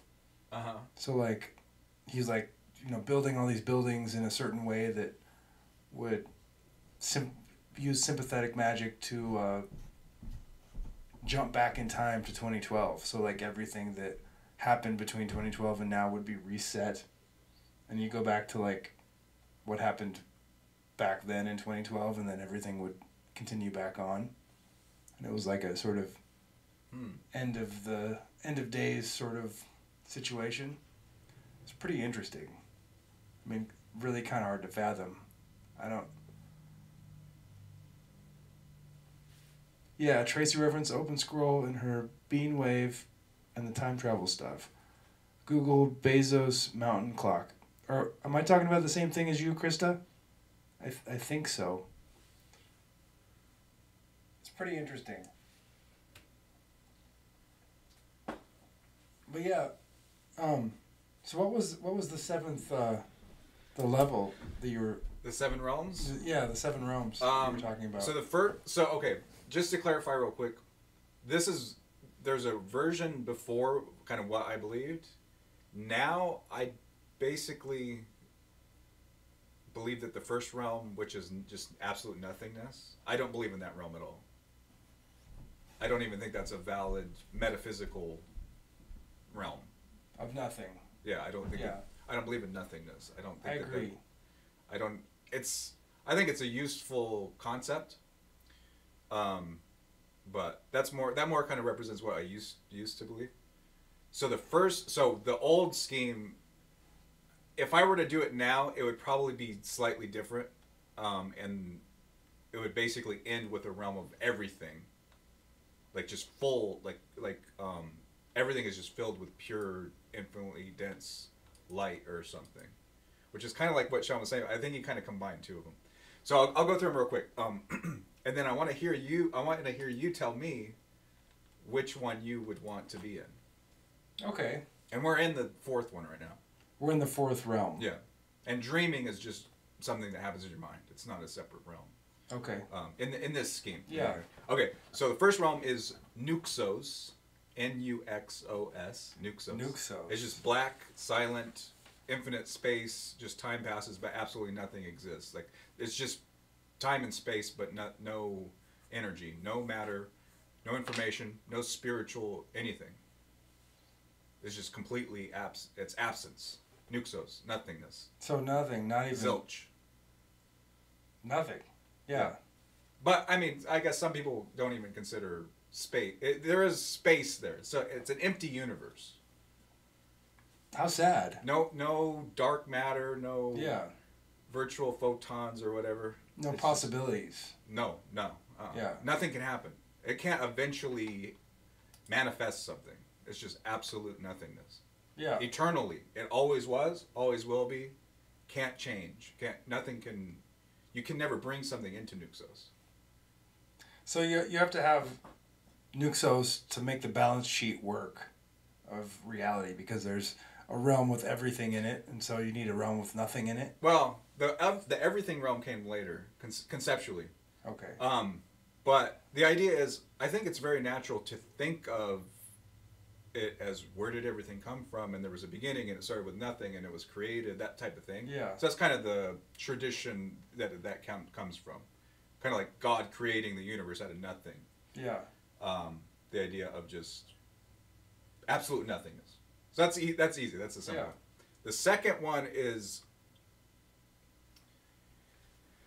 kind of like Sean was saying, almost kind of like the ether. Like it's very there's hardly anything there. It's almost kind of just one dimensional or something. It's like a. It's just like little tiny, like almost like just brief um, static, you know, and it's almost like an encoding of information that's going on. like a mist. Not even a mist, but yeah, I mean like a mist, but even less, even more ethereal than that. Just almost like almost like the closest thing to to noth- nothing without yeah. being nothing. So like ether, then, as Sean was saying. Yeah, but with without any kind of el- electromagnetic effects or spiritual Just entities. It's just a medium without anything flowing through it. So, like I said, so oh, and that one's called Purthos, P U R T H O S, Purthos. So in the in the first realm, like let's so conceptually, you could have like a, a some angel or something guiding you through all the realms, and he takes Yeah. you through them. You can't actually go to Nuxos. Purthos, you could. Another thing too is conceptually, everything is sort of still in Purthos. It's like encoding everything that's happening here. Purthos is encoding. it's kind of like the second and third realm are sort of parts of this realm in a way. It's like we sort of exist in those realms. We kind of sort of exist in all of them, Yeah. but nothing exists in the first one. So like it's uh, Purthos is generating. It's almost kind of like if you thought of it sort of like data on your computer, yeah. sort of. It's it, it is encoding something, and it's almost nothing. There's no objects. Okay. Yeah. Like if you saw it, it would almost probably just look like nothing. Maybe very, very, very, very dark brown or so. you know. So it's it's a medium with nothing in it, right? No, it has stuff in it. It's just stuff. really it's the it's the um least It's the most- substantial Most subtle, It's the most subtle substance. most subtle substance. Okay. Um Purthos. and like if, let's say if you came from this realm and you went to Purthos and had to come back, everything that exists about you in this realm could be encoded and, and preserved in Purthos to transfer. It's almost, I guess, conceptually, it's kind of like when you're being transferred from one realm to the other. It's all Yeah. going on in Purthos. That's how you can. Moving through. That's how you can kind of like move through other realms is through the encoding of it in Purthos. So would it be almost like the, um, the akashic record? I don't You think? I don't think so, but it's like the thought, the thought. there's no visions. so- there's no okay. thoughts. There's no Not thoughts. yet, no. So the next realm though might be more similar to the akashic record. The next one um, is Balithia. B A L I T H I A. Balithia. Or sometimes I would say maybe Valithia with a V. Um, Balithia is starting to get a little more substantial. It's it's basically kind of two dimensional in a sense. Flat, but if there's images, and you could, would see a triangle or a little sacred geometry symbol, or it's it's almost like symbolic, like a- actual stuff is there, but it's very thin and simple, It's like like, a shadow. little sim wispy. It's like the allegory of the cave, perhaps. You know, Plato's. Uh, the Mm, cave not- where people see, uh, like just kind of like like a flat void with just there's like a triangle with a dot in it you know and that would be some kind of spiritual sort of like the encoding thing but to a next Yeah. level it's like to be like a, a like living symbols living symbols in a way like a slice, one slice of a, of a loaf of bread of an entity that you see as a triangle. With oh yeah like a in s- it, yeah i guess perhaps. But so a big thing about Balithia is it's kind of you're getting in- into the realm of ideas, inspiration, muses. When you get inspiration, Oh, it may yeah. have come from Balithia, especially Cool. maybe a geometric insight or a mathematical insight or you know Like Salvador. Dali's plan of how he did the um, crucif- crucifixion painting of Jesus, and it's like based on this like triangle with a dot in it. Like that, Yeah. that's straight from Balithia, like the Yeah. triangle with a dot thing. Um, so starting to get more stuff. You you can see, you could if you if you went there, you would be able to see. It would be like a light show. It'd be a light show of all these symbols, Yeah. almost like a trip or you know a hallucin. Someone took a hallucinogens and they're seeing all this weird stuff. yeah. That's basically the, what Balithia is like. And those are almost like, I don't want to say beings, but they have a inner subjective experience. You know what I mean? It's not just objects. They're It's not just light moving around. It's like an entity. It's, it would have, it would maybe think and sort of feel to some extent, but very, like just kind of barely. It would have like its one vibration of thought. You know, like like an idea. It would be super simple. Like it, would, it Yeah. wouldn't be very complex. There's nothing very complex going on. like it would be like a like a, a smell or a happiness or a Mm. like a uh, you know an inspiration. I guess. Maybe, yeah. So that's Balithia. That's that's three. That's a third realm. hmm So the fourth one in my scheme is the one we're in now, the life realm. Oh, so another thing, those are pre those are pre-birth realms. So you kind of exist in those realms before you exist in this one. Okay. Um, and in a way, you're kind of really there now, still. Um, but I don't know. That, that part doesn't make as much sense.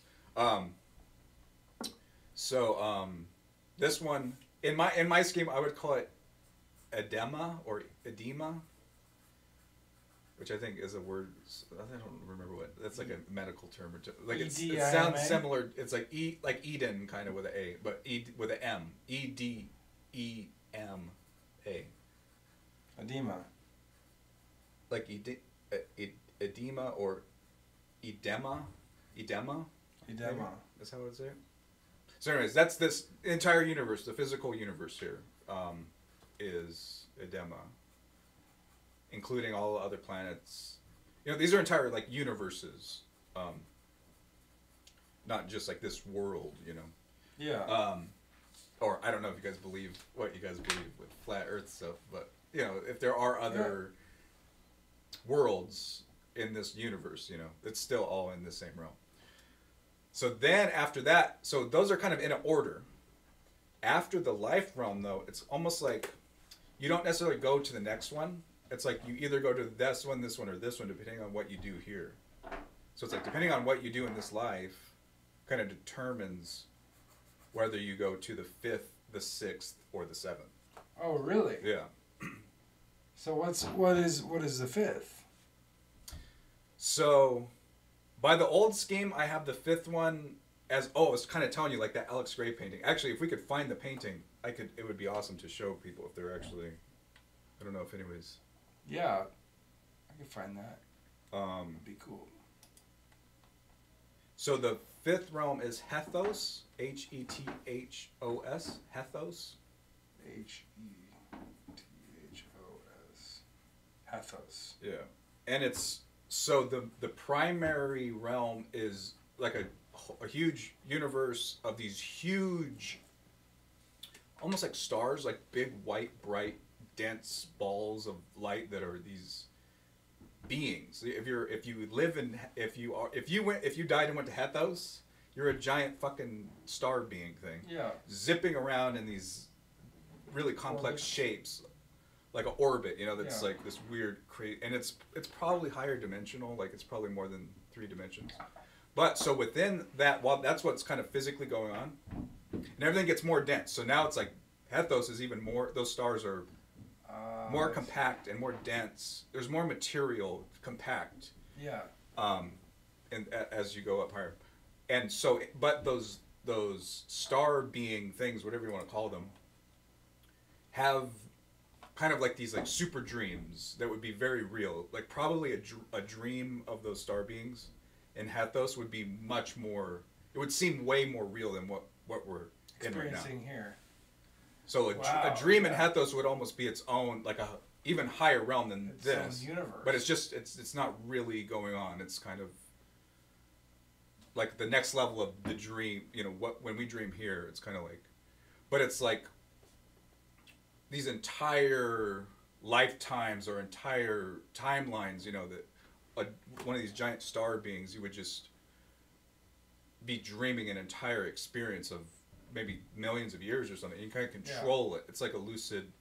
It's kind of like you're in control of what you're perceiving, or um, it's kind of like a dream. It's like if if you kind of wanted to die and go live in a wonderful dream. Really, you're a giant fucking starball thing zip, zipping around. That's what's really going on. But the way it, that you get the dream um, afterlife is to go to Hethos and you get to be a giant starball thing that's dreaming these But you're creating dreams. a real, a real thing somewhere. A real. Mm. Is it real or is it? I mean, The dream part is not real. The starballs are real. starballs are real, Yeah. but their dreams are just like dreams. It's in your mind, yeah. But it's more. It the feeling of it would be more real than what we're experiencing now, Oh wow. and it would be super. Um, just more. Would it be boring? Would No, no. You Would have it be slow or would it be intense? I mean, if you wanted it to be boring, it's up to you. It's like you are kind of in control of the entire experience for however long you want. Okay. And then there's interaction as well. Like you could share dreams, you could Oh. meet different beings and stuff still and interact. There's still interaction between these. As they're dreaming, Yeah. dreaming yeah. interaction. So you could have like two beings. You could have something like similar to like love, where it's like two giant starball things orbiting around each other, and they're kind of sharing. They're dreaming about something that it's like a shared experience, you know. Wow. And one could kind of control part of it, the other one could control another part of it, Yeah. and it would seem way more real than what we're experiencing now. Wow. So it'd be a way of like anything you imagine that you would um, have this wonderful heavenly paradise that you always want. You know, that would be a place where you could experience something like that in a very real way. Yeah, because But if again, you're, it's if not- you're dreaming, you you wouldn't be limited to be a, a huge, massive ball flying around. You could be a, a tiny termite or a or a six-armed shark creature. I mean, yeah, you're if, dreaming yourself to be. You if know? that's what you want to dream about. Yeah, I, I mean, But I mean, you can dream for a hundred million years, yeah, whatever you want.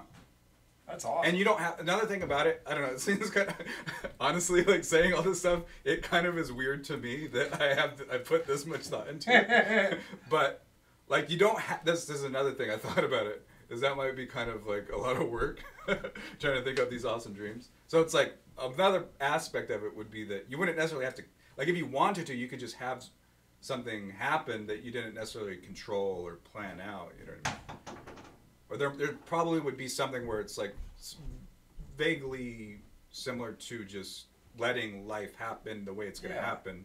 Well, I'm sure there's some subconscious that still has, you know, you give the reins to your subconscious when you dream, and Mhm. depending on how lucid you want to Yeah, yeah. do it. Oh yeah, so that's another example is you could let's say you fall in love with a star ball thing. You're a Yeah. star ball, you fall in love Yeah. with another Yeah. star ball.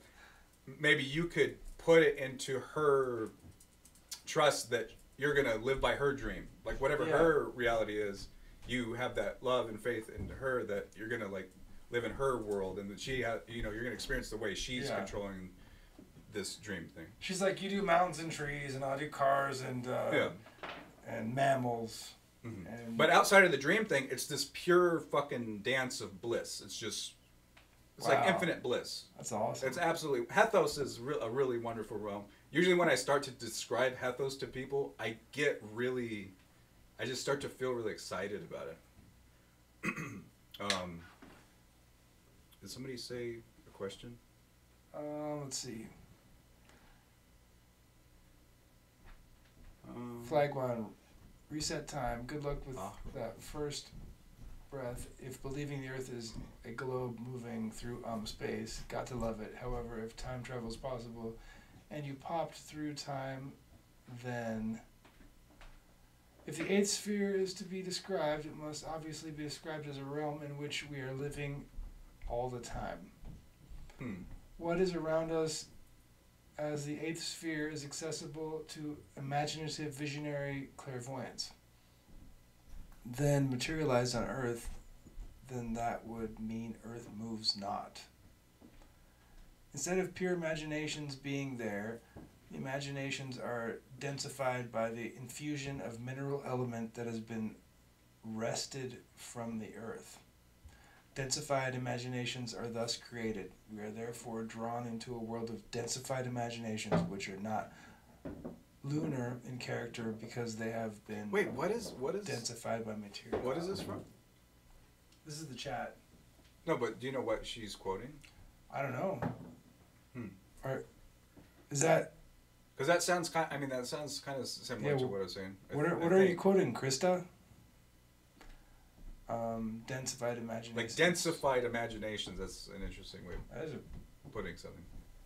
Oh yeah, if you want to look up that. So yeah. let me see. I ha- I think I have it on my phone right now. Oh, Um, the an image that Alex Grey painted that looks. I mean, spot on. Exactly what I thought of Hethos as looking like. And he, like I said, even the way he described it, he's like these giant balls of energy. Like it's like even his description of it was like the same. But I cer- I certainly like hadn't um, seen that before before I thought of Hethos.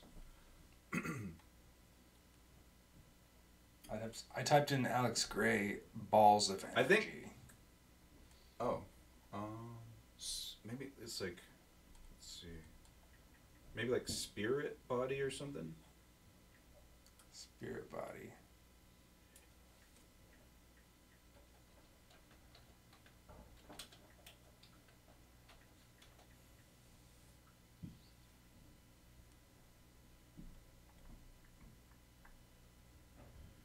Uh-huh. Oh, okay. Do you see the one with the three images of people? Here, look.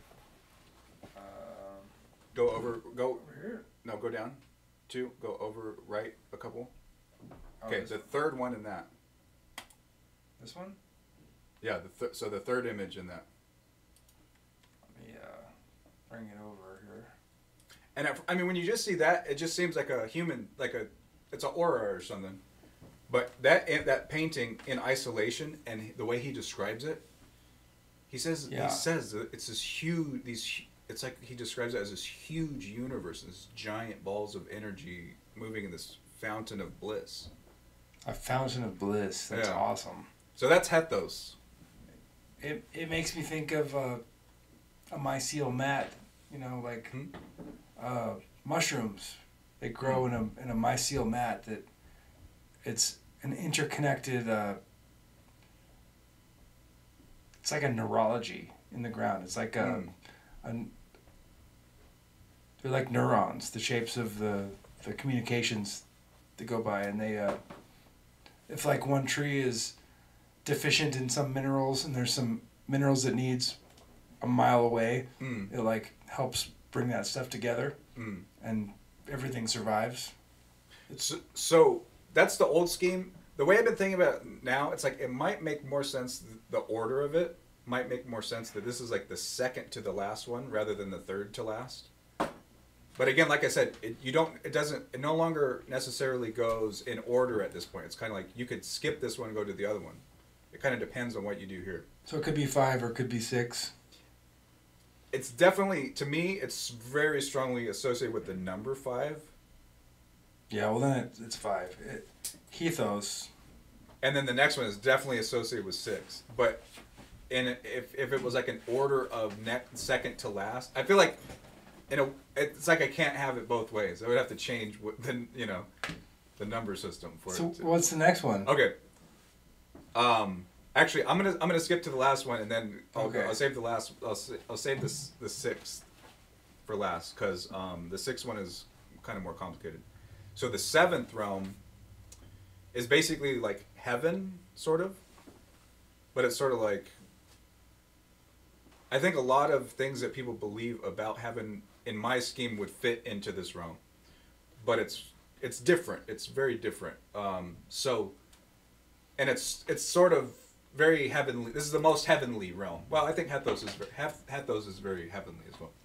Um, and then this the sixth realm has heavenly pocket. There's areas of the sixth realm that have heavenly paradises. But so the seventh realm I call Havaya. H E V I A H, and it's basically like heaven. Um, but it's more like okay, so the, so it's like the most wonderful, infinite happiness, bliss feeling. Um, there's only pure forms. There's there can't be any imperfections. Like everything is perfectly smooth or perfectly flat. There's no like dents or bumps or anything like that. Um, and a lot of it is just like these geometric forms, like a big solid, giant It's cube. mathematical perfection. It's called kind of yeah, like um, like a giant cube or, or pyramid the size of a galaxy or something. But it's like perf- It's absolutely perfect, and it's like dense. It's like infinitely. It's like a- absolute density. The objects have absolute density, but there's still. It's not the whole realm isn't absolute density. Um.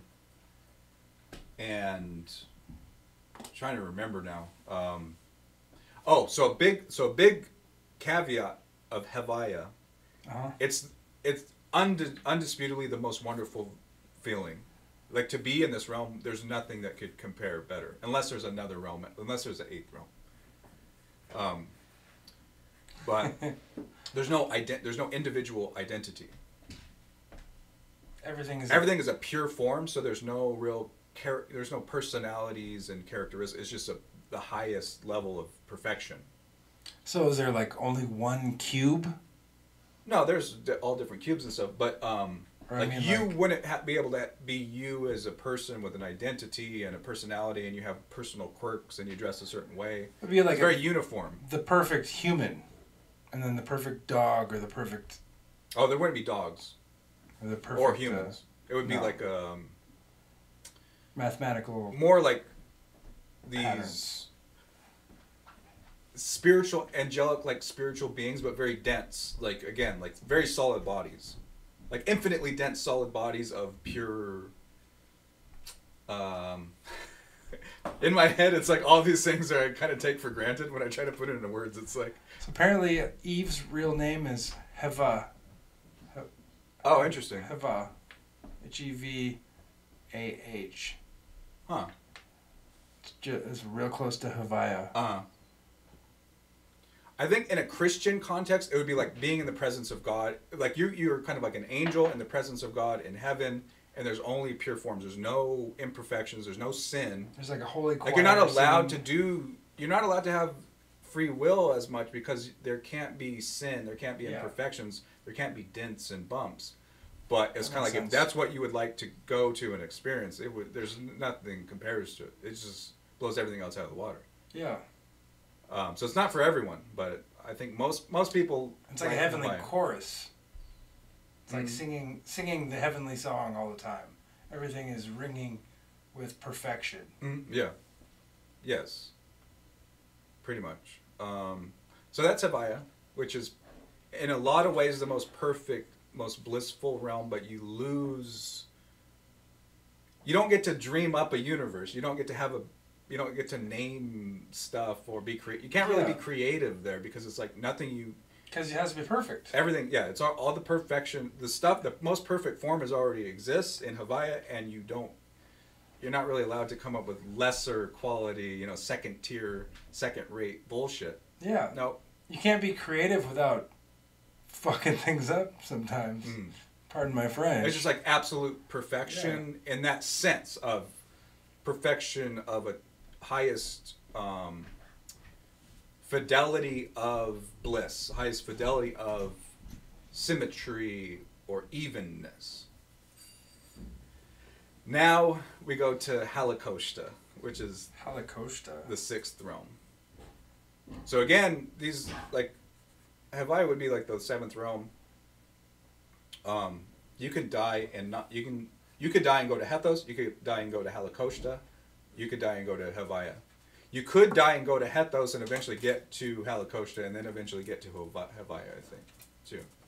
So just because you go to one doesn't necessarily mean you're stuck in that one. But the, in the concept is that you can't really go back at that point, though. You can't go back and be a human again in this realm. But there's exceptions. There's spiritual beings and stuff that can kind of transcend that. So did, did you intuit the names? Um, yeah. Like some of it is kind of like what would I call that, but some of it's like I don't know. It's hard. It's hard for me to put into words because Yeah. it's not the same way I would name a planet in a science fiction comic that I'm writing. Yeah. It's like it's like that's what the name would be in English if maybe like in a way it's like if it was like some other language or it was Greek or something like this would be the, what it would be today in our Yeah. language. This is what it would be. It's not necessarily the like there might be other versions of it. Like kind of with Balithia, it's like mm, in some other earlier language it might have been Valithia with an E instead of a B A. So I don't know. It's hard to explain because it's like, I guess I don't really believe in channeling stuff, but it was definitely a higher creativity. It was a higher consciousness than just sitting down with a pen and, and oh, what would be a cool combination of sounds for this one? You know, it was kind of like very spiritual intuition correcting, you know, um, maybe um, I don't know, like like Havaya obviously is like very similar to heaven, but it's kind of like mm, no, it's like it has this different quality, you know. I don't know. It's Yeah. It's kind of like half, half and half. It's kind of like in that mindset. It's like to me, it's like I'm the prophet, figuring this stuff out, you know. But it's like it's like to use the realms themselves as an example. It's like I'm being the muses in Balithia are beaming this information to me. I don't get to just call it whatever the hell I want. But looking back on that, it's like that's kind of batshit crazy to me. Like I like right now listening to myself, I sound great. This is crazy to me. Oh, it's, it's not crazy. I don't. It's But that was kind of part of my whole thing. Back then, I believed you can't be like a um, a prophet. and you can't be a prophet without being able to perceive something other than what is ordinary reality. Yeah. So part of that is misperceiving things and perceiving the wrong thing that isn't right. And but being able to perceive something than other than the ordinary reality gives you the ability to possibly perceive a higher ultimate reality. You know? That was Yeah. kind of my logic at the at the time of all this stuff. To be a madman in the wilderness to to really see. Not a the mad truth. well, sort of, but like I don't mean like you're your your madman. brain would have to have a potential to be mad in order to be Other people Holy, see you like- as mad yeah. because you're out, you know, like John the Baptist out in the wilderness, eating bugs and Yeah, pretty yeah, shouting. Pretty much. Yeah, during that time too, it was like I don't know, it's kind of weird. I like shaved my head and I had like a robe and I was like, I always wanted to be out in the, the wilderness Yeah, and just like, I had this like enlightenment experience that's cool. and it was kind of, it really was like I was going kind of crazy, but it was like at the same time it was like, deep spiritual insights and these higher levels of consciousness that I think there is some some objective validity to in some Yeah. way. And like I was kind of saying before, I'm not sure quite now how to kind of categorize it because it's like Did, was this around the Exiliber Calvis yeah, time? yeah. Because that that rings. Yeah, I would have these dreams with like Exiliber Calvis and and this spiritual song and this sacred Yeah. language. Um, one of the songs I was telling Sean, I don't know if he's heard it before, but it's like Zerang, it's like Zerang Tuk Yorinko Vare. Um, I don't know. I was getting like weird stuff in my dreams and Yeah. stuff. Like that Exiliber Calvis song that came to me in a dream, and it was like it had this Oh, it's got like a. profound meaning to it. It was like in my dream, even I was like, oh, I gotta write this down. I gotta record this. I was like afraid, even in my dream, of losing it. Yeah. And then when I woke up, it was like I was like I tried in my dream to remember it yeah. clearly, so that when I woke up, I wouldn't forget it. You know what I mean? Yeah, that, that song haunts me. I, Sean, Sean gave me, you know, a recording of it. And the picture, picture Uh-huh. you drew of Exiliber Calvis. I mean, So- um, yeah, we'll have to. So I didn't describe Halakoshta, Holocaustia. which is kind of two. s- Halakoshta is sort of like two realms in the same place. Like one side is one way and one side is the other. But it's kind of like you could get from one side to the other in principle. How do you spell it? Hala, H A L A. Hala is basically hell. And Koshta or Keshta. When I speak of it individually, I call it Keshta. But I call it Hala Koshta altogether. So it's like Hal or Hell or Hala. Hala. Hala. Hala. Well, Hala sounds like Hala. Valhalla. So it's like Hala. yeah. Hala and Keshta. Um, see, that's another thing about the terms. It's like, I don't know. It's like there's not one exact form of it necessarily. So, but ha- the Hala part of Halakosha is basically like hot. It's dirty. It, everything's broken. There's a lot of sin. There's a lot of murder and rape and semen and, and blood and it's just violent and crazy and demonic. You know Yeah. things are very shattered. Um, it's hot. It's boiling lakes of semen and shit and puke and stat. You know, it's like absolute. Um, The River of Fundament. What? The River of Fundament. Uh, it's another. Down the same lines. it's in a lot of ways. It's kind of my interpretation of hell in a way. Yeah. But it's not just lakes of fire and stuff. There's all these like ridges and it's like another thing. Actually, so this is kind of interesting because you guys are into the flat Earth stuff. The the concept of Halakosha is it's like um the it's almost like the entire universe is just one giant thick flat plane of land. You know, just entire Yeah. across the entire u- universe. It's like a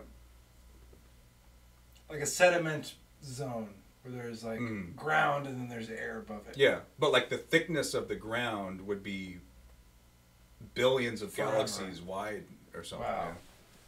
Deep, I mean, and then wide would be the in- infinite. It would be the entire universe. It would just be one giant thing. Is that where we live now? Right now, no. well, I hope not. Um, so, but so Halakoshta is the the second most dense realm, by far the most complex realm. It has the highest complexity, and the way that Havaya has perfection and there's no dense, it's it's perfect forms and stuff. Yeah. Halakosha is kind of like the opposite. It's like it would be impossible to make a perfect cube in Halakosha because everything's just so ragged and, and craggy and busted up, and things And just naturally and the like, like busted up glass and broken concrete and things like that. It just it would be hard, really hard to get any kind of straight line or anything. It all pulls itself out of perfect because it's so dense. Maybe, yeah. Even though the next one up is even more dense, it's not necessarily because of the density. I don't really Yeah. understand the, the thought behind that of why, like, what mechanism is causing it to be sort of um, chaotic and and disjointed. Well, it's like that. hell. So, but the other half of Halakosha, which is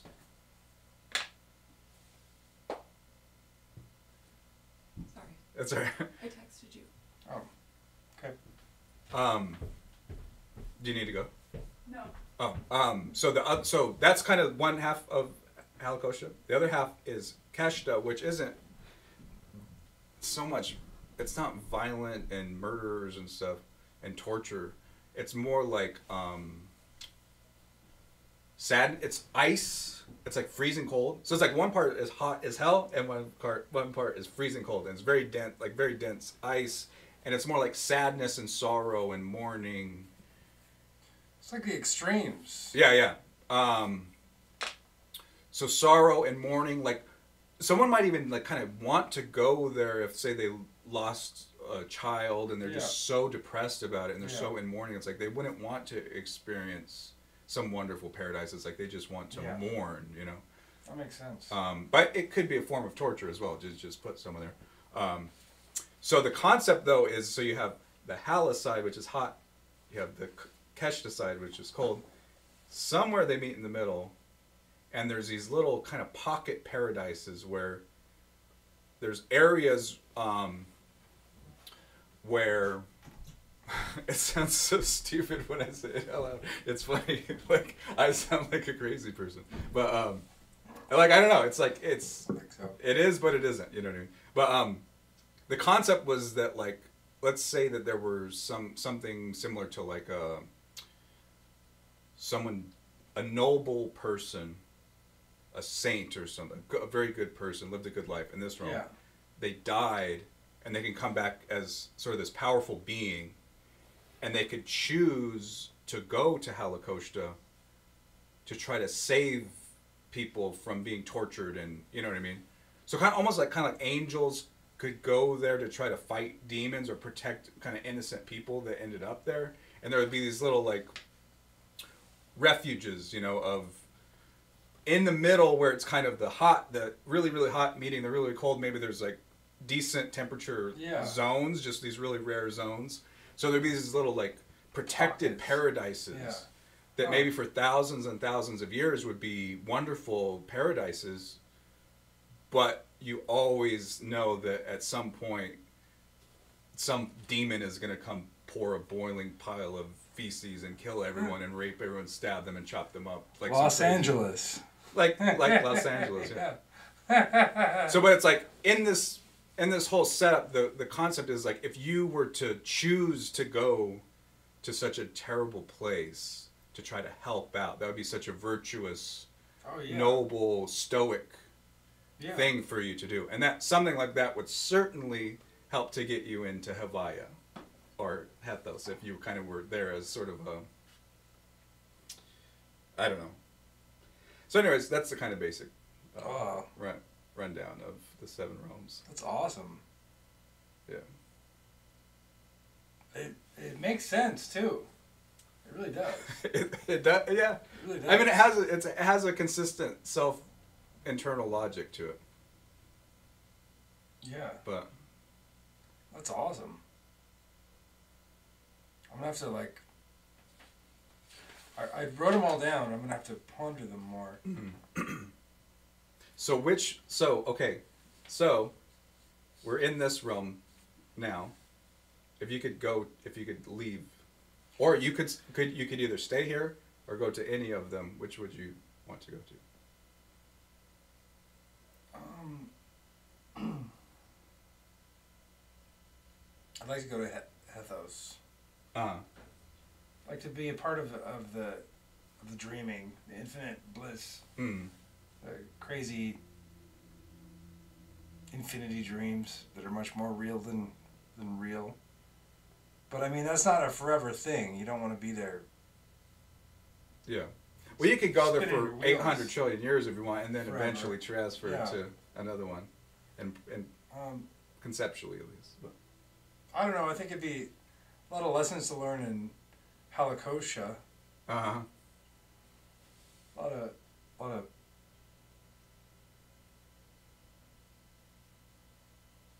It's it's kind of tough.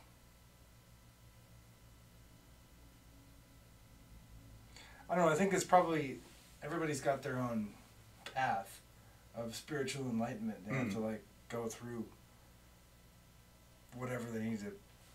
I mean, we each have our own demons or problems that we come up against in our lives, and I don't know. Seems like I keep learning the same lessons, you know. Mm-hmm. I don't know. So do you see what what Krista had to say? Uh, yeah, which one? You mean the? Well, there she she pointed out there is sort of a icy hell type place. Um, I can't quite say. Is it Hell Helm? Helheim? I've also thought of a hell as an icy place. Freezing cold does burn. Stephen Moose says, "They don't they call that Helheim?" She says, "I would stay there. I will always choose this place. I like the rela- relationships and drama of life. I like the friction and the heights and hate and lows. But they make the heights, the highs more wonderful." Hmm. See, that's kind of the appeal to some people of Halakoshta too, because it's like there'd be more extreme highs and more extreme Yeah. lows. Like there's, it's kind of light, like the good and the bad of this life amplified exponentially. You know what I mean? there's no perfection. Well, I mean, there there might be perfection in the neon balance because Mm. um, is Hav- Ha- Havaya the one that or Edema the one where that it's like perfect balance and everything's straight lines. Havaya. Edema is the one we're in now. Okay, Yeah. so there's no room for for free will there In Havaya. in Havaya. Yeah. So Halakosha is the absolute realm of free will. Yeah. You could, you can, you would be very powerful there. Because there's a pendulum. It's not. I, I should clarify. The concept of Holocaust is not just people are getting tortured and murdered, and you're just being suffering the whole time. Yeah. Like that would be a risk of being around that, but a lot of it would be you could go there and just raise hell, and if someone likes to drink and do drugs and just fuck and da da da, you know, Yeah. party, you know, that might be a good realm for them to choose because they could they would be able. It's like free will times a, a, a zillion, you know. But you could choose choose the right path or the wrong path, and there's a balance in probably any part of that for Mm. you. Yeah, but it's not necessarily that you're just going there to get boiled and you're being tortured Yeah. the whole time. That's Yeah. not the con- like that would the conceptually that would exist there, but that that's just one kind of small subsection of the whole. It's a. It's a whole universe, you know.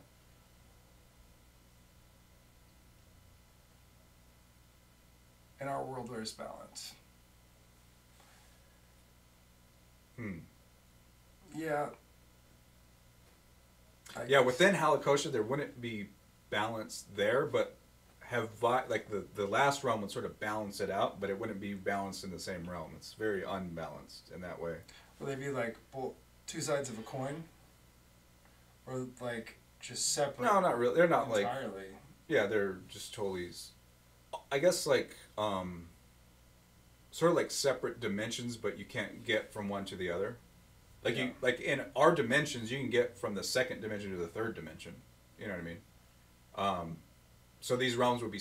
i mean, in a way, you kind of transfer. You die and you go to the afterlife, and you kind of transfer through these spiritual ways. But you couldn't just like walk around and eventually get to the. You couldn't fly in a rocket ship and get to another realm. Yeah. You know. yeah, that's funny. Go from edema to uh, Hethos Hmm. in a rocket ship. So you like Hethos? You're Hethian.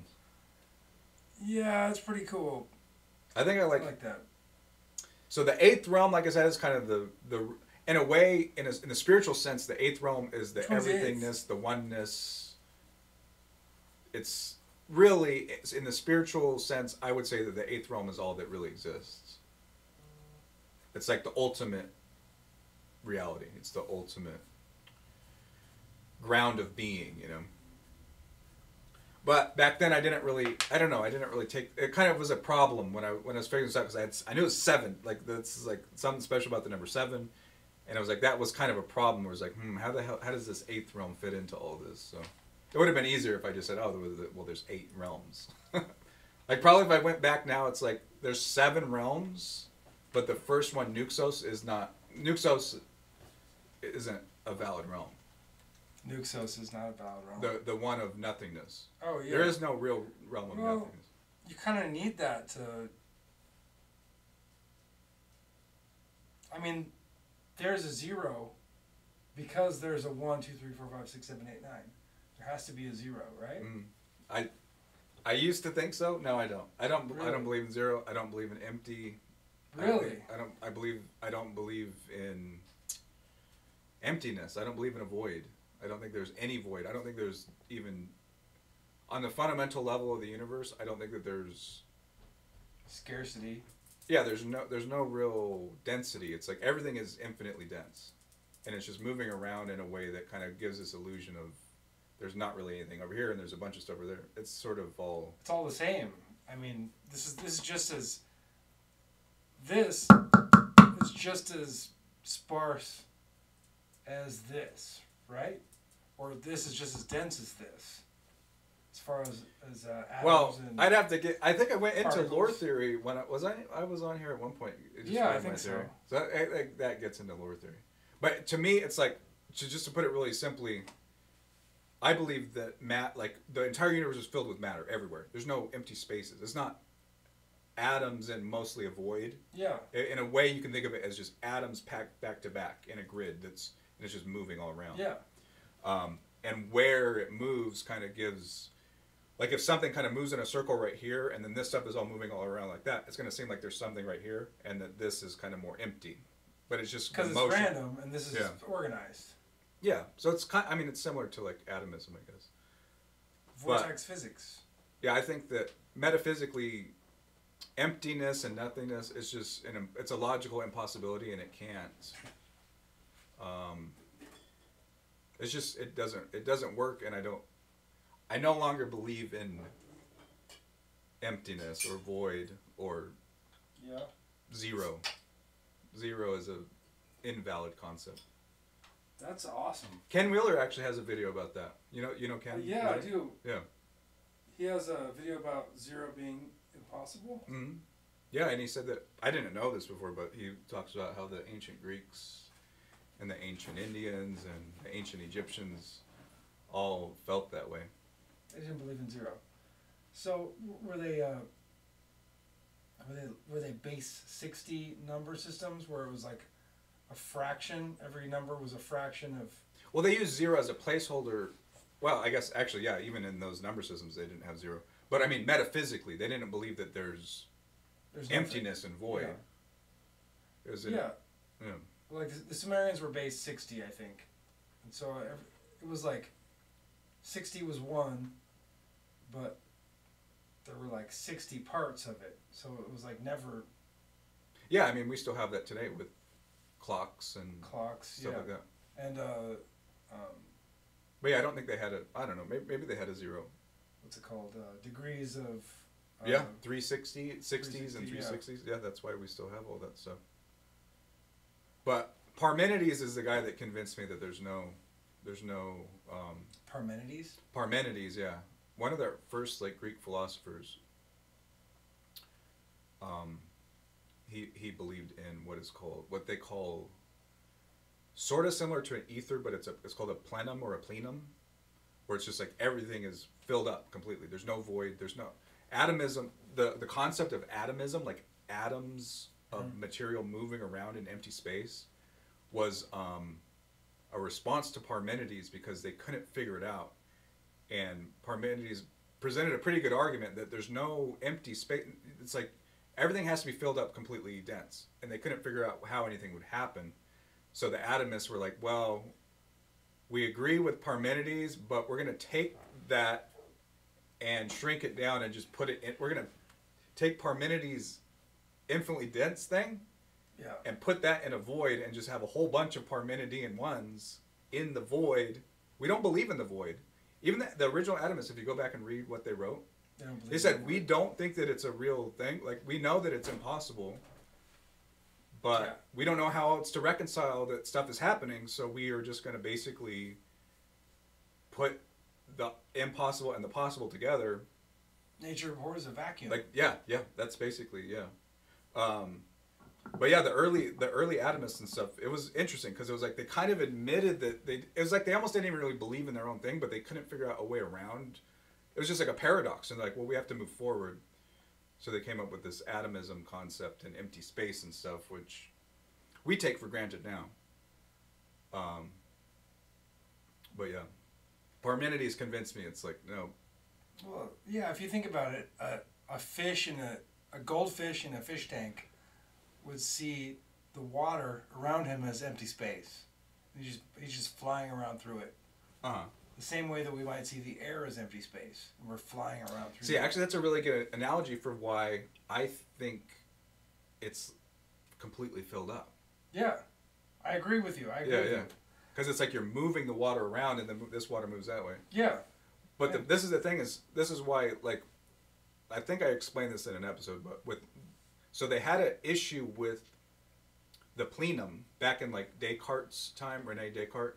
Like um, Rene Descartes believed in the plenum too, and he had these weird vor- vortex theories where it's like all these loops of matter Yeah. and stuff, and it was like matter everywhere, but it moved in these weird swirling loops and, and it stuff. creates energies and Mhm. stuff that Yeah, yeah.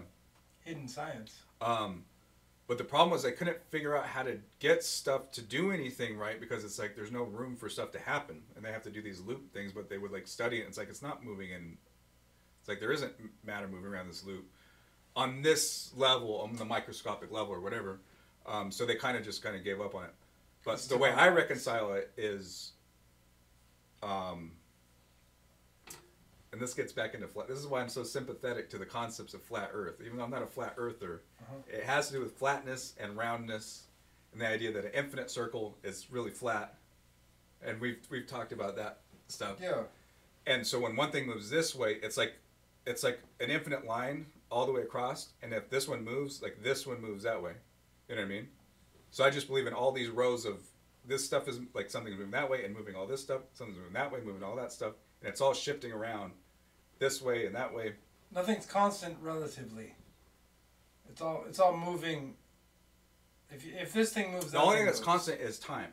Time is the exact same thing as space. It's just moving unidirectionally. It's moving only. It only can move forward. The space ones, mm-hmm. there's timelines and space lines. Oh, what's a space line? T- space lines. Well, it's like in lore theory, it's like they're all just cubes everywhere. It's like it's like infinite rows of cubes, Okay. All moving around. So think of it kind of like atoms, but they're cubes and they're all next to each other, and they move one way or the other. Are they elastic like uh, They're no, they're like like like bouncy rubber cubes? they're like dense. They're like like glass cubes. Like un Yeah, like glass. I would think of them like glass. solid. Yeah, like absolute density of of Yeah. matter. Like crystalline. Mhm. Like diamonds. But it's moving so fluidly that it would almost be like liquid metal or something, probably. Okay.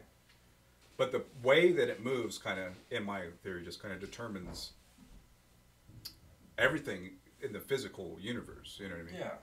Matter and chemicals and different levels of planets or planes, whatever you believe in, and moons and or Yeah. holographic moons, if you Yeah. believe in that. um, yeah.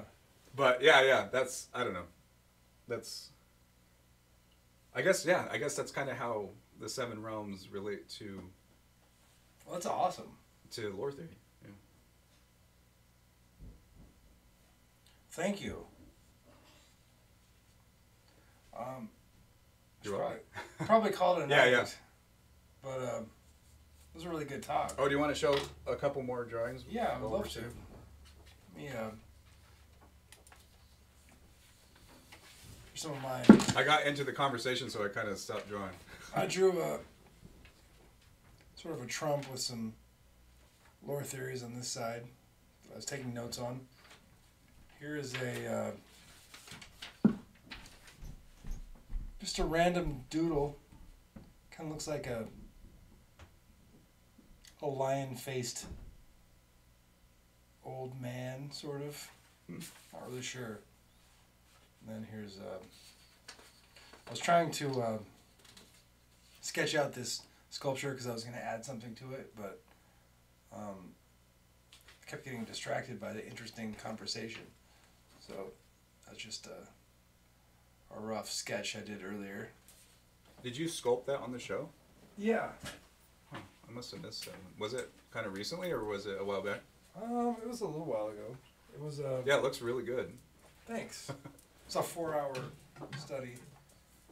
I couldn't really. Uh, I didn't really plan it out first, so. I mean, I probably would have made him a little bit more uh,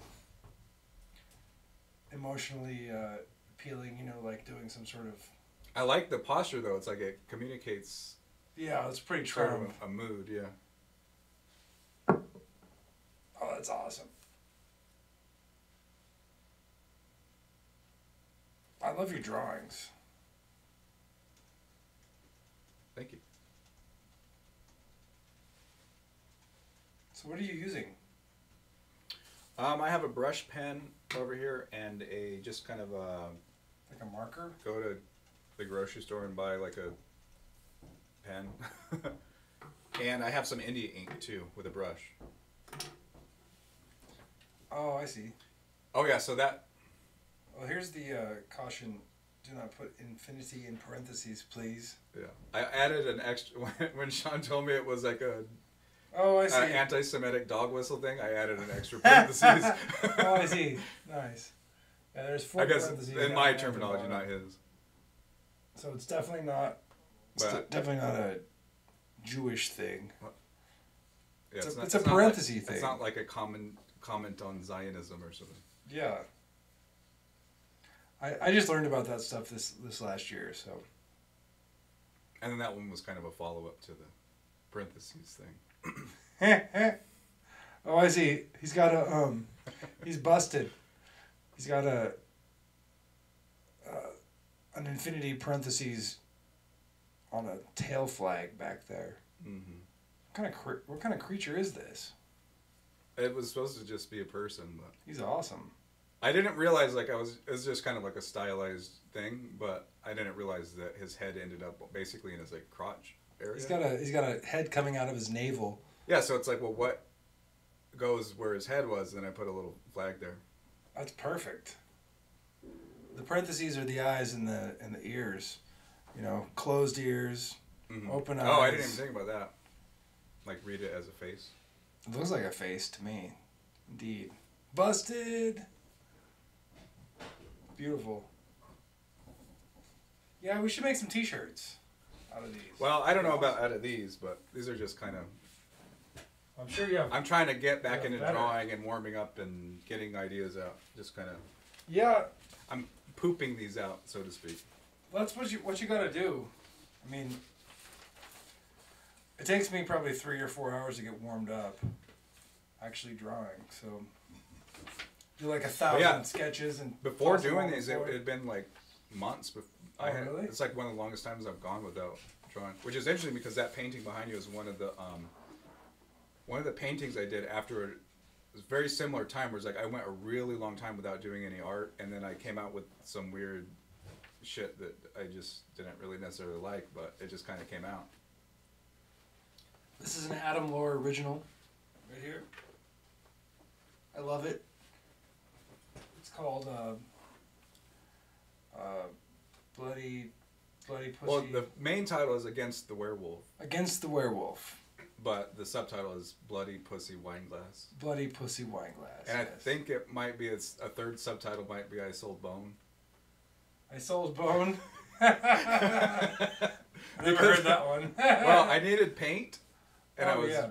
completely broke, um, and so I sold my my. Um, there's, a, there's a comic book series called Bone, oh. like one of my favorite comics, and I sold it for like hardly anything to, Oh, really? to buy a tube of paint. For paint? Yeah, Wow. because I needed some magenta. That's but I don't even know if there was magenta in that painting. But Sold bone for magenta. Yeah. That's kind of an awesome and sad story. I kind of just like the ring of it though. I sold bone. It just sounds kind of That's awesome. wordplay, I guess. Well, um, thank you guys for uh, tuning in tonight. We had a great show, lots of uh, fun art, and always awesome to have the legendary Adam Lore in the studio, um, Near the studio. near the studio. You ready for some? off Okay. to the side of the studio. Okay. Bye. Yeah, yeah. Bye, everybody. Okay. Bye. We'll talk to you guys later. Thank you for tuning in. We'll see you next week. Okay. Bye.